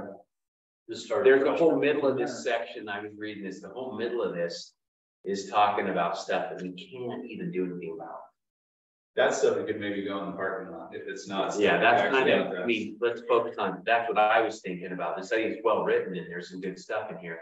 Um, we're trying to make a decision with a blunt tool. I mean, yeah, we, we got some marginal information we're trying to deal with and you know, so we all know that, but that's all, that's what we have. So we're, that's where we're working from. Um, need something more precise, yeah, in a perfect world, but we don't have that, so, uh, certain Tom, Katie's touching. Yeah, I like that. The the first statement's great, and there's a lot of stuff in the middle I just think is redundant, we talked about, we can't do anything about, we're not asked to do anything about it. It's just maybe bending. I don't know. What But you it is call stuff that's a concern for a lot of. It is for sure a So, concern. I think since it's stuff it's not, we're not tasked with dealing with it and it's beyond what we can accomplish. But it is stuff that maybe like passing it down the line, Yeah. might be nice to have it like in the margins or in the. Exactly, that- that you're talking about. Yeah, there's tons of that, there's tons of that. So making a section, like, we can deal with the stuff that like, this is what we're actually tasked with, let's hammer away at that, and then there's all the extras. Extras. That, we're Yeah, gonna about, we can- if like that or this, we can throw that in like a substitute. And that's all I just, you know, just to move it along. I, I, I agree a hundred percent. I'm not, I'm not. So shooting picking we, on that. can we cut and paste out of each? There it is, right there. There we go. I got just a shade, it said very complicated. Two word answer. Well, there's a, there's, we make a subsection in that, that's like the parking lot zone. Just gonna ask if there's things you wanna pull out of this before we add from the other statements. I want to keep in the statement is in the middle, we want healthy cat populations, we want healthy deer and elk populations, I would change that to ungulate. Yeah. And we want to address as best we can the interplay between these nature decisions that addresses that, I think that's, we all I think that's a perfect statement. Yeah. My opinion. Can I ask a question, maybe process related that may help the question? This question maybe would actually go to you, Brian. Brian. It's Whately. Brian. We got, I got a question. Uh, you wanted the, the group is charged with, you know, target population trend. Do, does the group have to decide on an, on a trend overall for the entire eco region, Or if the group decided, could they decided, you know, we want to see populations decrease in a certain report, in a certain area of the ecoregion, stability in a certain portion increase, or, or is it all one way or, or the other? Yeah, so we look at the ecoregion overall because we think of that as kind of the area that we're trying to manage that population. We kind of think of that as trying to affect it overall. But you certainly have the ability to, to look at focus areas. And we don't really define, you know, how big an area of focus area could be. So if you were, I mean, you know, there's a variety, you could say, we want it to increase by ten percent, but in the east, we want it to focus area that we actually want it to decrease. Or you could say, we want it stable, we want it to decrease in the west, and we want it to increase in the east. You know, it, it's, you have, part of your charge is to pick the focal areas. Focal areas for us, uh, work best if we're looking at kind of the lion management unit, uh, basis, because then we can, we can focus that harvest or those quotas in those areas.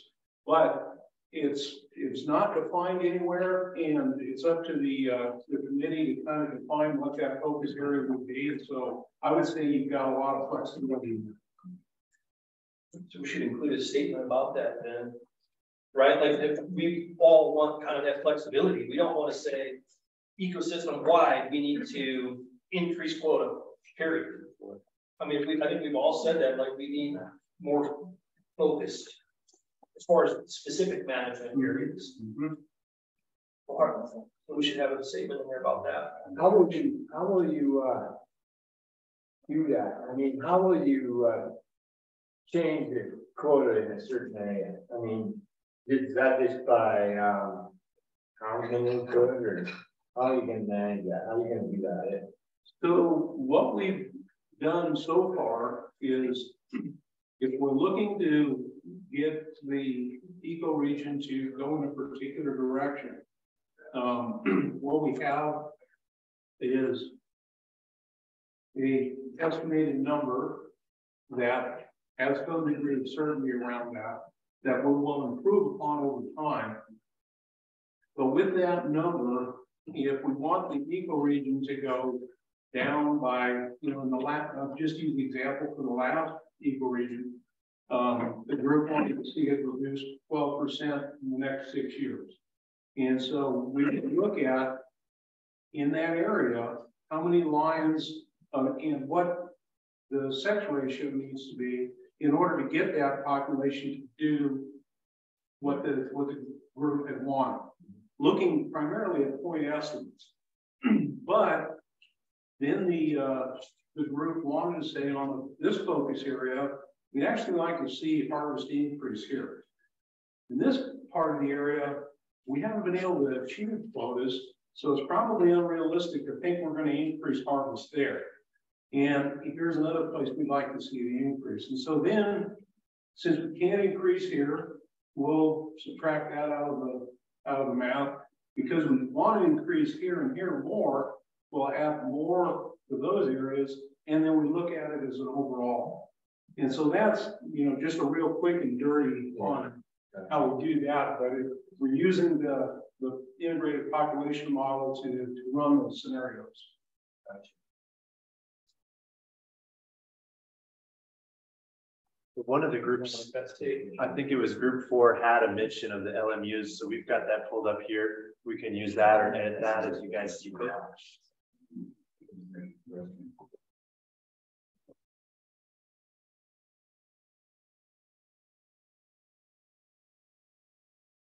Yeah.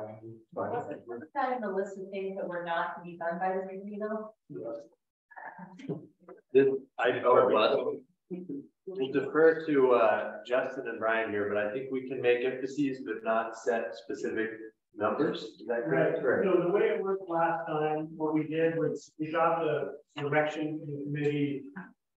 Uh, the focal areas were for deer now that they were worried about. For the most part, there was some bighorn sheep and one areas. So they that was what they said. In these areas, we want higher harvest and reduce mining big game populations. And they did provide overall direction on the, the trend that they'd like to see in the whole ecoregion for the lion population. And then we took it back, like Brian said, we said, we determined how many needed to be harvested to achieve that trend. And then we allocated where that harvest would go in the LMUs in order to accomplish the overall trend direction and the specific emphasis area that they identified for us. And we presented that to them at the second meeting. So it wasn't like we were kind of doing that. The biologists presented several options for how that would look. And then, so it's kind of a mix of, you know, what we did and what the committee did. Okay. I was just thinking of that. Yeah, there was there was like the last line on that. Um, what is this committee here to do? Specifically said not to set quotas for LMPs. So I I'm, I'm just trying to make sure I you know I because I, I want to make sure I understand that. I could change this to emphases or would be but FWP needs to decide on quotas. Or suggestion. We took out quotas of the population with that. That's what we're supposed to be focusing on as a population, not the quotas. Right. Mm-hmm. Should we take the lion hunting, take hunting out and just use lion population as a overall? Yeah. Mm-hmm.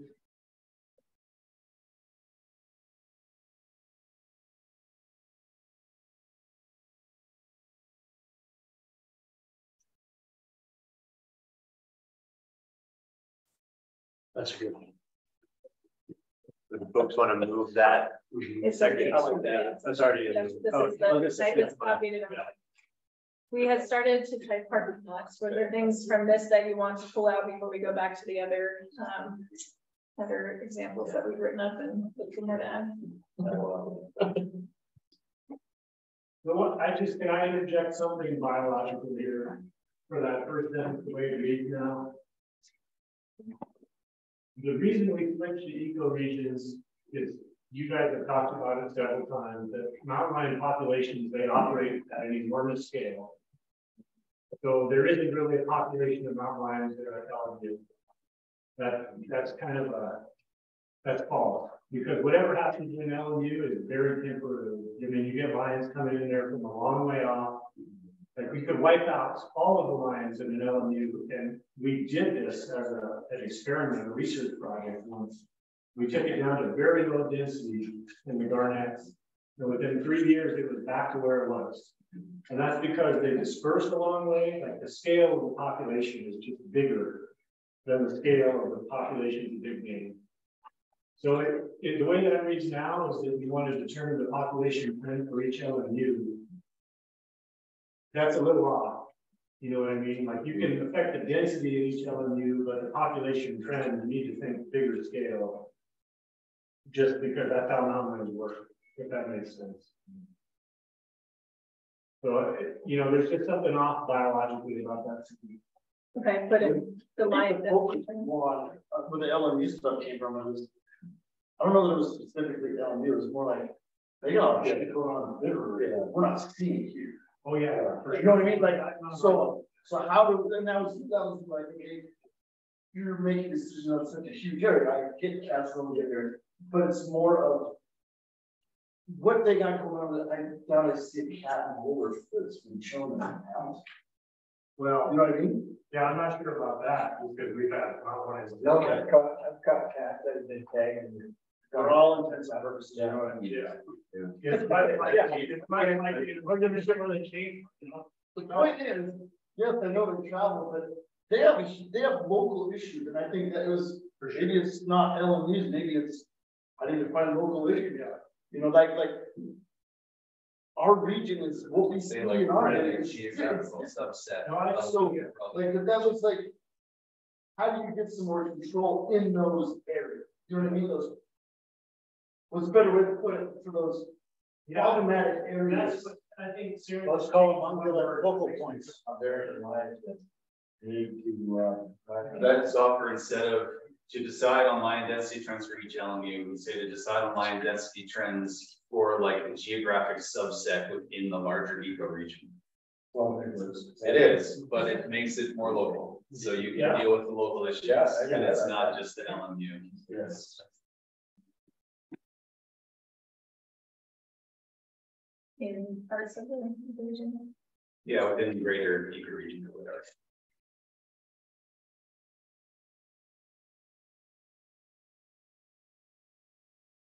And then it just gives you a little bit of the flexibility to deal with localized issues, like if you're just seeing your deer and elk trends are terrible in one area, and you want to address that, you have flexibility to do it.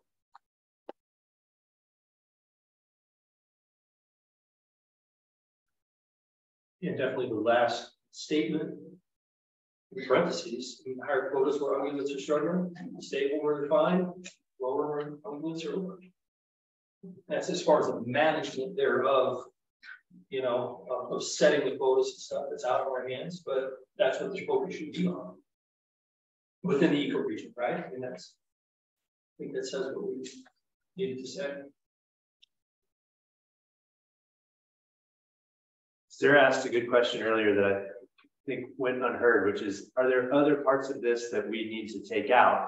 and put into the parking lot? Well, the age class thing. I don't think we need the age class, probably can't actually do it.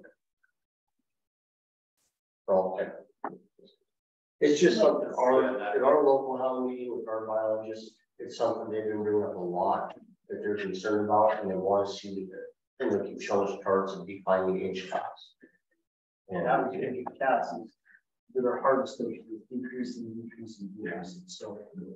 They. But there's probably not, that's probably not the spot for it. Yeah. I'll put this in the parking lot for now. Yeah. Yeah.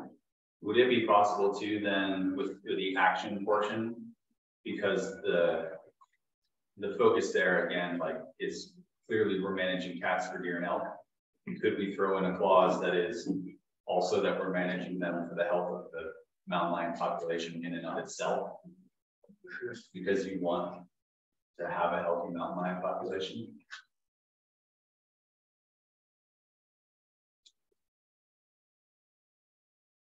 I don't know what that number is, is right? No, so you don't want to go out there and crash it. We also don't want too many. Yeah. So there's kind of, Well, there, that kind of, I guess, points it like we want the data, right? So Right. you would like to, to have a, a better understanding of where those populations back to every region too. Mhm. So Yes. we might have a different thing going on. Absolutely. Yes, I mean, I don't know, I don't know why. You know, part of it, because it's on the west side is all, you go straight up in the wilderness into Idaho, and those, you can't kill those cats back, you can kill as many as you want, and then you come in Idaho. Right. So, so, I- Right, right. there's no way to, so we have a different. Yeah. Different situation, when you get it. Is there anywhere in Montana has unlimited lighting? Like I heard. That has what? Unlimited. Oh, like in this wilderness is Yeah, that way. I reckon it's unlimited. The overall says one forty-one, one fifty, and one seventy. Yeah. Or that's, one fifty is back country, I think, yeah. It's also on there. Maps. I don't know where it's are. Where is it? One thirty is Seeley Swan. That's because of the wilderness, scapegoat wilderness. Yeah. So Sarah highlighted a paragraph here, which um, from a kind of SDM perspective is maybe getting ahead a step or two in the decision process. Um, so I wanted to ask if folks would be comfortable moving that to the parking lot for now, or if we want to find a way to figure this. keep it in.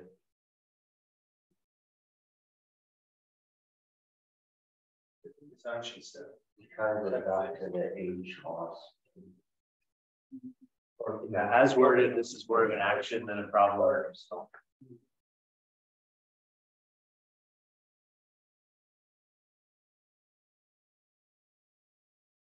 You want to see some of the other Yeah. ones? Okay. Let's go back to, let's see, this one.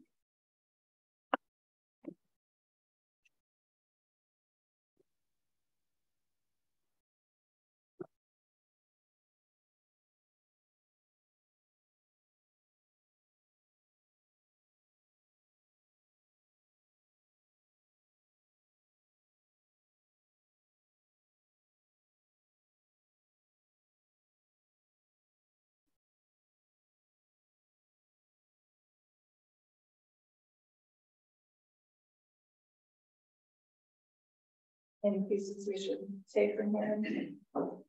You like, you like the multi. Dimension, the multifaceted, or we'll say part problem, maybe like that.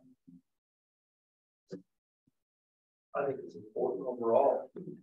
There's not something we can do anything about, really. Yeah. That's an important topic. Maybe that uh, should- Hard future. Well, another. I agree. It's a hundred percent, yeah, we all agree. Yeah, yeah. Yeah, and that's legit, but that's not focused on, and even do anything about, it, so.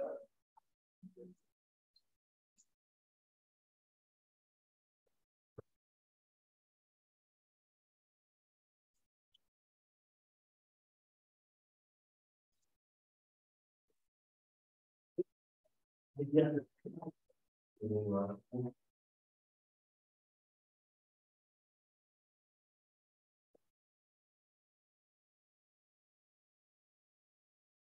else from this one? And I think we love the points that. Yeah. Give people two or something about it, I mean, yeah, I I agree on that. You know, like, Dustin's been, fast filling quarters is not necessarily, it's not a representation of the population, you know, like. Could be there's a lot good of snow. factors that you like, it could be, Great snow. but you can't prove that it's not, you know what I mean, like, so, yeah, great point. But. You, What do you do with it? you know, like. What do we wanna pluck it out of there? We could at least drop it in the parking lot or put it somewhere, cause it seems like a, something to chew on. Is it this one? that we- I do, I do, I, I mean, I don't think it's bad, The next one down. next one down, I just. No, there's gonna be areas that, okay, that's the case, but there's be areas that isn't the case, at the same time. In the end, if we're talking about quotas, I do think it's a valid point, because. I mean. I'm kidding, you, we film every year before, you know, early, but then at the same time, we run all year and don't fill quotas, so. That's a classic But we know there's cats there because Right. of access limitations. The, the proof is, will be in the pudding, so if you see three fourteen closed down in a matter of days. Yeah. The day, we, we filled that quota in sixteen days, I know I'm repeating myself, my thirteen year old son did that, we killed forty percent of the quota off a ten thousand acre ranch, that area goes for fifty months. Right. There were four more cats to run. Sure. That day, Hundred percent. they were running two, north and south of us. Yeah. We have a Brooklyn cat problem. Right. That kid, don't miss God, kids and stuff. Exactly that, right? But if it stays open, and my question, I guess this is philosophical, where I don't get this, so in the areas where you don't fill quotas and they add more cats. We haven't really done anything, because you weren't filling it before, so there's no harm that, you don't have to change the way you run. And if you weren't filling it before, what's the problem? You know, if they added, You don't have, they don't have, like, you're not- like, our quotas, we have three in our, in our area. They, they're filled most every year. Okay. I mean, it's not like we're going every year, but we don't even fill, no, it's not like that. It'll be a random year where one, like, three years in a row, we had quarters around us that didn't fill by like one time. I'm gonna say So- something, and I don't want to Yeah. be provocative here. But. I, I come from a trapper perspective, but if hound hunters, and I am a hound hunter, and I love hound hunting, and I don't wanna kill all lions. But if hound hunters have the same thing I have as a wolf trapper, where I have to dispatch that wolf on site, those quotas would fill in every unit almost immediately, because the amount of cats are pushed up trees. There's one kid south of tree twenty some cats, never killed one. Well, then they're going, why didn't your quota close? Well, because they're chasing them up trees, they let them go, they drive away, they go tree another. That's not a representation of an accurate population density either. If we have a mandatory, you chase the cat up the tree, we're gonna get rid of cats, and you had to kill everyone, these quotas would be full. Be put moral quandaries for the people running up trees. Yeah. You know, yeah, I I, I get what you're saying. And I'm not proposing that, I don't want anybody to. that. That's not what I'm saying. I'm just kidding. You can't tell me that if, if they didn't have that mandatory, I have it on wolves, I cannot, if I have a sixty pound wolf in a trap, I cannot release that animal, I have to kill it. We don't talk about population dynamics, we don't talk about any of that. If you put that on mountain lions tomorrow, these quotas will be full. Need to carry a collar around you. for the-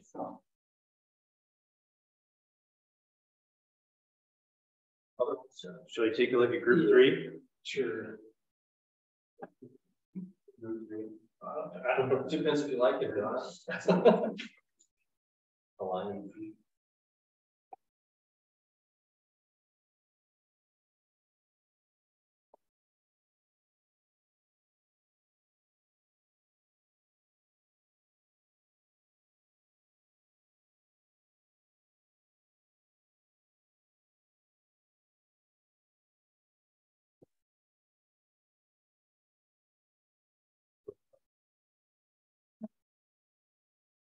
That was from before, I think it's not included in this one, so we're just looking at this. Oh. We can off from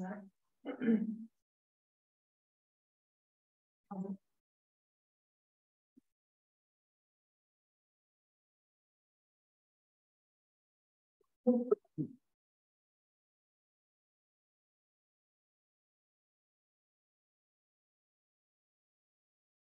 Uh, first statement is not what we're trying to do, right?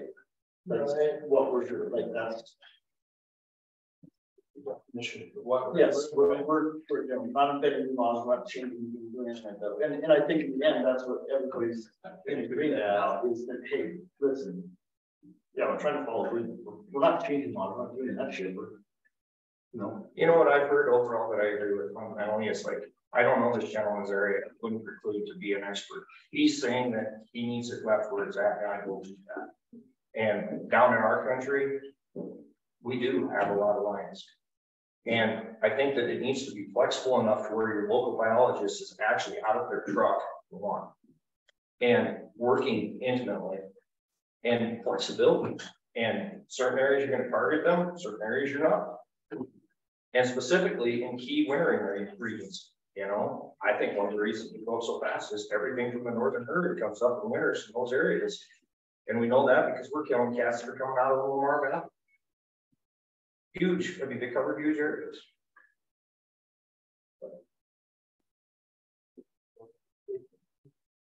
Taking the first statement. What you said, yeah, I, I mean, I think, I think, the I mean, it's why we're here, right, like, like, I mean.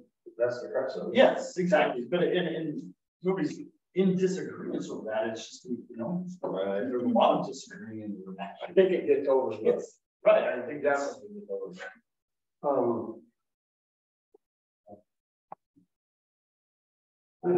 Top end of this paragraph. Sure, to put it.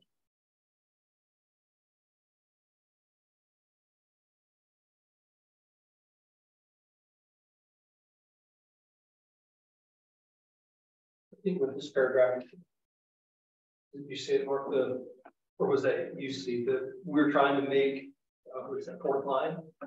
Starting from there, there's, uh, we're trying to make a decision for one tool. And we're trying to do that. I mean, that's, that's a true that's a- statement, we all know that, but we're just trying to. Yeah, Isn't that just, Yeah. Isn't that a parking lot statement? Yeah. Like, quite a bit of that. Move this to parking lot. And then, uh, we are. Down to, we want healthy, you know, we, down to the last sentence of the paragraph, I think. There's my opinion, I think that's all parking lot. Overlay. I also think it's a conclusion though that says. You're justifying the means to your end, right, that you are. You don't have all the tools to make a good decision. So based on the information that we're given, this is the best we can come up with. Like, I don't think, we're not, we're not gonna fix it, you know what I mean? That's not. But those disclaimers, if you wanna call them that, I think are important that says, hey, listen.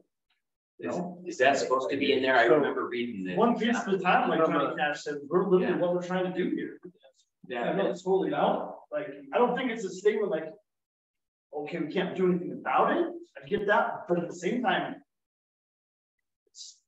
It's it's really what's handcuffing. It right? is, you know, on the example of the sheep, it talks about stuff kind of like that, so maybe, maybe that should be left there as a kind of a disclaimer. So from, in my opinion, from an SDM perspective, those could be considered constraints on the decision. Um, so I think there's, it would be valid to leave them in, Sarah can correct me if I'm Put them wrong. under constraints. Uh, Straight. Yeah, you you don't have to, you don't have to drag it all, they can name it.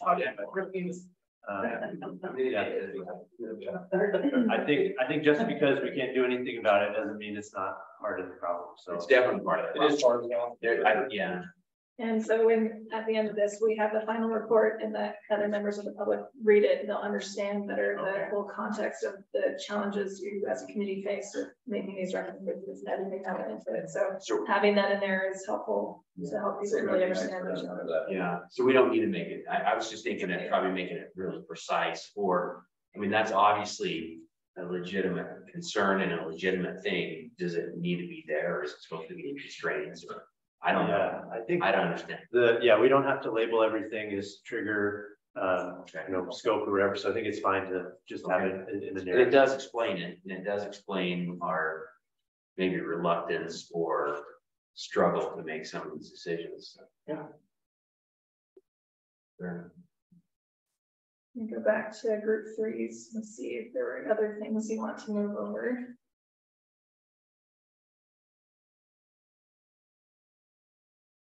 I think it's. Same, the same as everybody else. Yeah, it's already there. Group four. Already took this piece, so.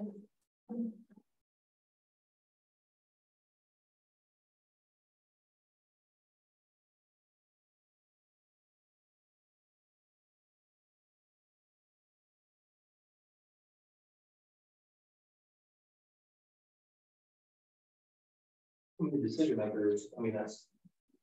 That's the statement, we need to have a decision maker listed for this type of model, I think that is fitting.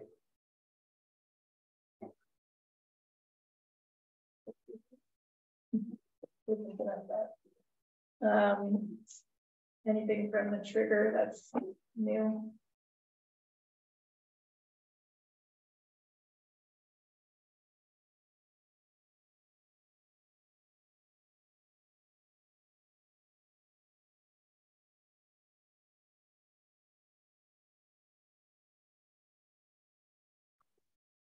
Or these pieces down here.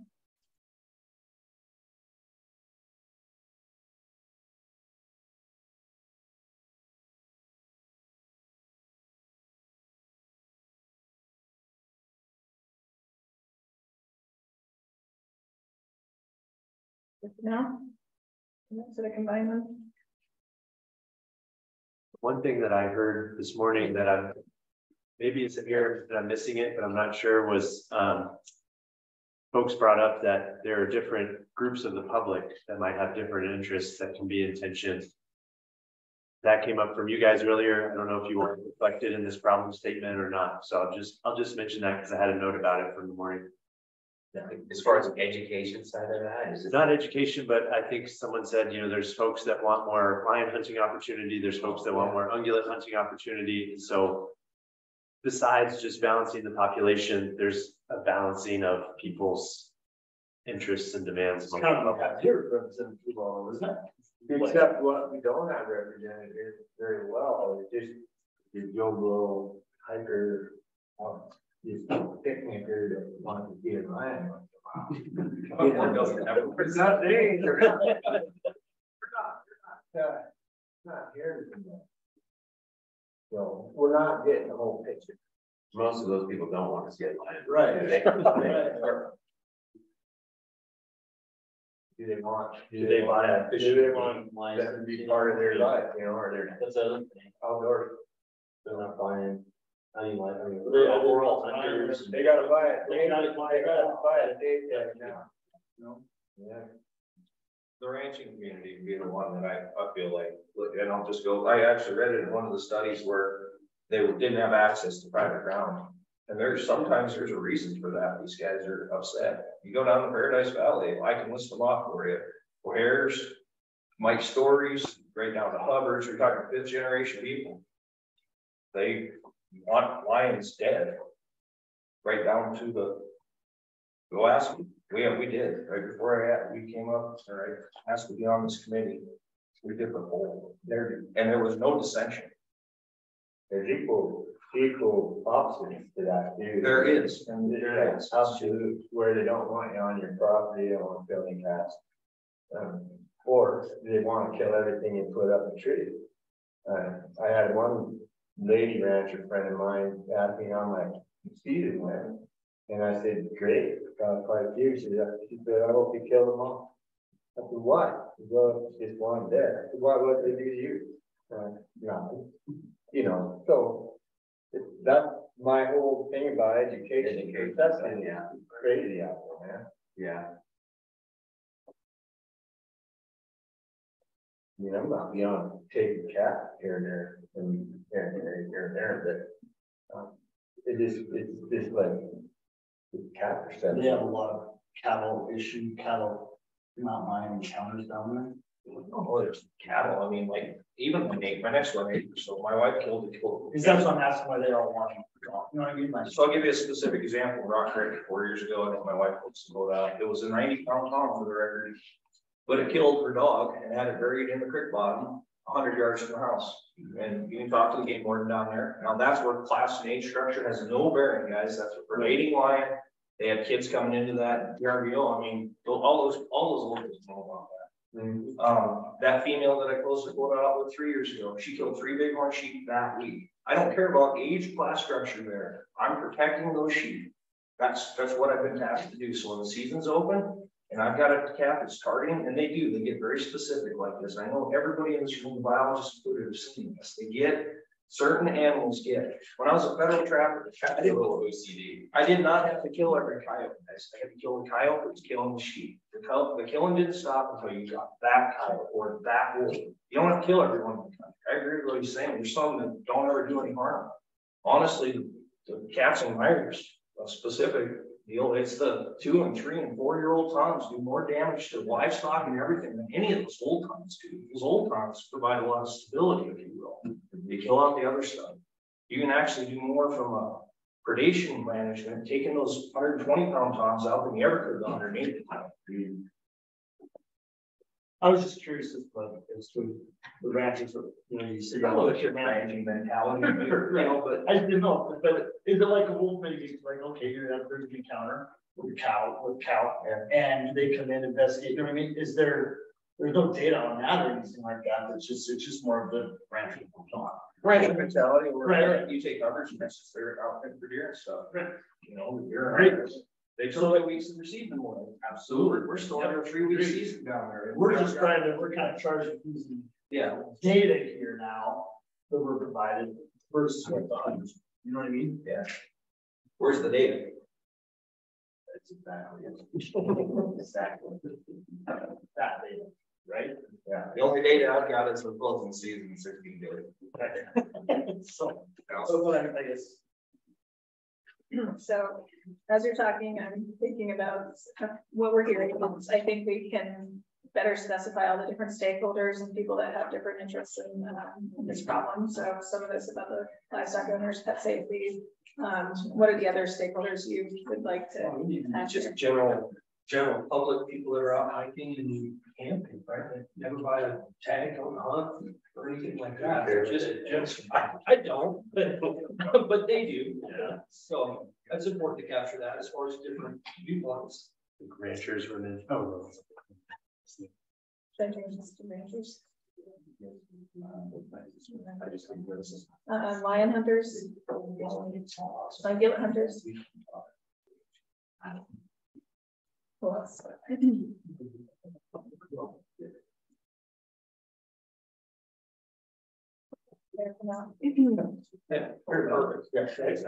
Um, so one thing I would suggest is um, possibly moving this, we want healthy cat populations up here towards, you know, describing the overall context of the problem. Because I think everything right above that is kind of getting to the challenges, as is this next thing right below the highlighted text, right? So it's trying to help move things around a bit. And then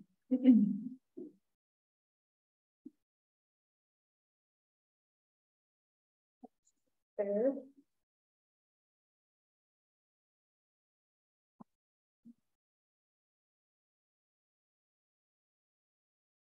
Um.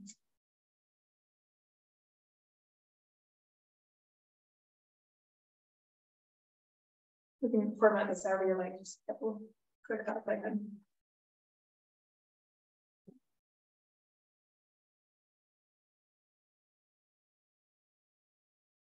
Right now it's two oh five.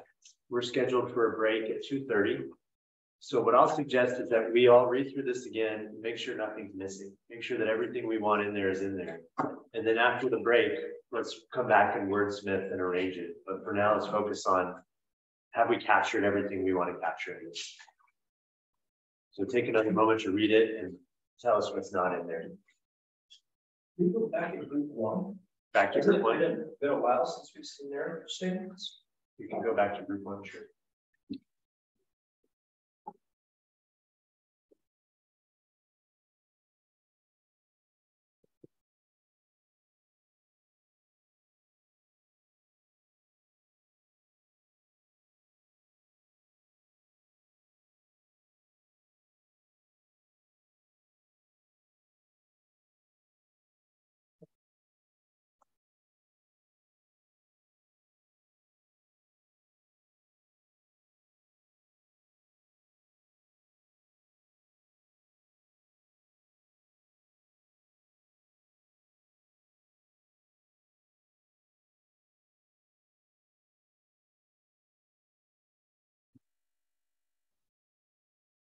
Is there a multi-dimensional problem, do a better job of describing them.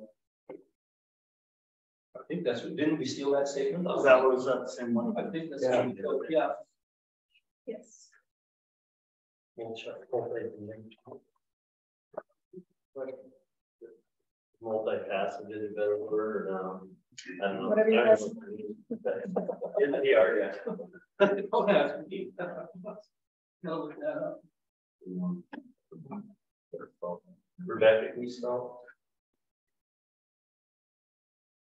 Welcome to the inevitable word. meeting. I just got one, go, go ahead. Yeah, I'd love to add something in there that just like gives a nod to ecosystem services provided by the mountain lions themselves as an important, if not absolutely vital part of the natural systems at play. Because I worry that in tending to our desire to be really conscious of following that state law statement, that we can trend a little bit more into the like shoot a cat, save an elk mentality, which I'd like to avoid. Because it's vital to have predators on the landscape. Uh, as I stated earlier, mountain lions don't seem to get CWD, which will be moving forward very important for helping to maintain healthy deer and elk populations so that our hunting opportunities don't go down the toilet. Um, so I'd like to acknowledge some of that in this statement. Just take a stab at some words. Yeah, So when you say they don't get CWD, yeah, they don't pass it on either. no. It's. I brought a paper along. I would really like Yeah. I've got a few references on that. It's new information to me too. My boss dug it up because I thought it was actually fascinating. So he's been reading up on it, but yeah, it looks like the buck stops with them. So cats, if they kill a CWD animal and they eat it, they don't pass it on. If they scavenge dead CWD animal, they don't pass it on. It just stops with them. So they can do a really good job of cleaning that up. Would really like to see it. Yeah, so I brought along, you know. Prions are indestructible, indestructible, and they live in the soil for hundreds. Oh, I know, that it's like the craziest thing. But, yeah, apparently. They uh, definitely pass. They don't, they don't get it. Yeah, they get all the things, sure, they catch all sorts of other little things, but apparently not that, so. That could be really, um, important. And let them live there, huh? Well, you need them out there, you need them out there for lots of reasons. Yeah. Like, they're really important to have out there doing their job. And they have a right to their own prey base, mm-hmm. right? Like, they, they don't, they don't eat that stuff. They don't live, so we want them out there, and we have to accept, we're gonna eat steer and elk.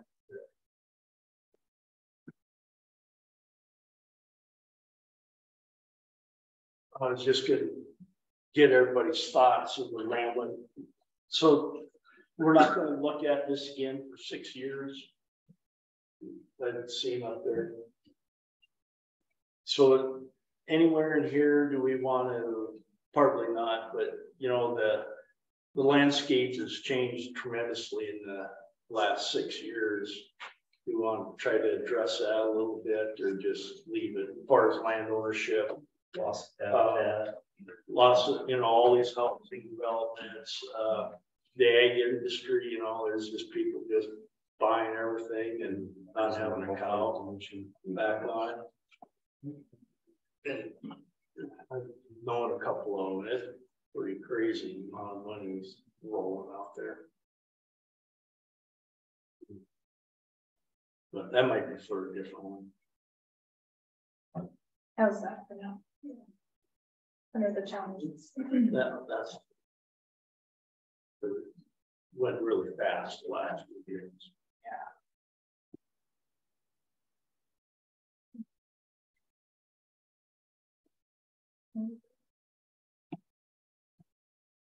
What else is missing? And if the answer is nothing, then we'll take a break. Let's put out there something.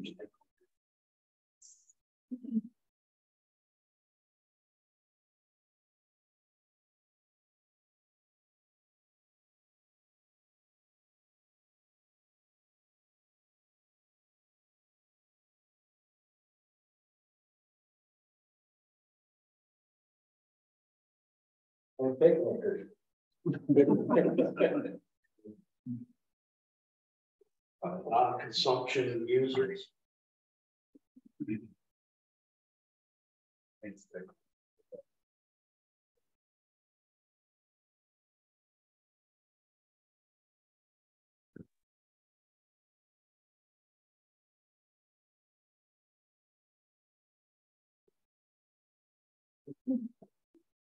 Let's take a fifteen minute break. We'll come back at, let's come back at two thirty, 18 minutes, and then we'll. We'll spend this to perfection. Man. Let's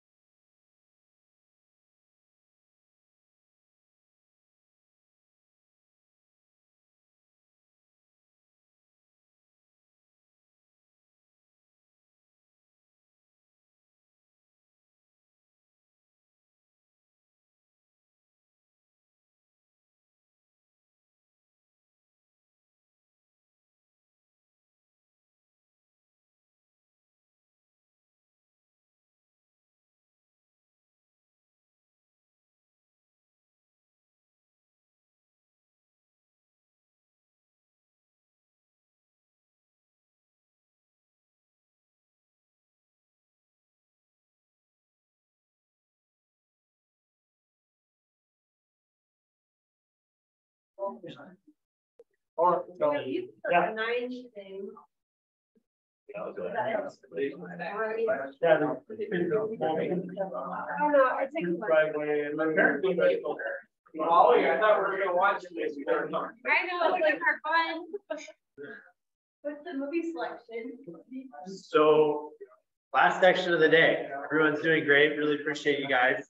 Um, during the break, Sarah and I just changed one or two commas and periods here and there just to get the grammar looking good. Just we Frankenstein this thing. Uh, but yeah, for the next little while, we're just gonna wordsmith this until it looks just the way everybody wants it. Um, and then if we, uh, we can, we'll move on to the next part on objectives. So, uh, the easiest way is to just go through it sentence by sentence and see if, if we're happy with each one and if there's anything we want to change. So let's start with sentence number one.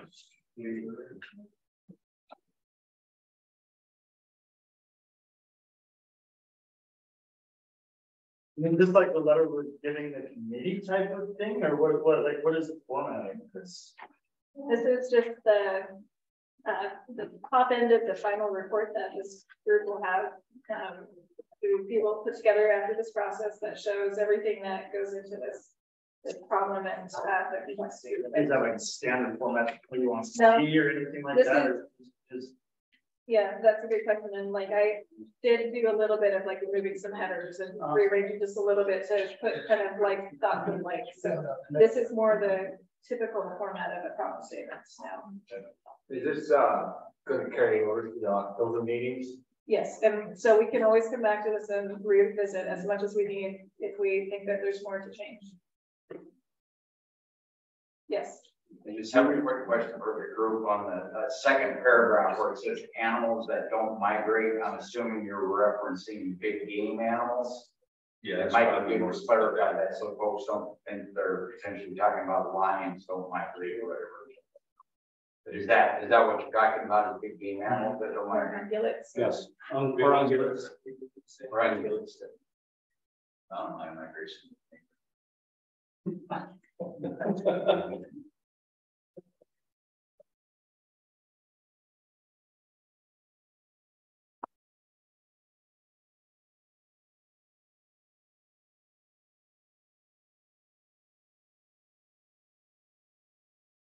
sentence down, so we're happy with the first sentence. Yep. Great. We'll just let you read and pipe up if you see anything you have a question about or would like to change. And for what it's worth, we have every previous iteration saved in this overall document. We'll share this with you at the end of tomorrow. Um, can send it out by email, however, and you can still go back and see how this is shaped over the course of these two days. So nothing's ever been lost.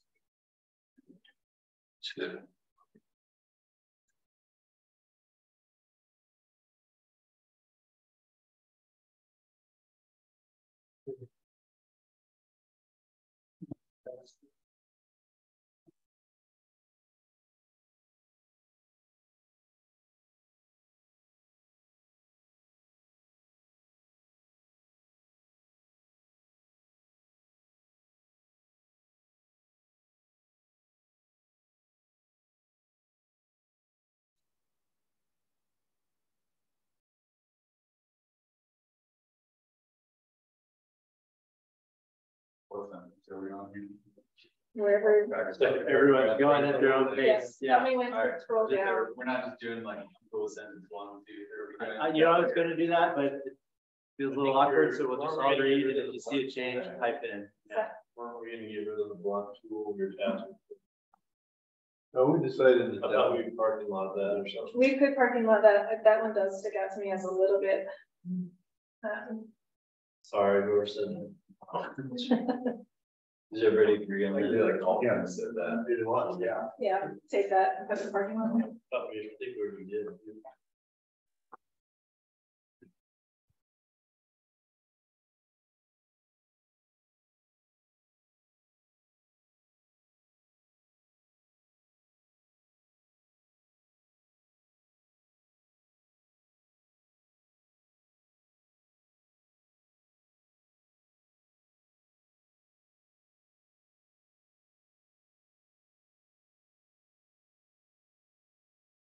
We change irrigated pivots to forage, Like just type forage instead of. or, yeah, that's, yeah. Available forage, how's that? Then I'll cover the grasses and stuff on the. uh, Whenever they do a clear cut and make some grass.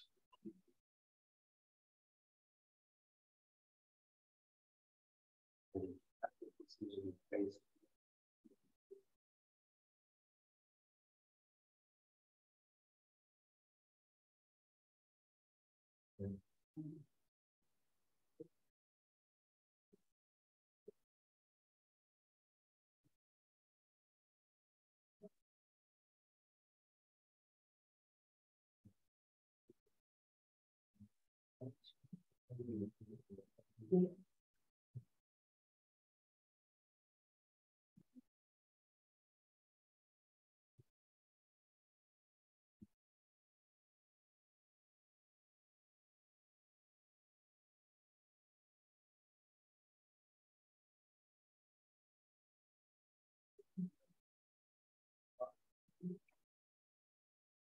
we, can we change, so be the top paragraph there, these, second sentence, we're after the drop, we need data that's very uncertain, true statement. And models that do not agree with what we as hunters have observed in the field. I'd like to add just simple words, is that, uh, some of those models agree with what we see, some of them don't. Right, like the model shows you the, uh, LMU two fifty is a ton of lions, and it does. So we change it like all models, um, and models that do not always agree with what we saw. Just a simple thing, little change.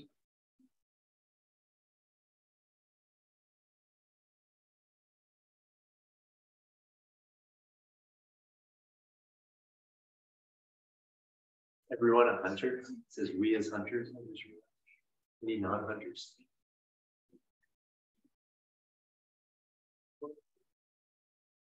Picnicker.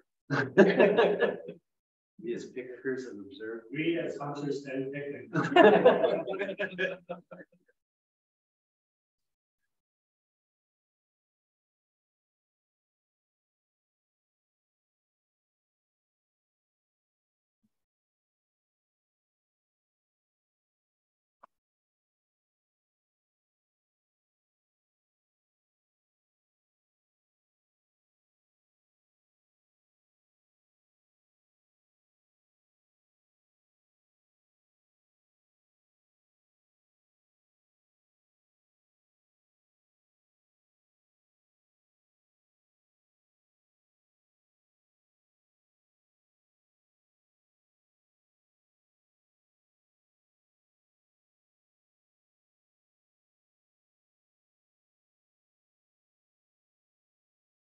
It's a mission will be influenced or should be influenced by our committee's recommendation. Should. Mike. Shit out. I just felt. I think they should be. I think will is. a And they will. I hope they will be Just can say whatever you'd like it say.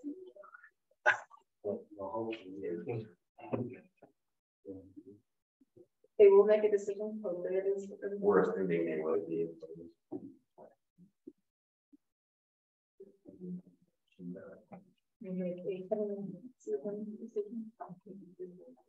Make them feel guilty and they're not. Will make a. Decision?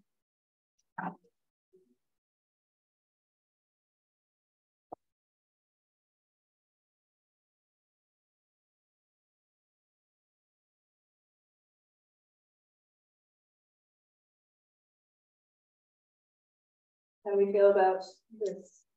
The problem statement. We put that A, that don't make sense. Fish wildlife. We'll make a, a decision on the upcoming season. Wouldn't that be better?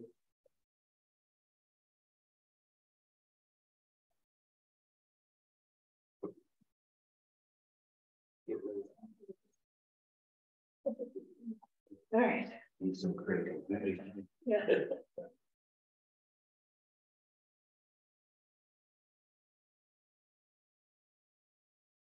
where you want the whole game reinforced.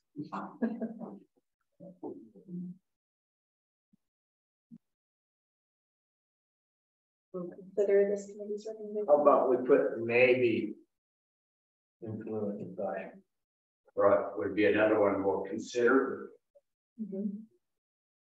We'll consider being influenced. we'll consider. Possibly, maybe. There we go. That's good. Are the groups okay with that, or? Yeah, it's Yeah. call. That's So. How does this all reach you right now? Is there a reason that the parenthetical reference to CWD mitigation was removed from the lines, keep this as conservative? We just, meant to keep it broad, but if you'd like it in there, we can put it back in. Yeah, I'd like to, all right, I think it's kind of a little important to consider. Has that been vetted though? I mean, are there multiple documents that prove that lions kill the prions carried CWD? There are three papers and a little sound. We don't have time to read this. I, I have to speak up here. I have, I agree that I'm not disputing that they don't get CWD, but in order for the lions or the predators, large carnivores to control CWD in a population, the selection for infected adults have to be three times the selection for young, which is unrealistic. That's way, way more selectivity for infected animals than has been observed. Say, say that again, so The the, papers talking about Colorado population. uh, Where they're like something to improve the your population with all of that stuff. Yes, they do select for CWD positive deer. Yeah. But their selection ratio for CWD positive adults needs to be three times their selection for juvenile. In order to see CWD decline in the population. And that's an unrealistically high level of selectivity compared to what we're seeing. And if it does occur, it's going to be accompanied by declines in ungulate populations of fifty to seventy-five percent which are going to be unacceptable in many communities. So I'm not disputing that lions are important for their own right, but I do think it's important to qualify the degree to which we expect that they will kill because I don't think that's totally realistic. I'm not saying they're gonna be like a silver bullet for it, but in the sake of like advocating for lions for existence for their own state. The fact that they contribute positively on that issue. My hope would be that that would like be something that might benefit uh their uh being allowed to say leave it out. Yeah, and I'm not disputing anything about the, the value of knowledge. It's just, Yeah. the, the idea that they're gonna help control CWD or large carnivores are, I'm not convinced about that. I don't think they're gonna be the silver bullet on it, but I do think it's a unique thing that they can do that. And so as, as, they provide a lot of use service, they eat like all sorts of stuff out there, they, they do a lot. But that one, like, just moving forward is cool stuff. So. I thought it's. Would, would this edit satisfy? It's the one Sarah came up with.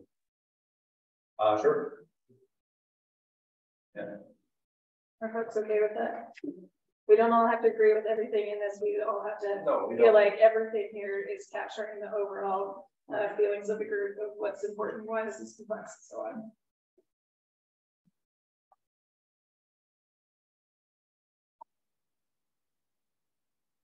Anything else from all the great discussion today that we're missing that comes to mind at this point?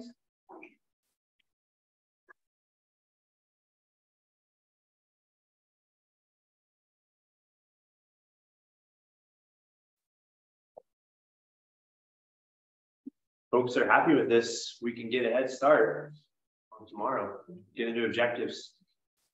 Shall we do it? Going once, going twice? We can come back to the whole thing, or? Yeah, there's the park below activity. Okay. Yeah, and then the parking lot has the features we. Okay, plugged park, out. well, the parking lot, we're not putting in. No, we can, we'll put that at some point. Bring about a half a page down. There's nothing else. to that. No, Down or up. I don't know my direction. I don't know either.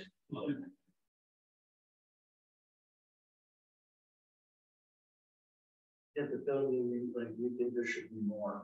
No, we're just, don't wanna, I just think it's, this group seems to be pretty good at taking in complicated problem and simplifying it pretty well. It's a. Common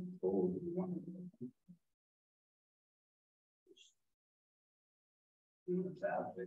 Bad, but no, I think this is a great place. If everyone here feels at this point right now, we can come back to this later this afternoon or tomorrow or whatever, or not again, depending on how we feel about it. Um, if you feel good right now, we can move on and keep it going. Yeah, we'll, we'll see what the objectives bring. I might have to come back.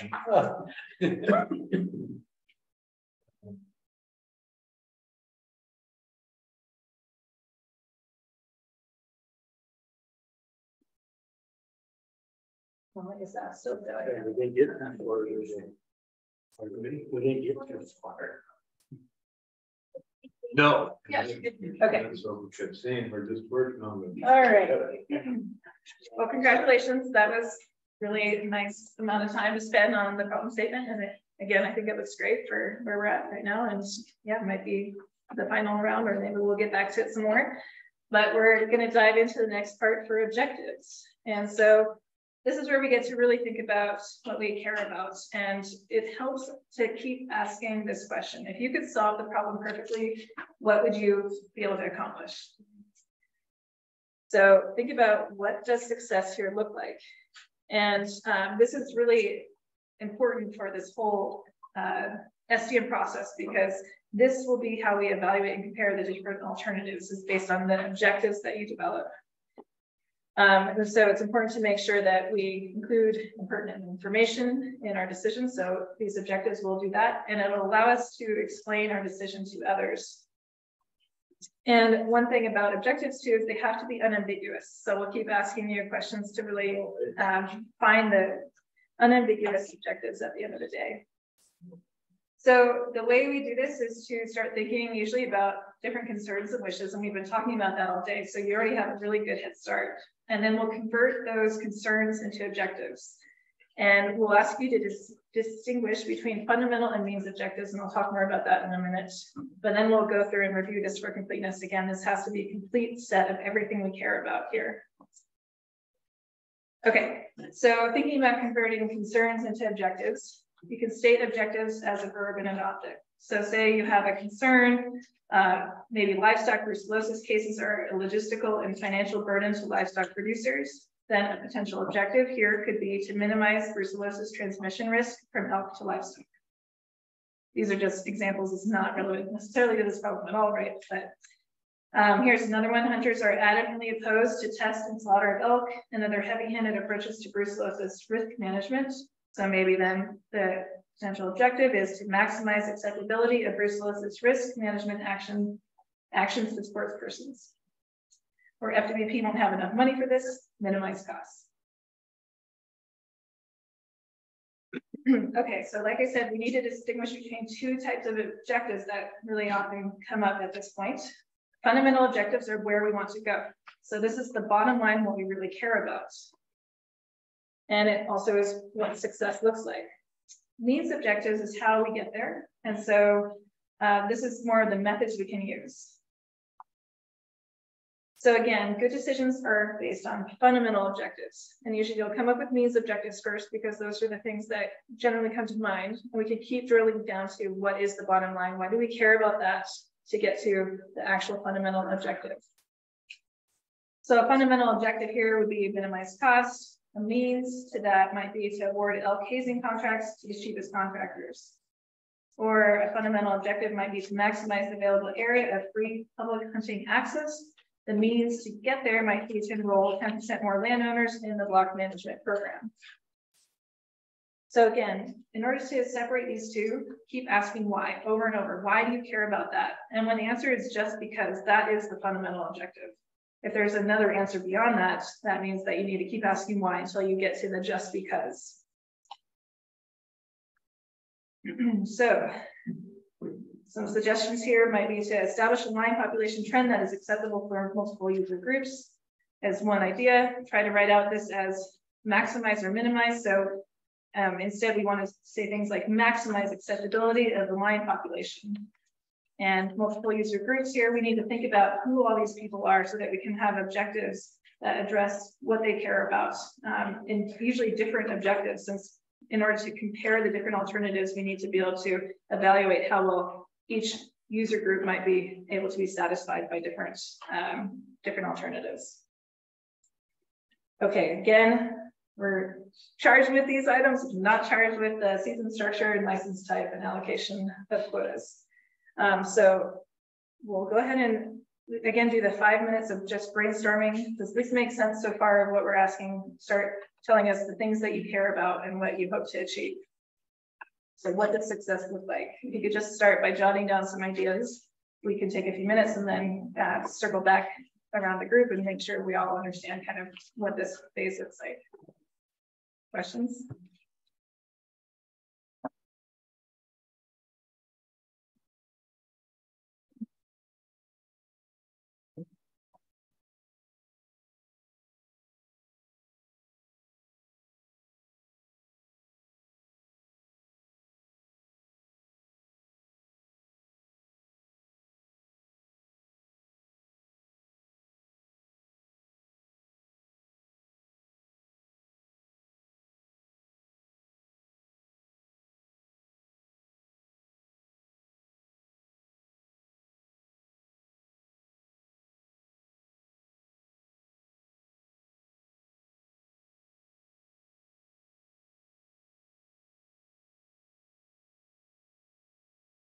I can go back to any of these other slides too, if there's anything that you'd like to see again.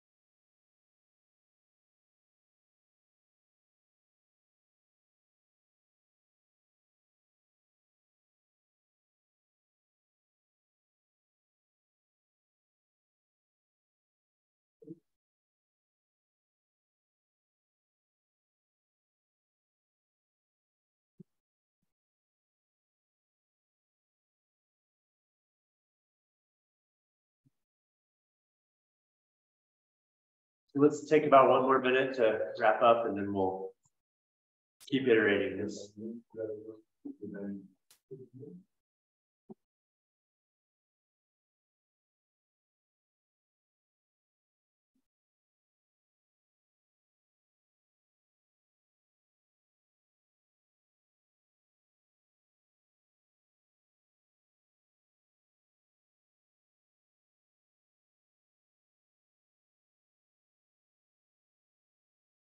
Anybody willing to share a few objectives?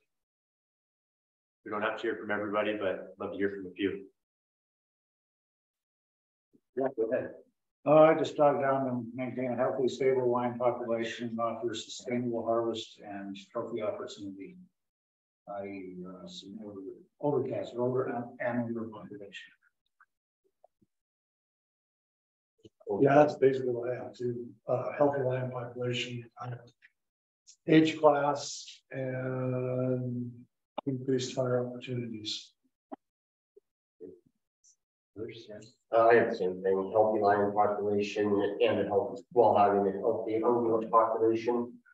Um, ton opportunity for both species. Um, and how do we get there? Status quo using quotas and adjusted numbers as needed. Um, and then maximize under opportunity.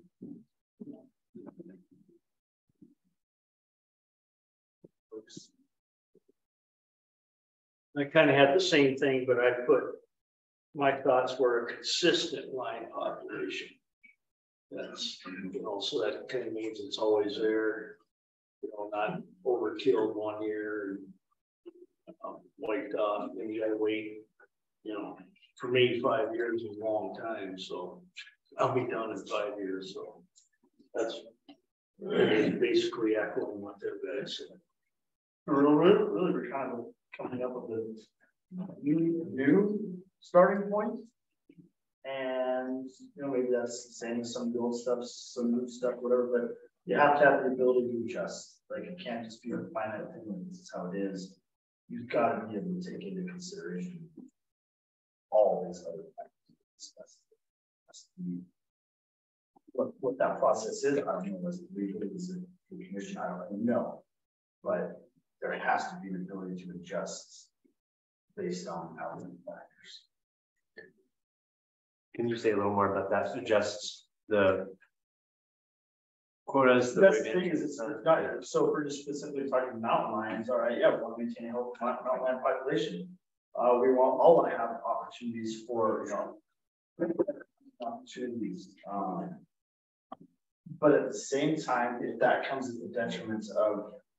The populations, and we have to be able to adjust things, like. This can't just be some set in stone number that gets thrown out there that, you know, is never looked at again. It's Kind of like what we're doing here today. It's been done a certain way for a long, long time.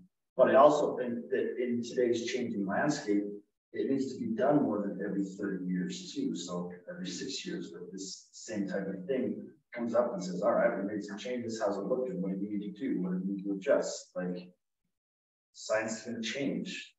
Nature's gonna change. Like there's too many things you have, can't account for with that. So Yeah. thank you. Folks want to add any that we haven't heard yet? To manage lion densities to balance ungulate and lion populations. A generic I guess.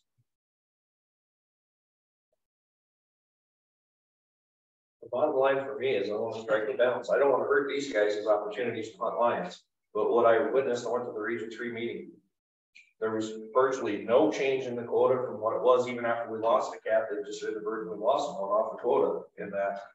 We've got to strike that balance where when your locals are streaming for increases. Right now, that, that's the status quo. It's just the same thing every year, every year, every year. And we're not addressing loss of opportunity on some of these other things. And there are diverse lion hunters want to treat lions. I respect that. I like some chase lions myself. Having said that, when other things are hurting, that has, we have to have flexibility to adjust. And that's what the rigid, the rigid structure before it was like, oh, tough shit, man. By having the different stakeholders um, listed out as different objectives to maximize satisfaction. for Maybe the people who like to treat lions and the livestock owners and so on, we can look at those different trade-offs um, under the different alternatives. We'll consider it and see all that interplay. And Here would be a baseline parameter. This doesn't affect any of these guys. Three thirteen specifically. They took away two weeks of our season.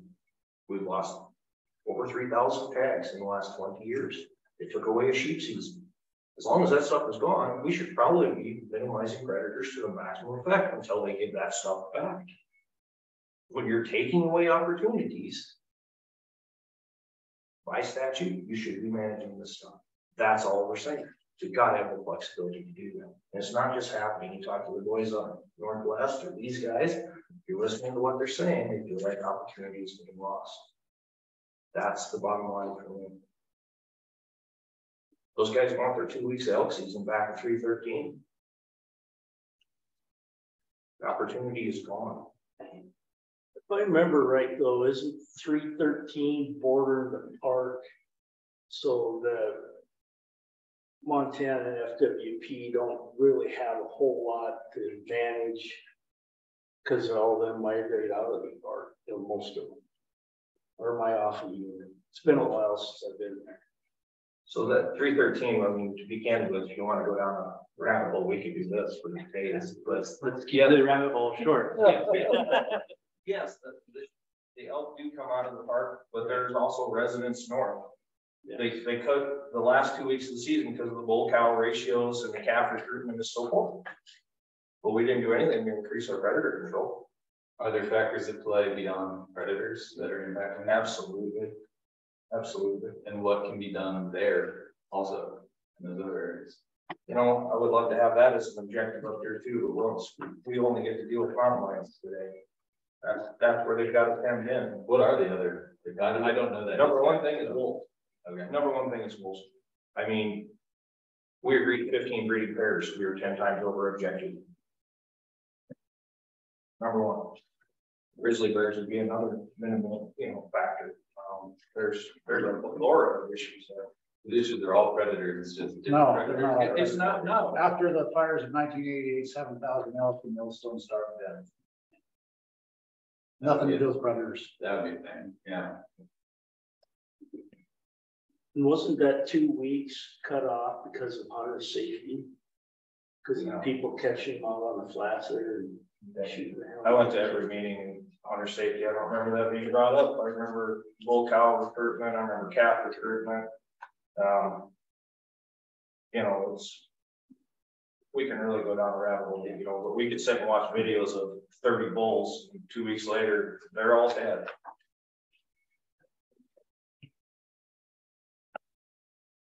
These are the things, like parking lot type things we can. They are put in much one things. that- that's what I'm saying. You can't just talk about lands. They're not the real problem. They're part of the actual holistic wildlife management approach. This is, this is like one tiny issue in a broad, complex thing.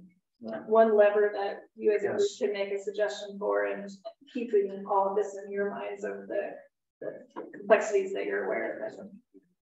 And that's why we're having a hard time directing that one little piece when we know about the whole. Yeah. So, um, with, with, with what we're asked for, we need to find a population. Uh, trend that's acceptable to multiple use. Uses in, from hunters to big makers, to, you know, whoever, but, I mean. To get there, don't you use the past and present data that you have collected to date? To get a base population trend, and then go from there, I mean. Isn't that, isn't that, isn't that what we have to work with? Don't we have to have something finite to work with? I think we, we have the data that we have, and we know it's not perfect. And yet it's the best data. Can't somebody just say, okay, I know you guys said that everything was really skewed Belt. And we're supposed to take this information from the Northwest and, and apply it to this area. And we can't do that. Nobody's comfortable doing that, so we really don't have anything to work with right now as far as population trend goes. Can we recommend increased monitoring?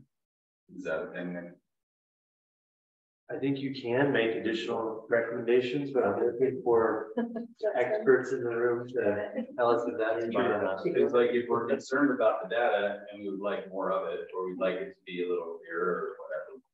And we also, like, we want to try to base our decisions on that. then could one of the means that we recommend be to increase those efforts to get that clarity? That's a great idea. Right. Justin, Brian, what do you guys have to say about that?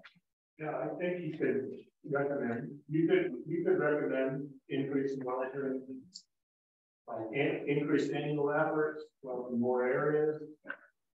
But I don't think it changes the fact that. Doesn't change what have to do. Yeah, even that, and you do not need an estimate of lion population size in the ecoregion. That's easy. I know that for a fact because it's been done that way since the early seventies, right? So it can be done without that. And it is making decisions under uncertainty is that's the way it goes before it's probably. There's just a lot of uncertainty. So we can we can get more information with more monitoring, but I'm ultimately I'm not sure how much easier to make the decision. So it's fine to recommend it. I just want just want to give you a record. Not going to affect your if you recommend it, it might you might have more information next time. Six years that committee might have more information. So you're not going to have more information, you know. And kind of the, another way of looking at things, um, when we started with the Northwest ecoregion, um, we had a population estimate. And when we talked to the folks that were in the room, most of them didn't believe our estimate. And so they were still uh, went through the effort to make up a uh, make a recommendation. And I, I think it's oftentimes, you know, if we were to, to throw away our population estimate and everything, and say, how many lions do you guys think should be in the room? Would you would you be able to come up with a number? I mean, we all did it independently. Um, what we're looking for with this effort is based on your sense, with your experience, with your, your perception, should there be fewer lions or should there be more lions? And is are there places within the ecoregion that should have more reductions or more increases than others? I mean, in a lot of ways, I think the expertise within the room probably has a better sense of the relative density. And so we're not really looking for a number. We want to know, do we want to go up or down or sideways? And Cody, I mean, you were part of this when we did it the first time. We had estimates that you helped create even then. Was it any easier? I mean, the uncertainty is there, but I'm not sure that's making this. Definitely contributing.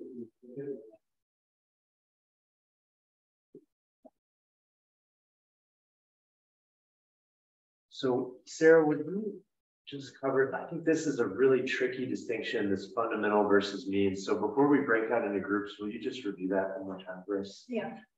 So again, often when we start trying to list out objectives, what we start with are means objectives. And those end up being more methods we could use to get to what we really care about. So as long as you can keep asking why and coming up with another answer, you haven't really found that fundamental objective. When it's the answer is just because that is what we care about, that's the bottom line, that is the fundamental objective. And those are the things you really want to identify now. Means objectives are good to list out too, um, as you you know think of them, because those can become good alternatives to consider later. But what we're after now are those fundamental objectives, the bottom line of what we really care about and what a solution to this problem would ideally look like. We can do it perfectly. And I would say to, to break that apart. So if you've got multiple groups that you're trying to maximize the opportunity or satisfaction of, you know, break those into multiple different objectives, and that'll help us deal with that uncertainty later. Um, so we're going to break into groups now and again, work on a list of these.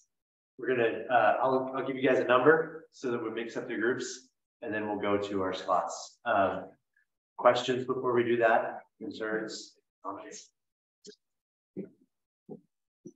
Great, so we've got one, remember your number, one, two, three, four, one, two, three, four, one, two, three, four, and one. So the ones will be over here with Molly. The twos will be on this side of the table. Threes on this side of the table and fours around the corner past the exit sign.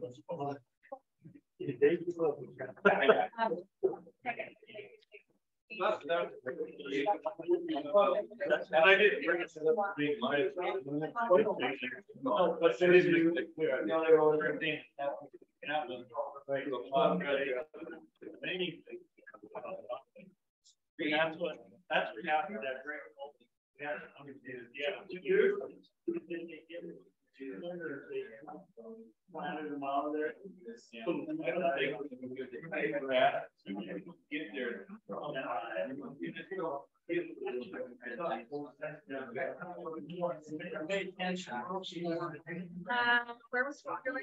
Four, he's out there. Yeah. We need Rebecca again.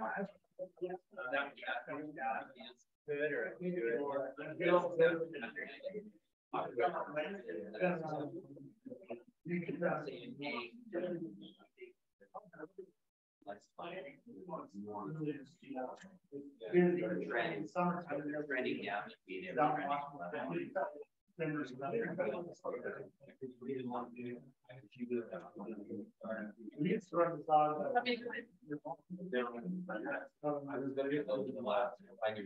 Yeah. Uh, it's all, all part of it, but it's helpful, I think, to start by thinking about stakeholder groups and how you might find a purpose for each thing. It's helpful to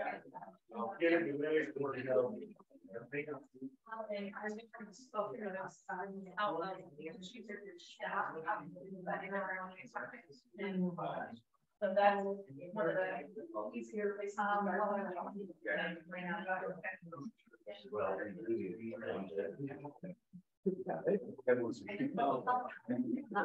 more maximize that. And I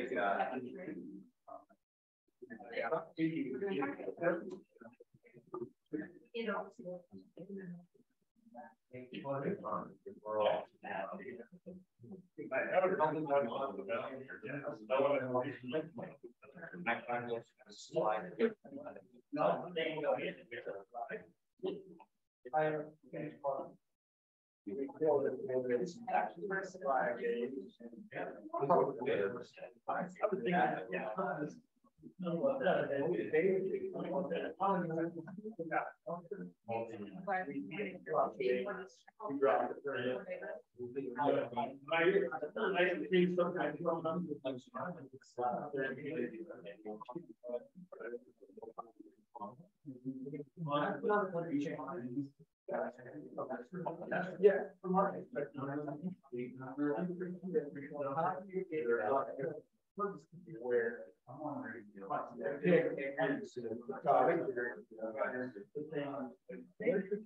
Um. I uh, Where.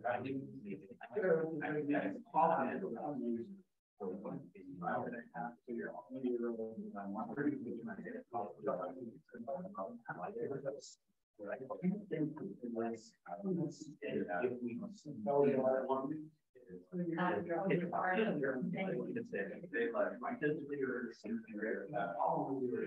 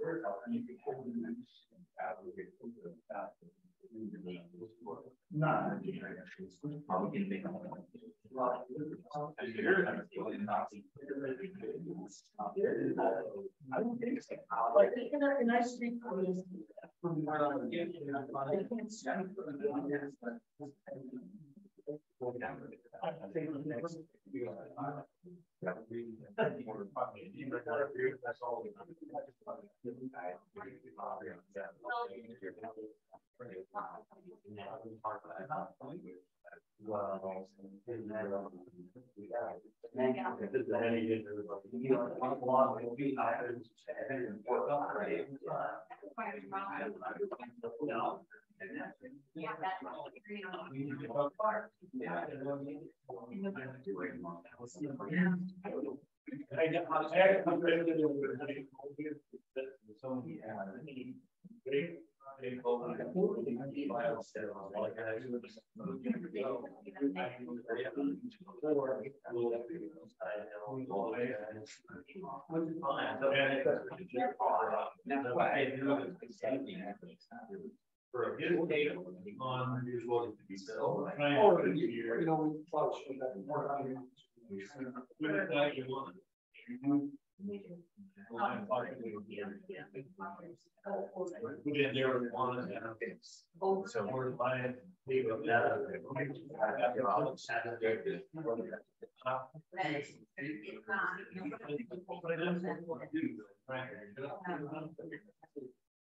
Well, there is, yeah. You can't do that. All the streets. Yeah, I mean.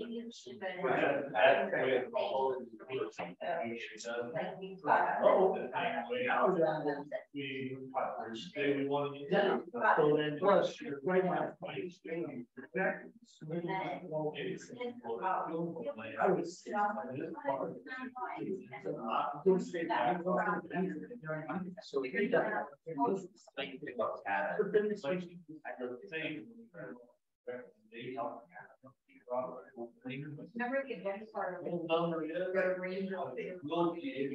So there- there. Is one- and-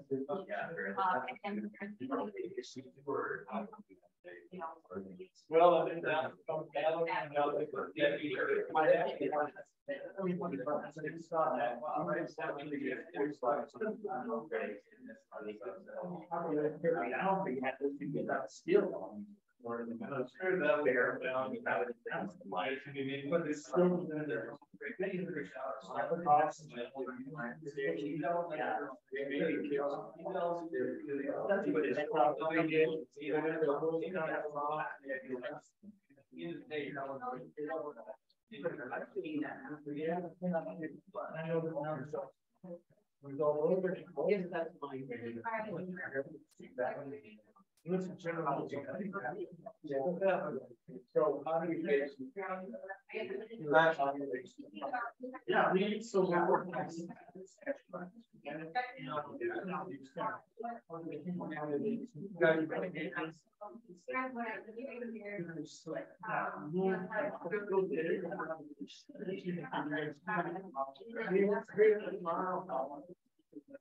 At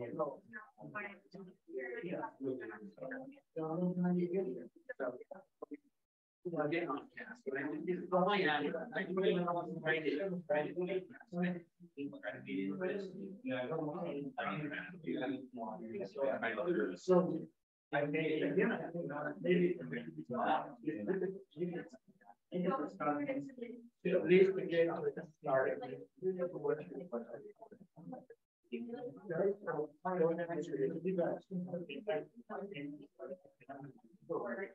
I think it would be very. I know.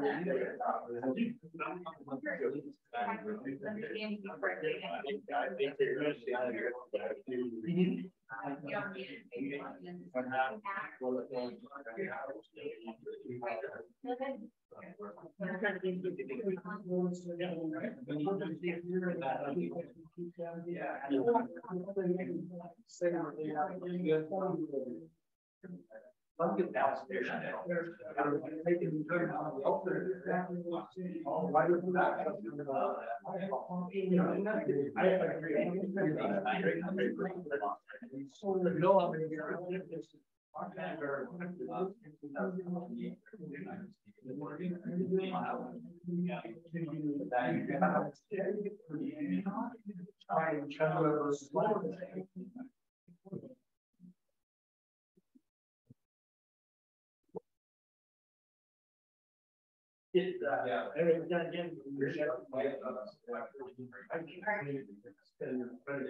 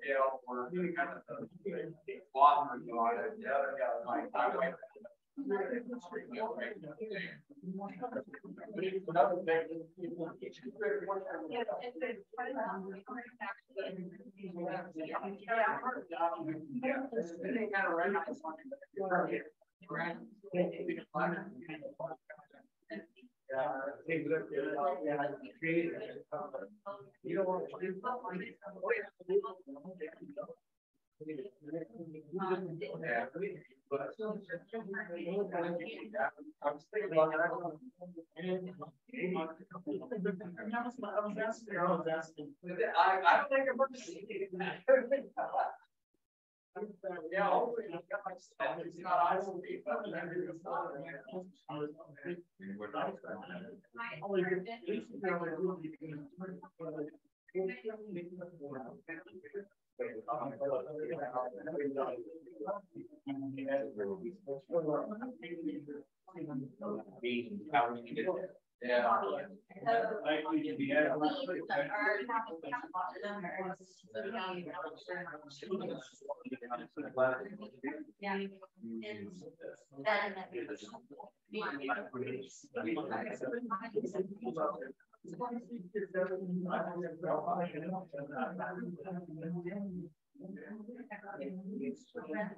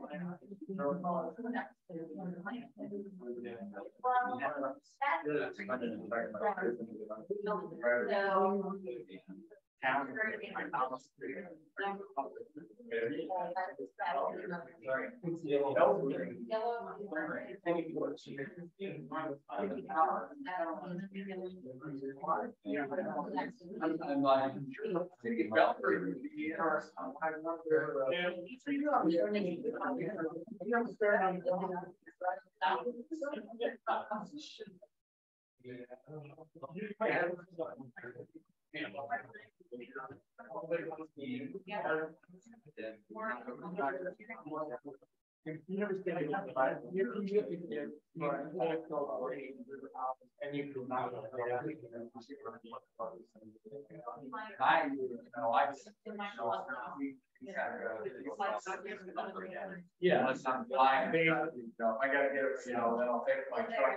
To like more to my house.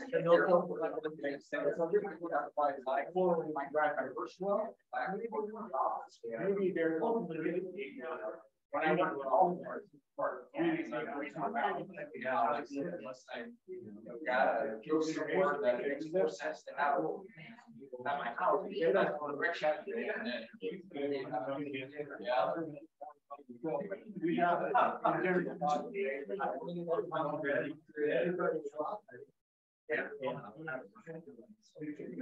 Yeah.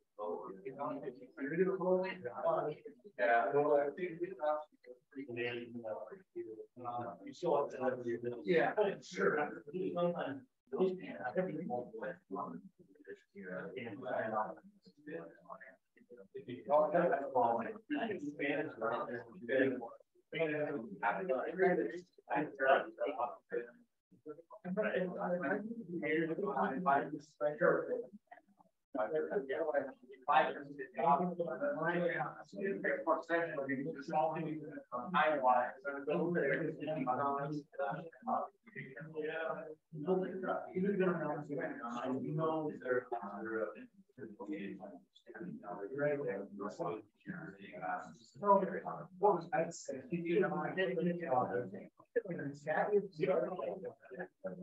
You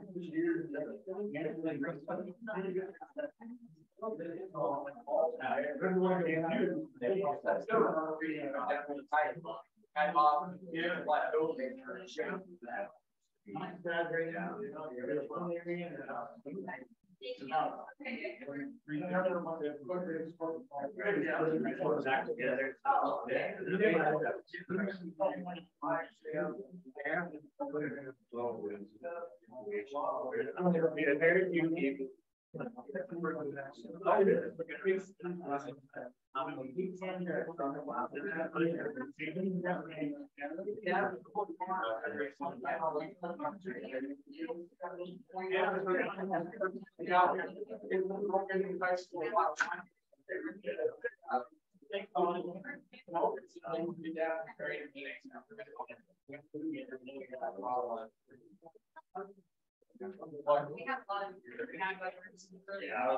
I'm these ones across.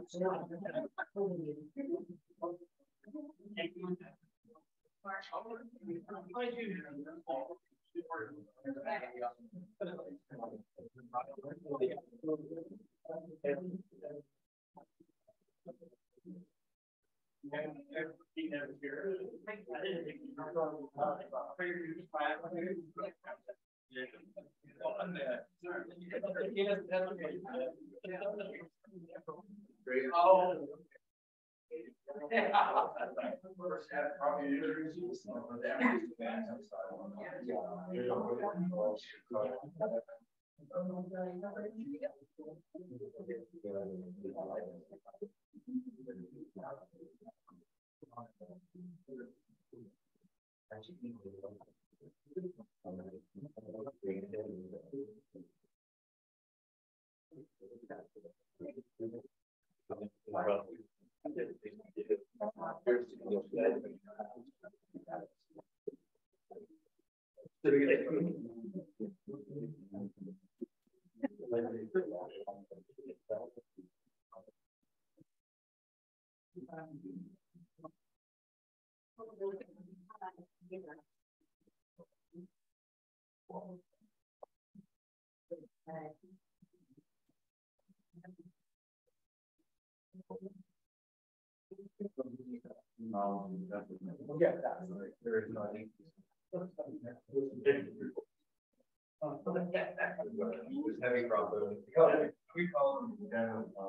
So as we're getting set up here, uh, our plan next is to walk through these one at a time. Sarah and I will help point out the mistakes, not a mistake, but the thing that always happens with these is helping translate those means objectives into fundamental objectives where we see that. And then we can start making a master list of, you know, what are our group objectives? Hopefully we can end the day with that. Um, so we're just working through the technology here and once it's all copied over, we'll, we'll just jump right into group one.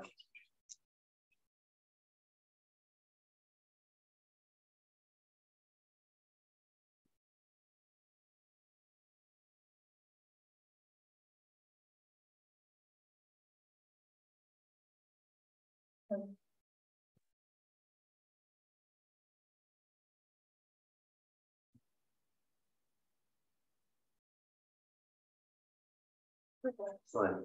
Okay, so yeah, we can step through these. So group one has a balanced number of ungulates, and that looks like those are sub bullets, maximize hunter opportunity for ungulates and manage for sustainable, healthy population of ungulates. Uh, how do we feel about those as fundamental objectives, Sarah?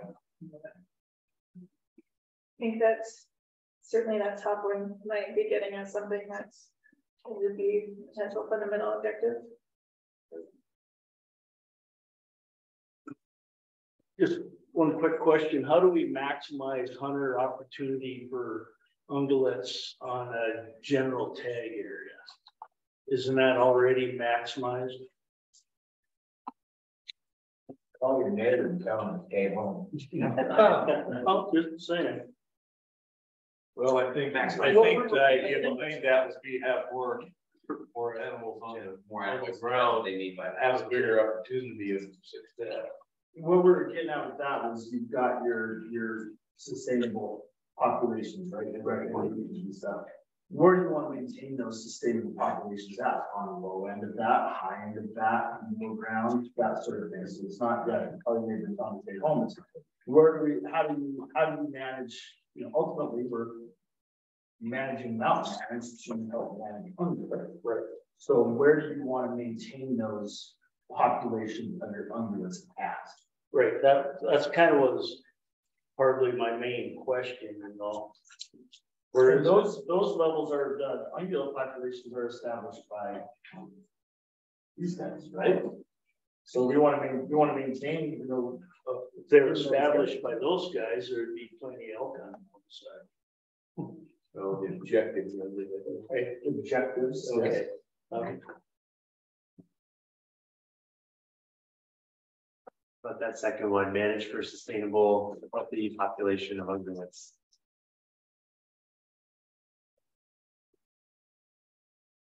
Yeah, we kind of threw out a few and then we changed them, so like step a half. Hmm. So that kind of sub bullet is in there, maximize sustainability of lion population. Okay. That's what we ultimately got to. With that statement.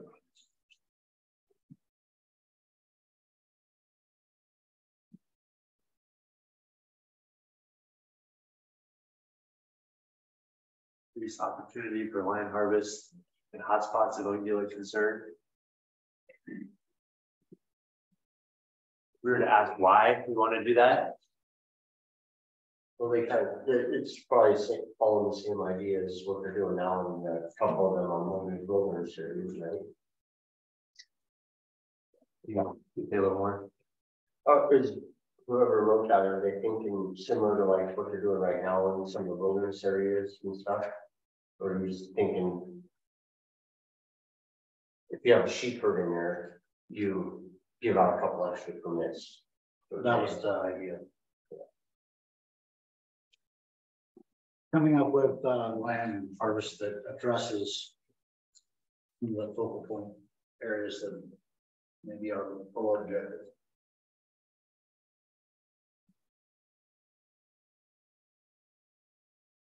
Yeah, the increased opportunity for lion harvest and hotspots of ungulate concern to me reads as it means because we want to do what? Of the ungulate populations.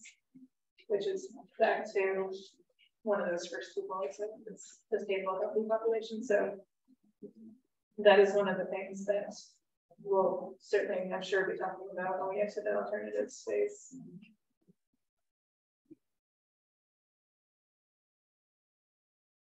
So, so for the next one, manage sex ratios of lion harvest to minimize disruption of social structure in any given territory as much as possible. So another one where we can ask why.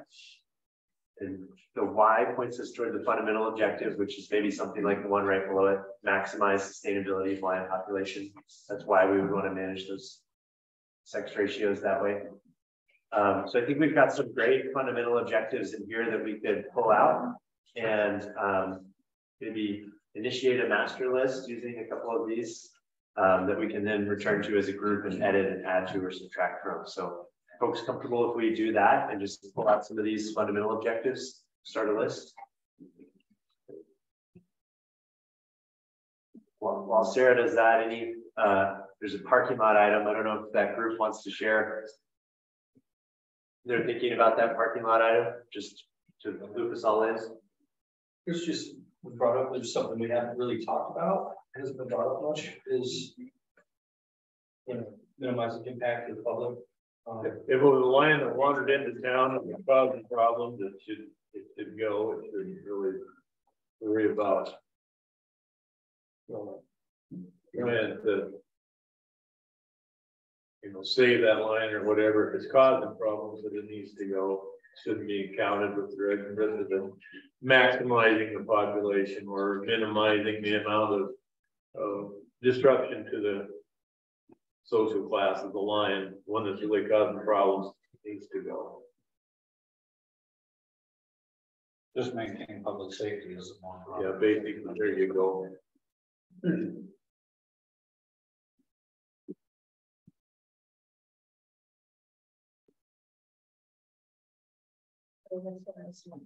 We were talking about the um urban lion parking lot item and just giving some pictures.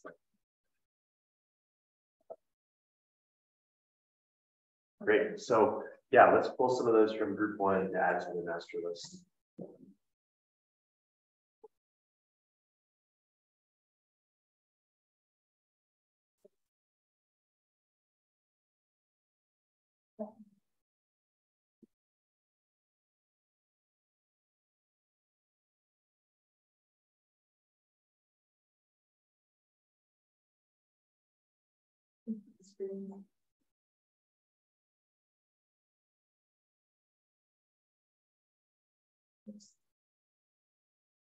Uh, yeah, some of those ones from the bottom, starting with maximize sustainability of lion population. and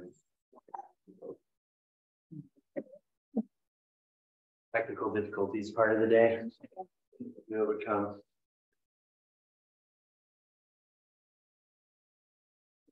Okay. What do we think about this one too? Uh, And this one, yeah, both these. Yep.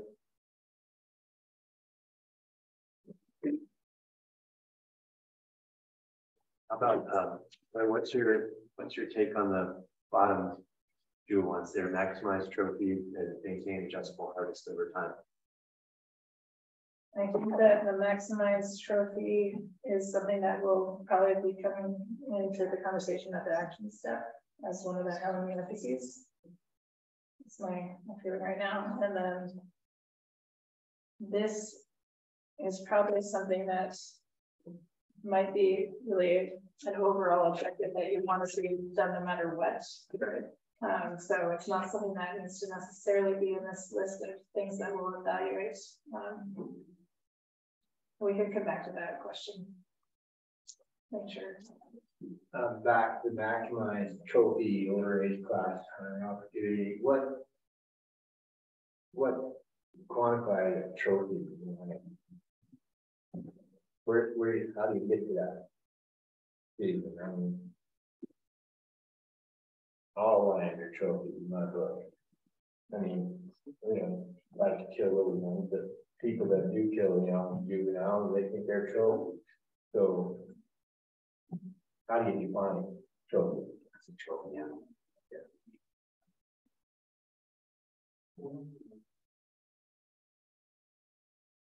It's from the folks who wrote this one. Record class, how's that? Better trophy? I think it's, a isn't it, yeah, isn't it, defined as a trophy animal by definition, doesn't matter. Isn't that how it's been defined? The lion is a trophy. Well, no, if you go back to statute, they got trophy classification for deer, antelope, elk. you know, Right. Lions. But They don't the have those. regs, they consider it a trophy. So if you go to a trophy class. And you wanna do that, go to a trophy system, when I'm offered doing shooting big stuff, but. You're gonna wind up on a finite permit system because you can't kill a whole bunch of trophy um, animals in one area. You know, so the, the hunter opportunity goes down, I think, with trophy, trophy ID.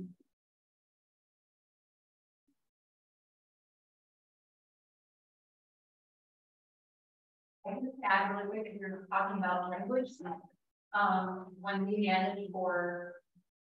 What we, what we have in our mule management plan for the special management areas, the language in there says we're managing for older age class. That helps. So if we just remove that word trophy, do folks feel comfortable with that? Just maximize older age class Tom hunter opportunity. Sure. They'll make the non-hunters happier. Picnickers?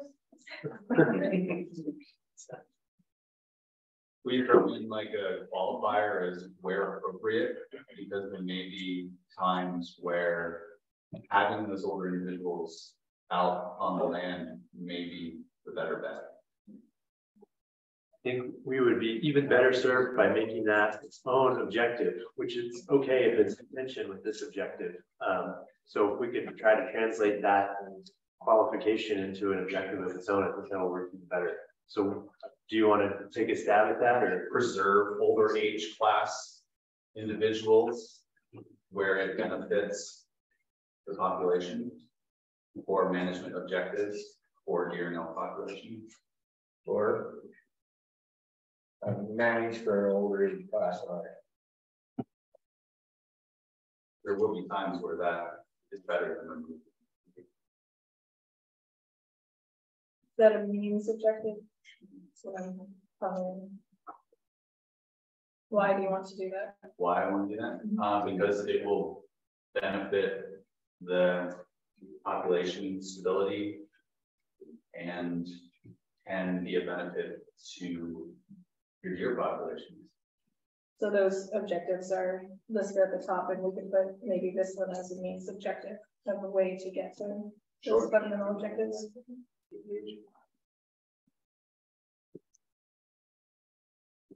I always tell people, uh, finding the fundamental objectives, it's like arguing with a seven-year-old. You just keep asking you, why, why, why? No, that's a good sign. Don't get annoyed. That's a good sign.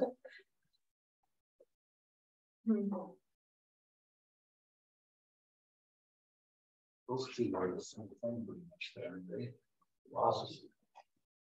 One is for opportunity and one is. For their own oh, kind. And there's probably better ways to word that, but we don't have to finesse the means objectives too much. This is something we can play with as we get to the next. Step. on my, say on mine's and shoot on fire. Simple. Do we scroll to group two?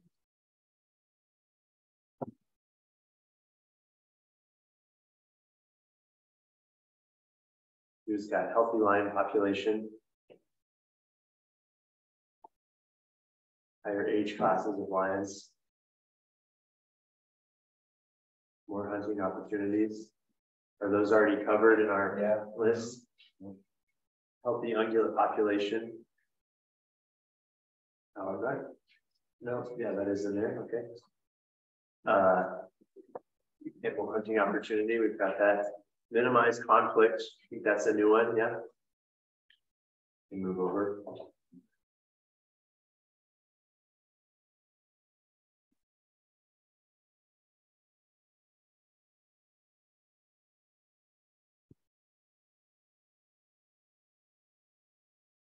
Can can group two walk us through number four a little bit about minimizing conflict between hunting enthusiasts and ungulate hunting enthusiasts, oh, lion hunting enthusiasts. Oh, I see. Okay, sorry, that's right. Hmm. Can you tell us a little bit more about your conversation around that one?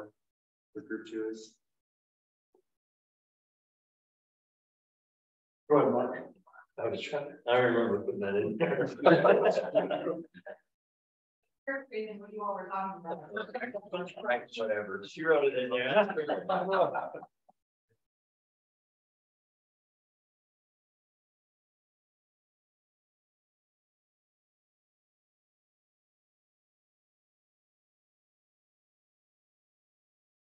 I think we talking about. Or. Some of us. Areas, right, yeah, like I.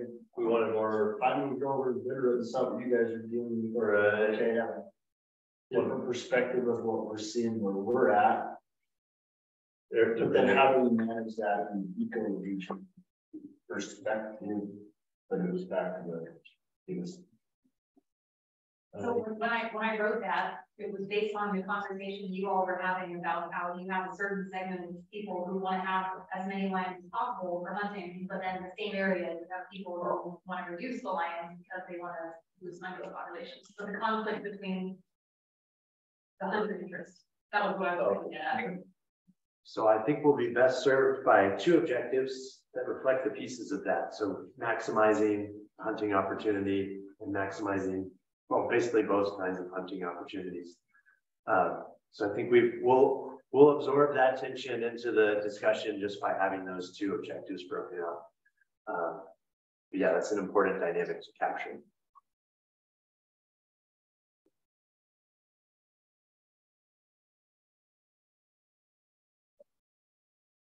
Right, should we take a look at group three?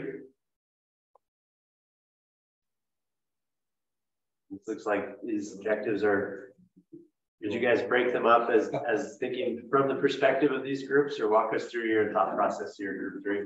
The basic, basic thought process is we, need to find a, uh, population trend that fits everyone, from their city dwellers who are um, uh, you know, everybody. And how do you get there? You have to have a start and.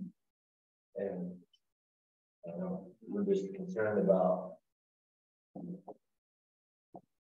being, uh, having enough influence to really change thought process, I guess.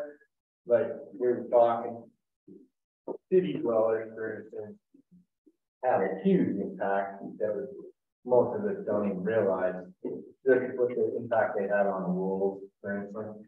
I mean, we have wolves because of non-residents. Basically, I mean, there's some people in Montana line that, for the most part, we didn't have anything to say about it. Uh, residents.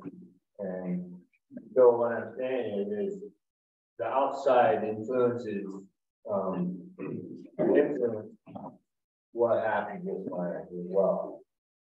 So we have to take that into consideration. We're just a little part of it.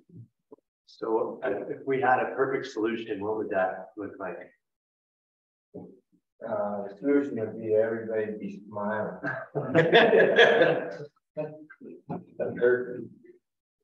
So maybe we've got a few folks smiling in our objectives, so maybe we need to add another group about the city dwellers. Is that a missing piece here? I think they maybe, maybe they think they want more lions, but as soon as one shows up in their backyard, they don't. Right, but you know, as a whole, I think people in New York think out Montana is a wild place, right? Those city dwellers. It's, yeah, it's this wild place that we wanna make sure that there's, there's a whole New Jersey going on. So we have to have this little park out here. So it's, it's big, it's a big deal. They have, they have a right to stay here. What do you think, Sarah? How do we translate that to objective speak? You know, there's no Is it something where like maximize satisfaction of general public? Yeah.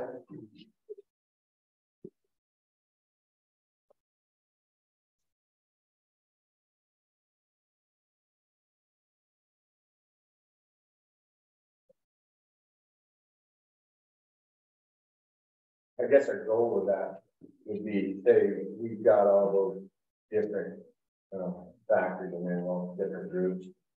Where if you take them all, and you average it all out, hopefully that would be the baseline. But Mm-hmm. Also, one thing I will get to talk about is how important each objective is that we come up with, so they won't probably all have equal weight, and so. Yeah. Some of these, you know, will allow that to, to vary and and see how that influences the decision and support as well.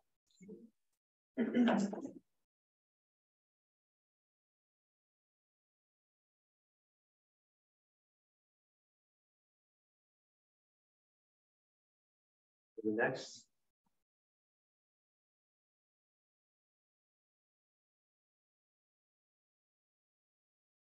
Four.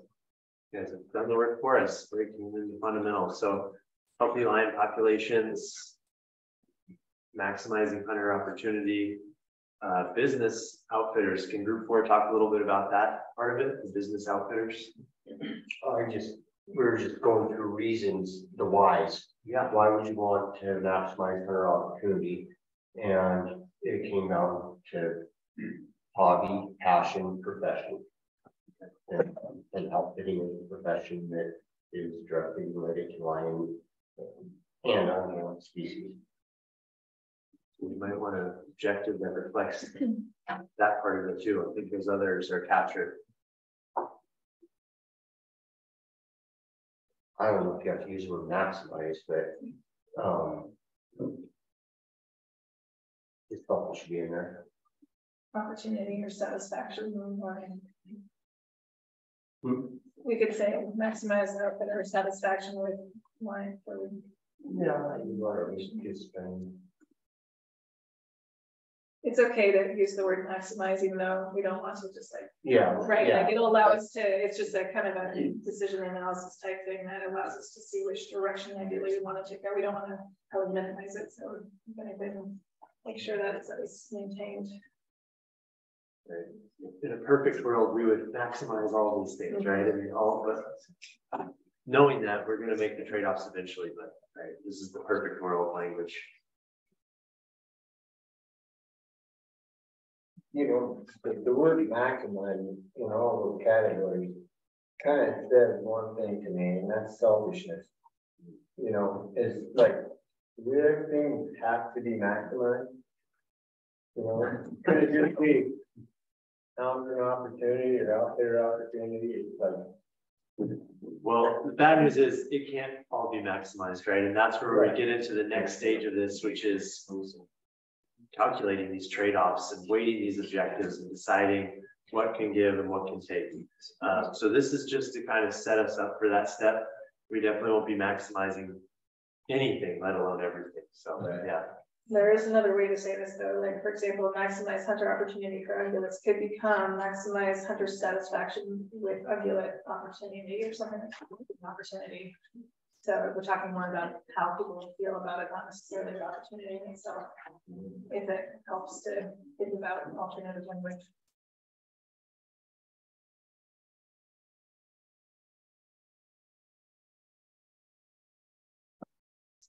Group four, um, help the ungulate populations, recreation, business and outfitters, uh, hunting is conservation.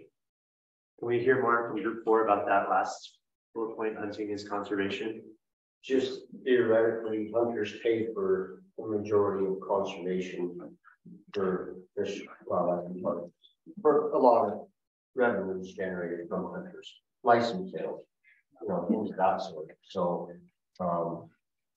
Which shows conservation, so. Just a point, but it's. You know.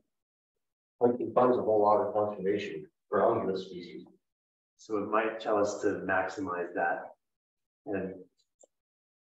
Because that, that's sort of a, again, that's a how, right, rather than a why.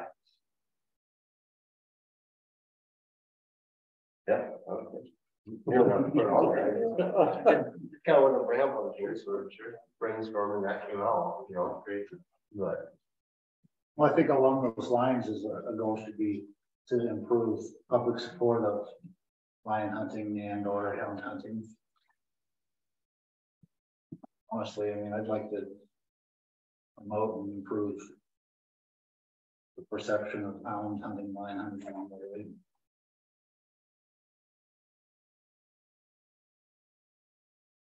I'm contemplating whether there are things that this group would recommend that could help with that within the charges of the group, or if that's something that's like a parking lot idea.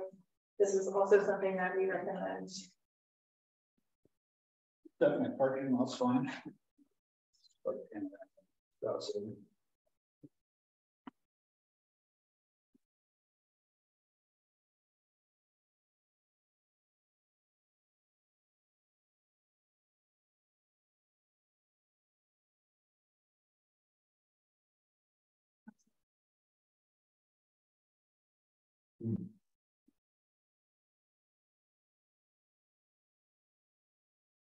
So the next one we've got is restoring what's been lost wherever ungulate tag opportunity has been lost. Uh, increase lion quotas to restore ungulate pops. I think we've got that one kind of covered as a fundamental objective in terms of maximizing our ungulate opportunity. Um, that one's definitely a, a means objective. How do we get there? Um, does that feel satisfactory to that group that we've got that covered?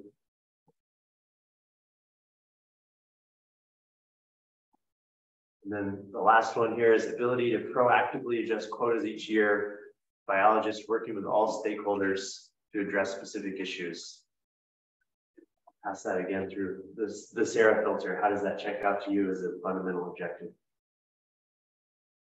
I think that one again might be something that is a good parking lot recommendation that will help the items in the future.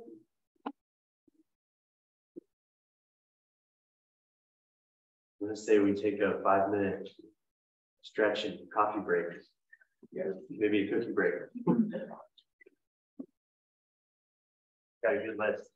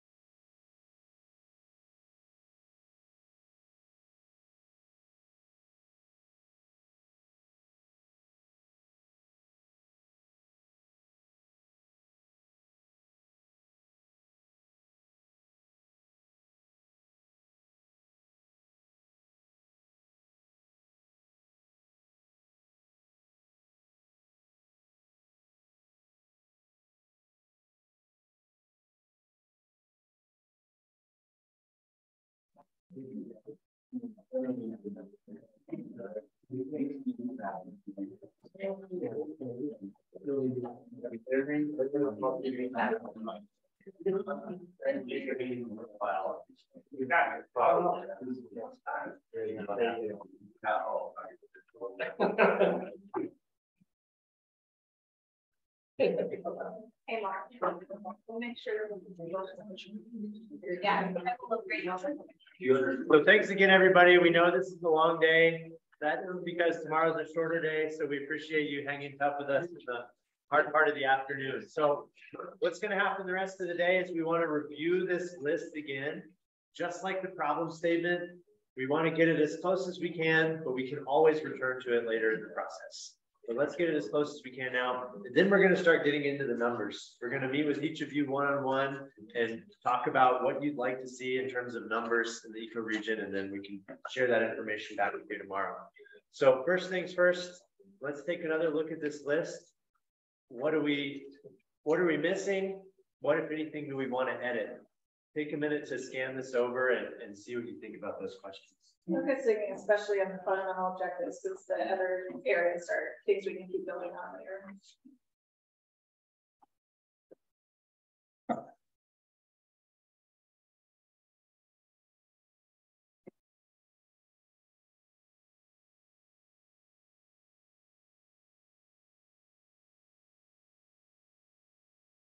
I have it broken out into two as far as sustainability lion population and maxing color opportunity for lions. What about maximizing sustainability of our human population? I mean, if we're considering those two different aspects. If we change this word to maximize sustainable healthy population this, that's what I did.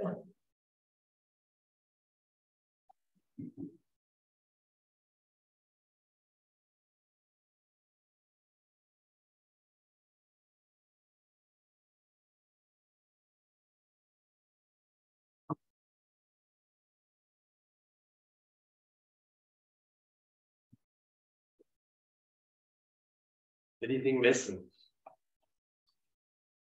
Elephants in the room. Is this one about conflict? Are there different things you do for livestock depredations versus public safety? Like, do those need to be split out or is in general in those situations, using line others likely to be the, the tool that you would use to minimize conflict?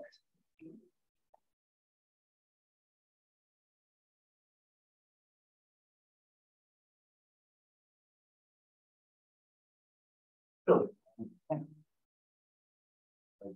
think the key to something. Yeah, together.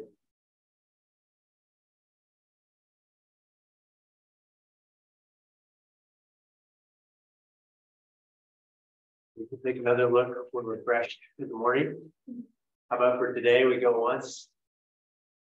Twice? Let's get on to the fun part. So what's gonna happen next? We're gonna, uh, there's five of us, I think. We're gonna meet with each of you one-on-one -on -one and walk through a little survey about um, your preference for how the mountain lion population can change in the ecoregion. So um, raise your hand if you need to leave early and we'll make sure to get you first. Okay, so you'll be in the first round. Um, there's five of us, there's 13 of you. So a couple of you will be kind of hanging out for a little as we do five people at a time. So um, yeah, that, are we ready? Yeah, we have a map up on the screen of this ecoregion for good reference. Um, so if there's any questions about that, if you go back and check that out, I can go back up on the screen as much as you can. Or uh, are you asking specific numbers or just stable, not stable, increase, decrease, or do you want to know the number of lions we want to see in that ecoregion? We've got a bunch of questions we're going to walk through. Okay. Walk through with you. Yeah, both. Okay. Why is, I was just, why is Missoula not in that region? Is there a reason? Like, I was just curious, who made up the map? It was based on the resource selection function habitat model, and that was all before the 2018 strategy was adopted. Jay, are you still around? Jay's going. Step out of the room. Okay, got it. So, um, it was based on that habitat quality, essentially, we we're looking at, um, broadly similar habitat. So I wasn't involved in those early conversations, but we're trying to look at contiguous habitat, habitat is broadly similar. And just remember, see, the Missoula, that's the Missoula Special Management Area, which encompasses a big area all around Missoula. And so it's not just North part two or four, it's all that stuff more too. Yeah, that's the other thing. It was on, divided up on, uh, unit boundaries. Yeah. But with similar average habitat value.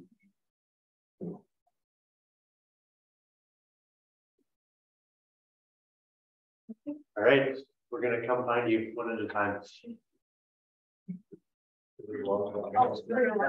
Yeah. Are they coming to you? All right, somebody, uh. Will you go visit Molly? I will. but